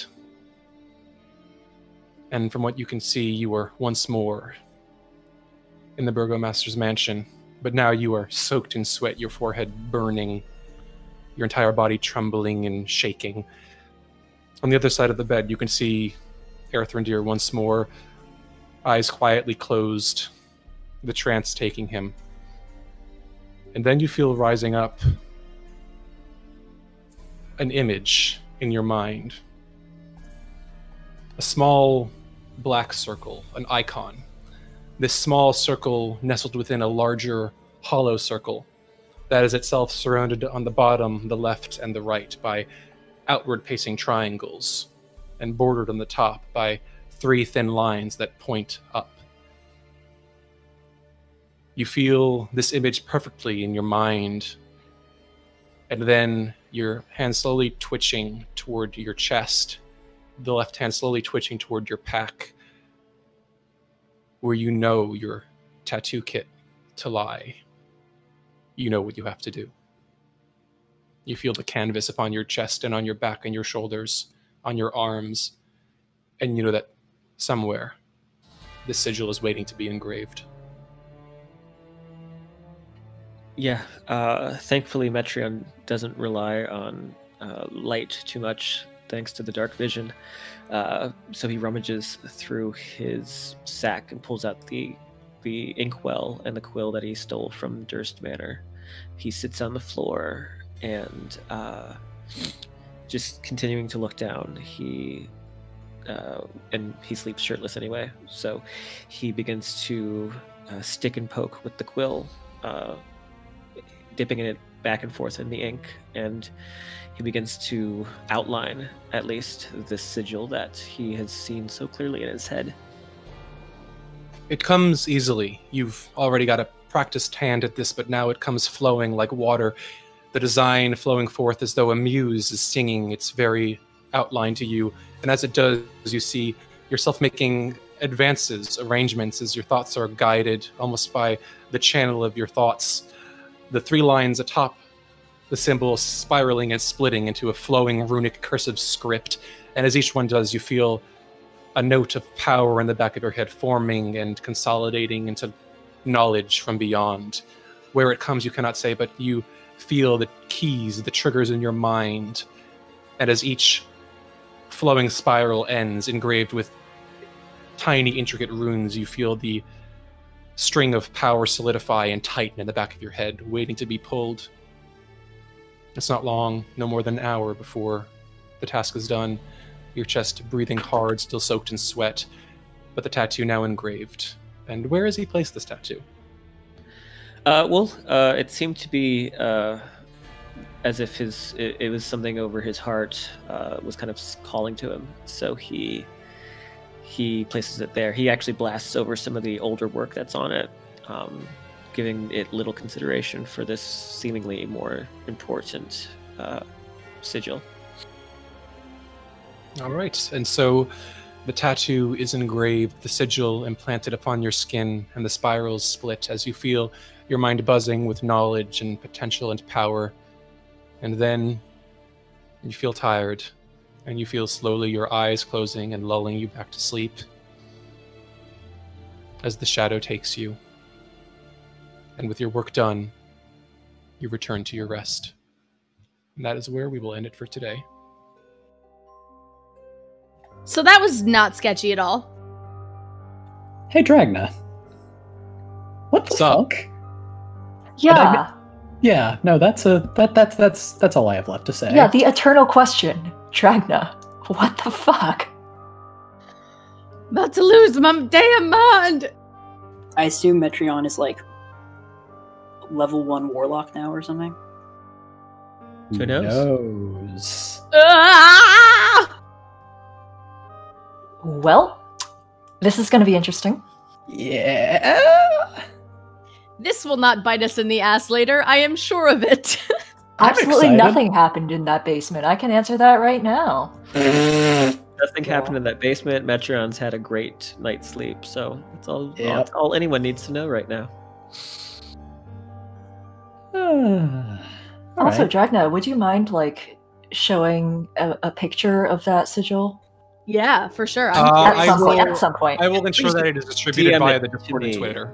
Thank Could you. Could you actually just DM it to And yes, me? I will. Yes, I will do that first. Never fear.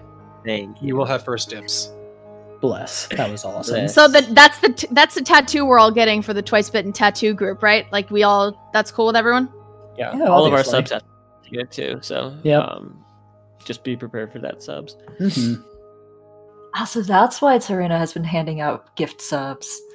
yes, more of us to get tattoos. Bring on the ink. No. Well, consider it. I can put it, I can on draw something with a magic marker on my hand or something. It d- Yeah, d- d- depends on the uh, the level spells that we get. I might consider it. The sigil is just actually like two dolphins, like in a sunset. It's one of those really old, like cheesy It's sailor actually a tattoos. yin. yang- It's a yin yang. I love you, mom. Dolphin. No, it's that it's that um that funky S shape. Oh, yeah! okay, yeah, that's yeah. it. It's just the coolest. That's what those three lines were. So I can start making a Stussy all over my body. Uh, yeah. Oh, huh. Thought I knew everything that would happen this campaign. Nope. Absolutely Not not. Gotta keep you guessing. And on that note, And on that note, I think we're all through for today. Um, thank you to everyone for joining us today. Uh, we will see you all back in the mists next Saturday. Uh, until then, keep your doors locked and your windows shuttered, and take care.